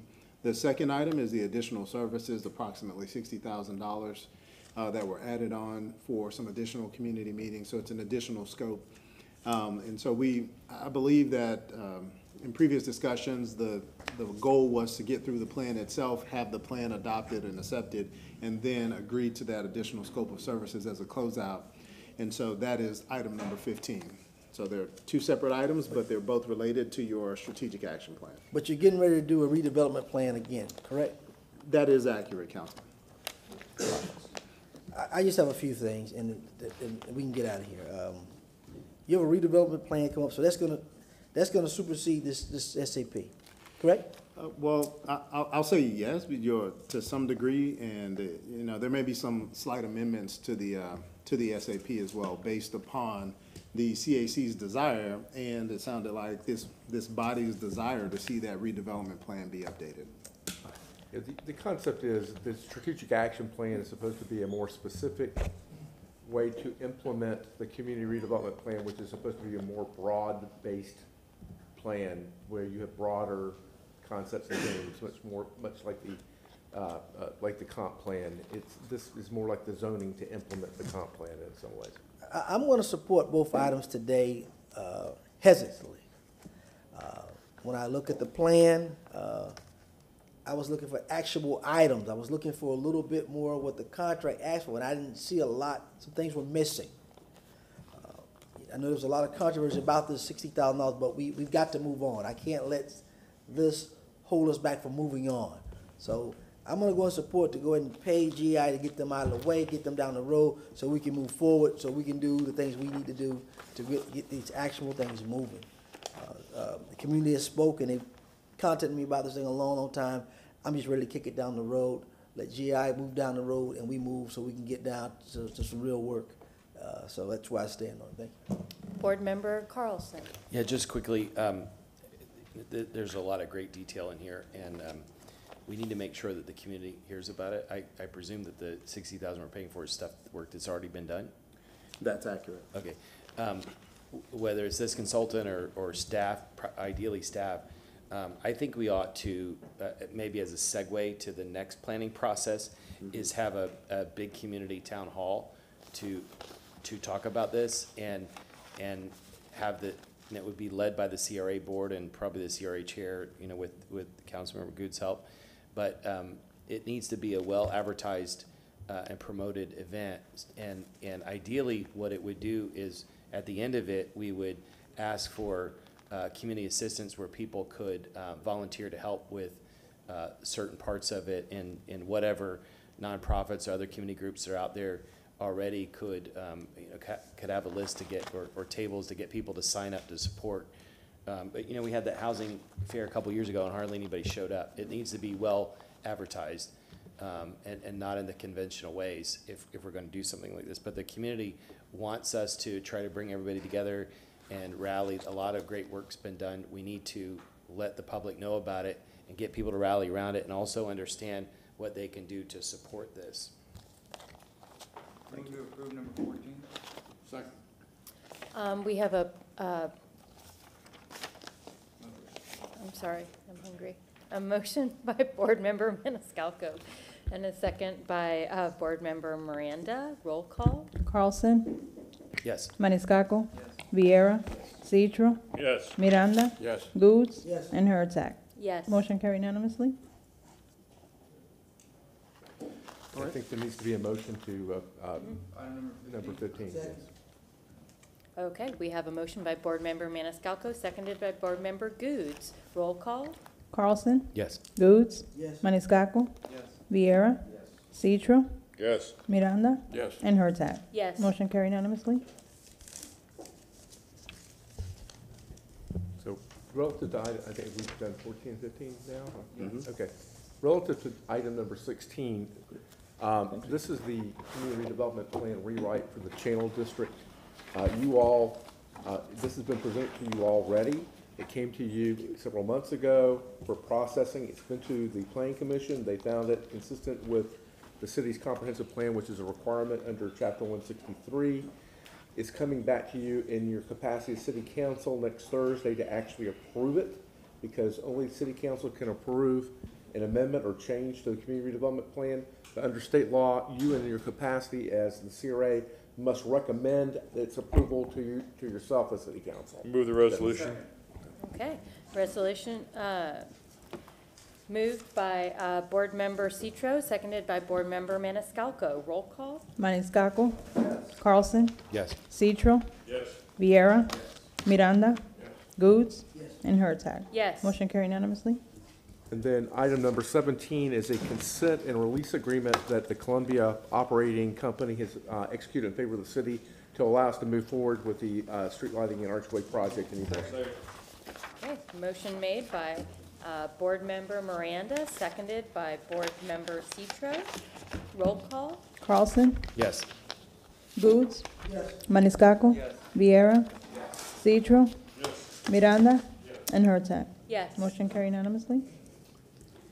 Okay, um, any information? Does anyone have reports? Yes, Councilmember Carlson. I'm sorry, Board Member Carlson. Just quickly, sorry, everybody. Um, another story came out about the Jackson House today, and we've, this board has supported the Jackson House over the years, and we all know the issues, and we're all frustrated by it. I think I would like to make three quick motions. Uh, number one, that, uh, that the CRA board re- ask staff to, um, uh, ask the adjacent property owners for a proposal to buy um, sufficient space adjacent to the Jackson House to allow for renovation, and then report back at the next meeting. I'll hesitantly second that, but I wish this wasn't necessary and people could just accommodate considering the significance of the Jackson House and the exorbitant cost to, to restore this. Okay, motion made by Board Member Ca- um, Carlson, seconded by Board Member Maniscalco. All in favor? Aye. Do we have a date on that, that you wanted that The, back? the next, whatever, the Okay. next September meeting. Second, second, and, and, you know, with sitting with the ci- city, at and Morris won't let me talk about this, but the, the other, the, the hammer option is, is eminent domain, but we can't talk about that now. Correct. Uh, that's why I think it would be better to, to offer in advance. Um, i- in connection with that, um, I would ma- I would like to make a second motion that the CRA board request that staff, um, ask the uh, Jackson House Foundation about the possibility of buying the Jackson House and the land, um, and then report back to us next month about the Second. feasibility of that. And- So- And the reason, the reason would be that, um, as I understand the law, it would be easier for us to work on other solutions if we controlled the land. And I, um, I can talk about it more if you want. Okay. Um, Motion made by Board Member Carlson, seconded by Board Member Maniscalco. All in favor? Aye. Um, The, the third one would be to ask the, uh, for the CRA board to ask staff to, a- and by the way, the last one was report back in September also. The, the, this one would be, um, the CRA board would ask um, uh, the CRA staff to ask um, USF, uh, the History Center, and the Jackson House Foundation uh, to, to talk to us about um, what it would take uh, to rebuild the Jackson House in the case that it falls down, and then report back in September. You all may know Manhattan Casino, uh, similar important uh, African-American building in St. Petersburg. It was not salvageable, so they rebuilt the whole thing. And, uh, it- and it- and if it, um, you all know, I believe that the, the location of this is important because it not only tells the story of people that were there, but it tells the story of segregation in Tampa, and I think it's important that it stay there. So we, the, the motion would be that we would ask staff to come back um, uh, to report on what it would take to start planning um, rebuilding it in the event that it uh, falls down. Okay, motion ba- made by Board Member Carlson, seconded by Board Member Miranda. All in favor?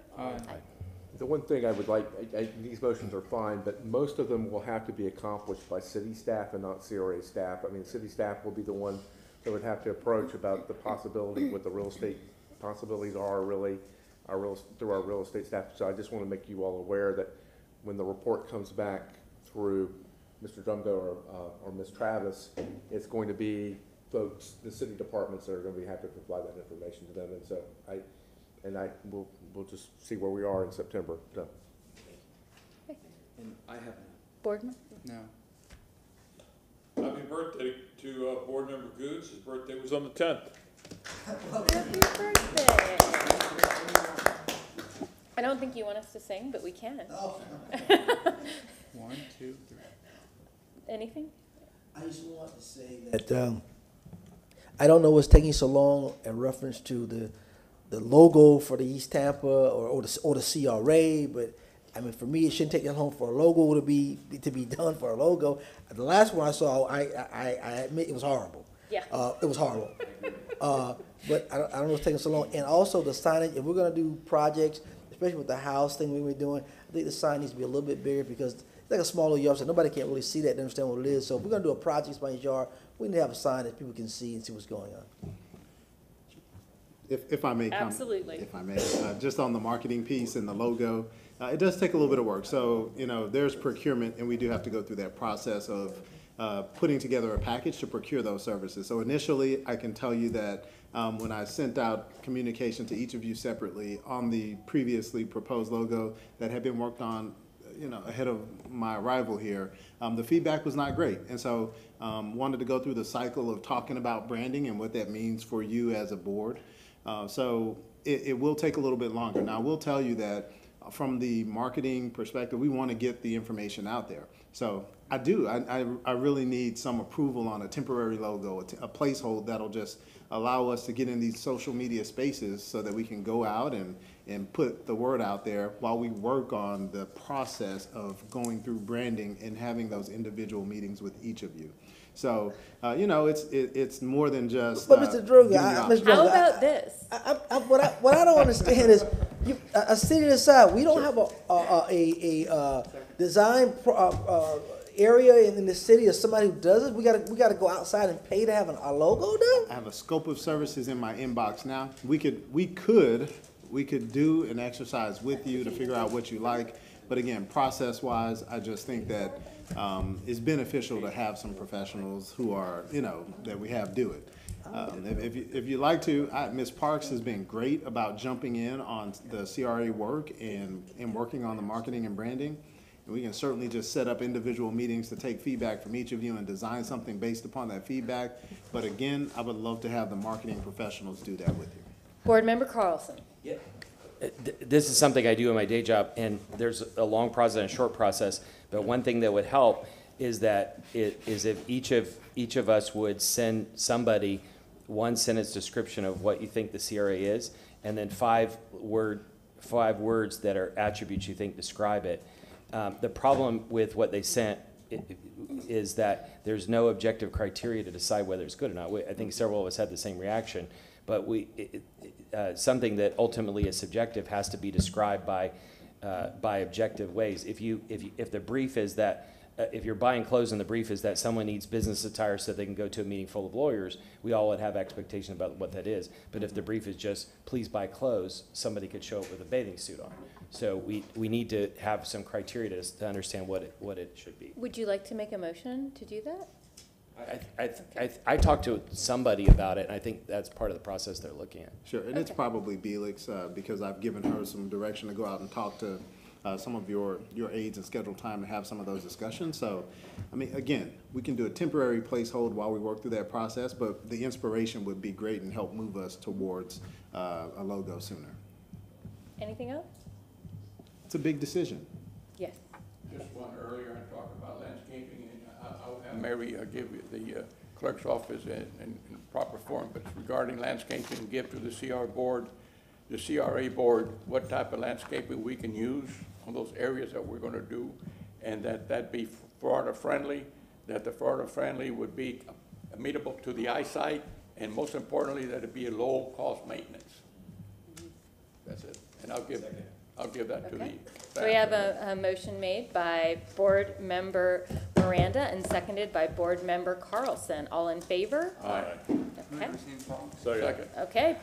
Motion made by, uh, Board Member Maniscalco, seconded by Board Member Citro. See you tonight.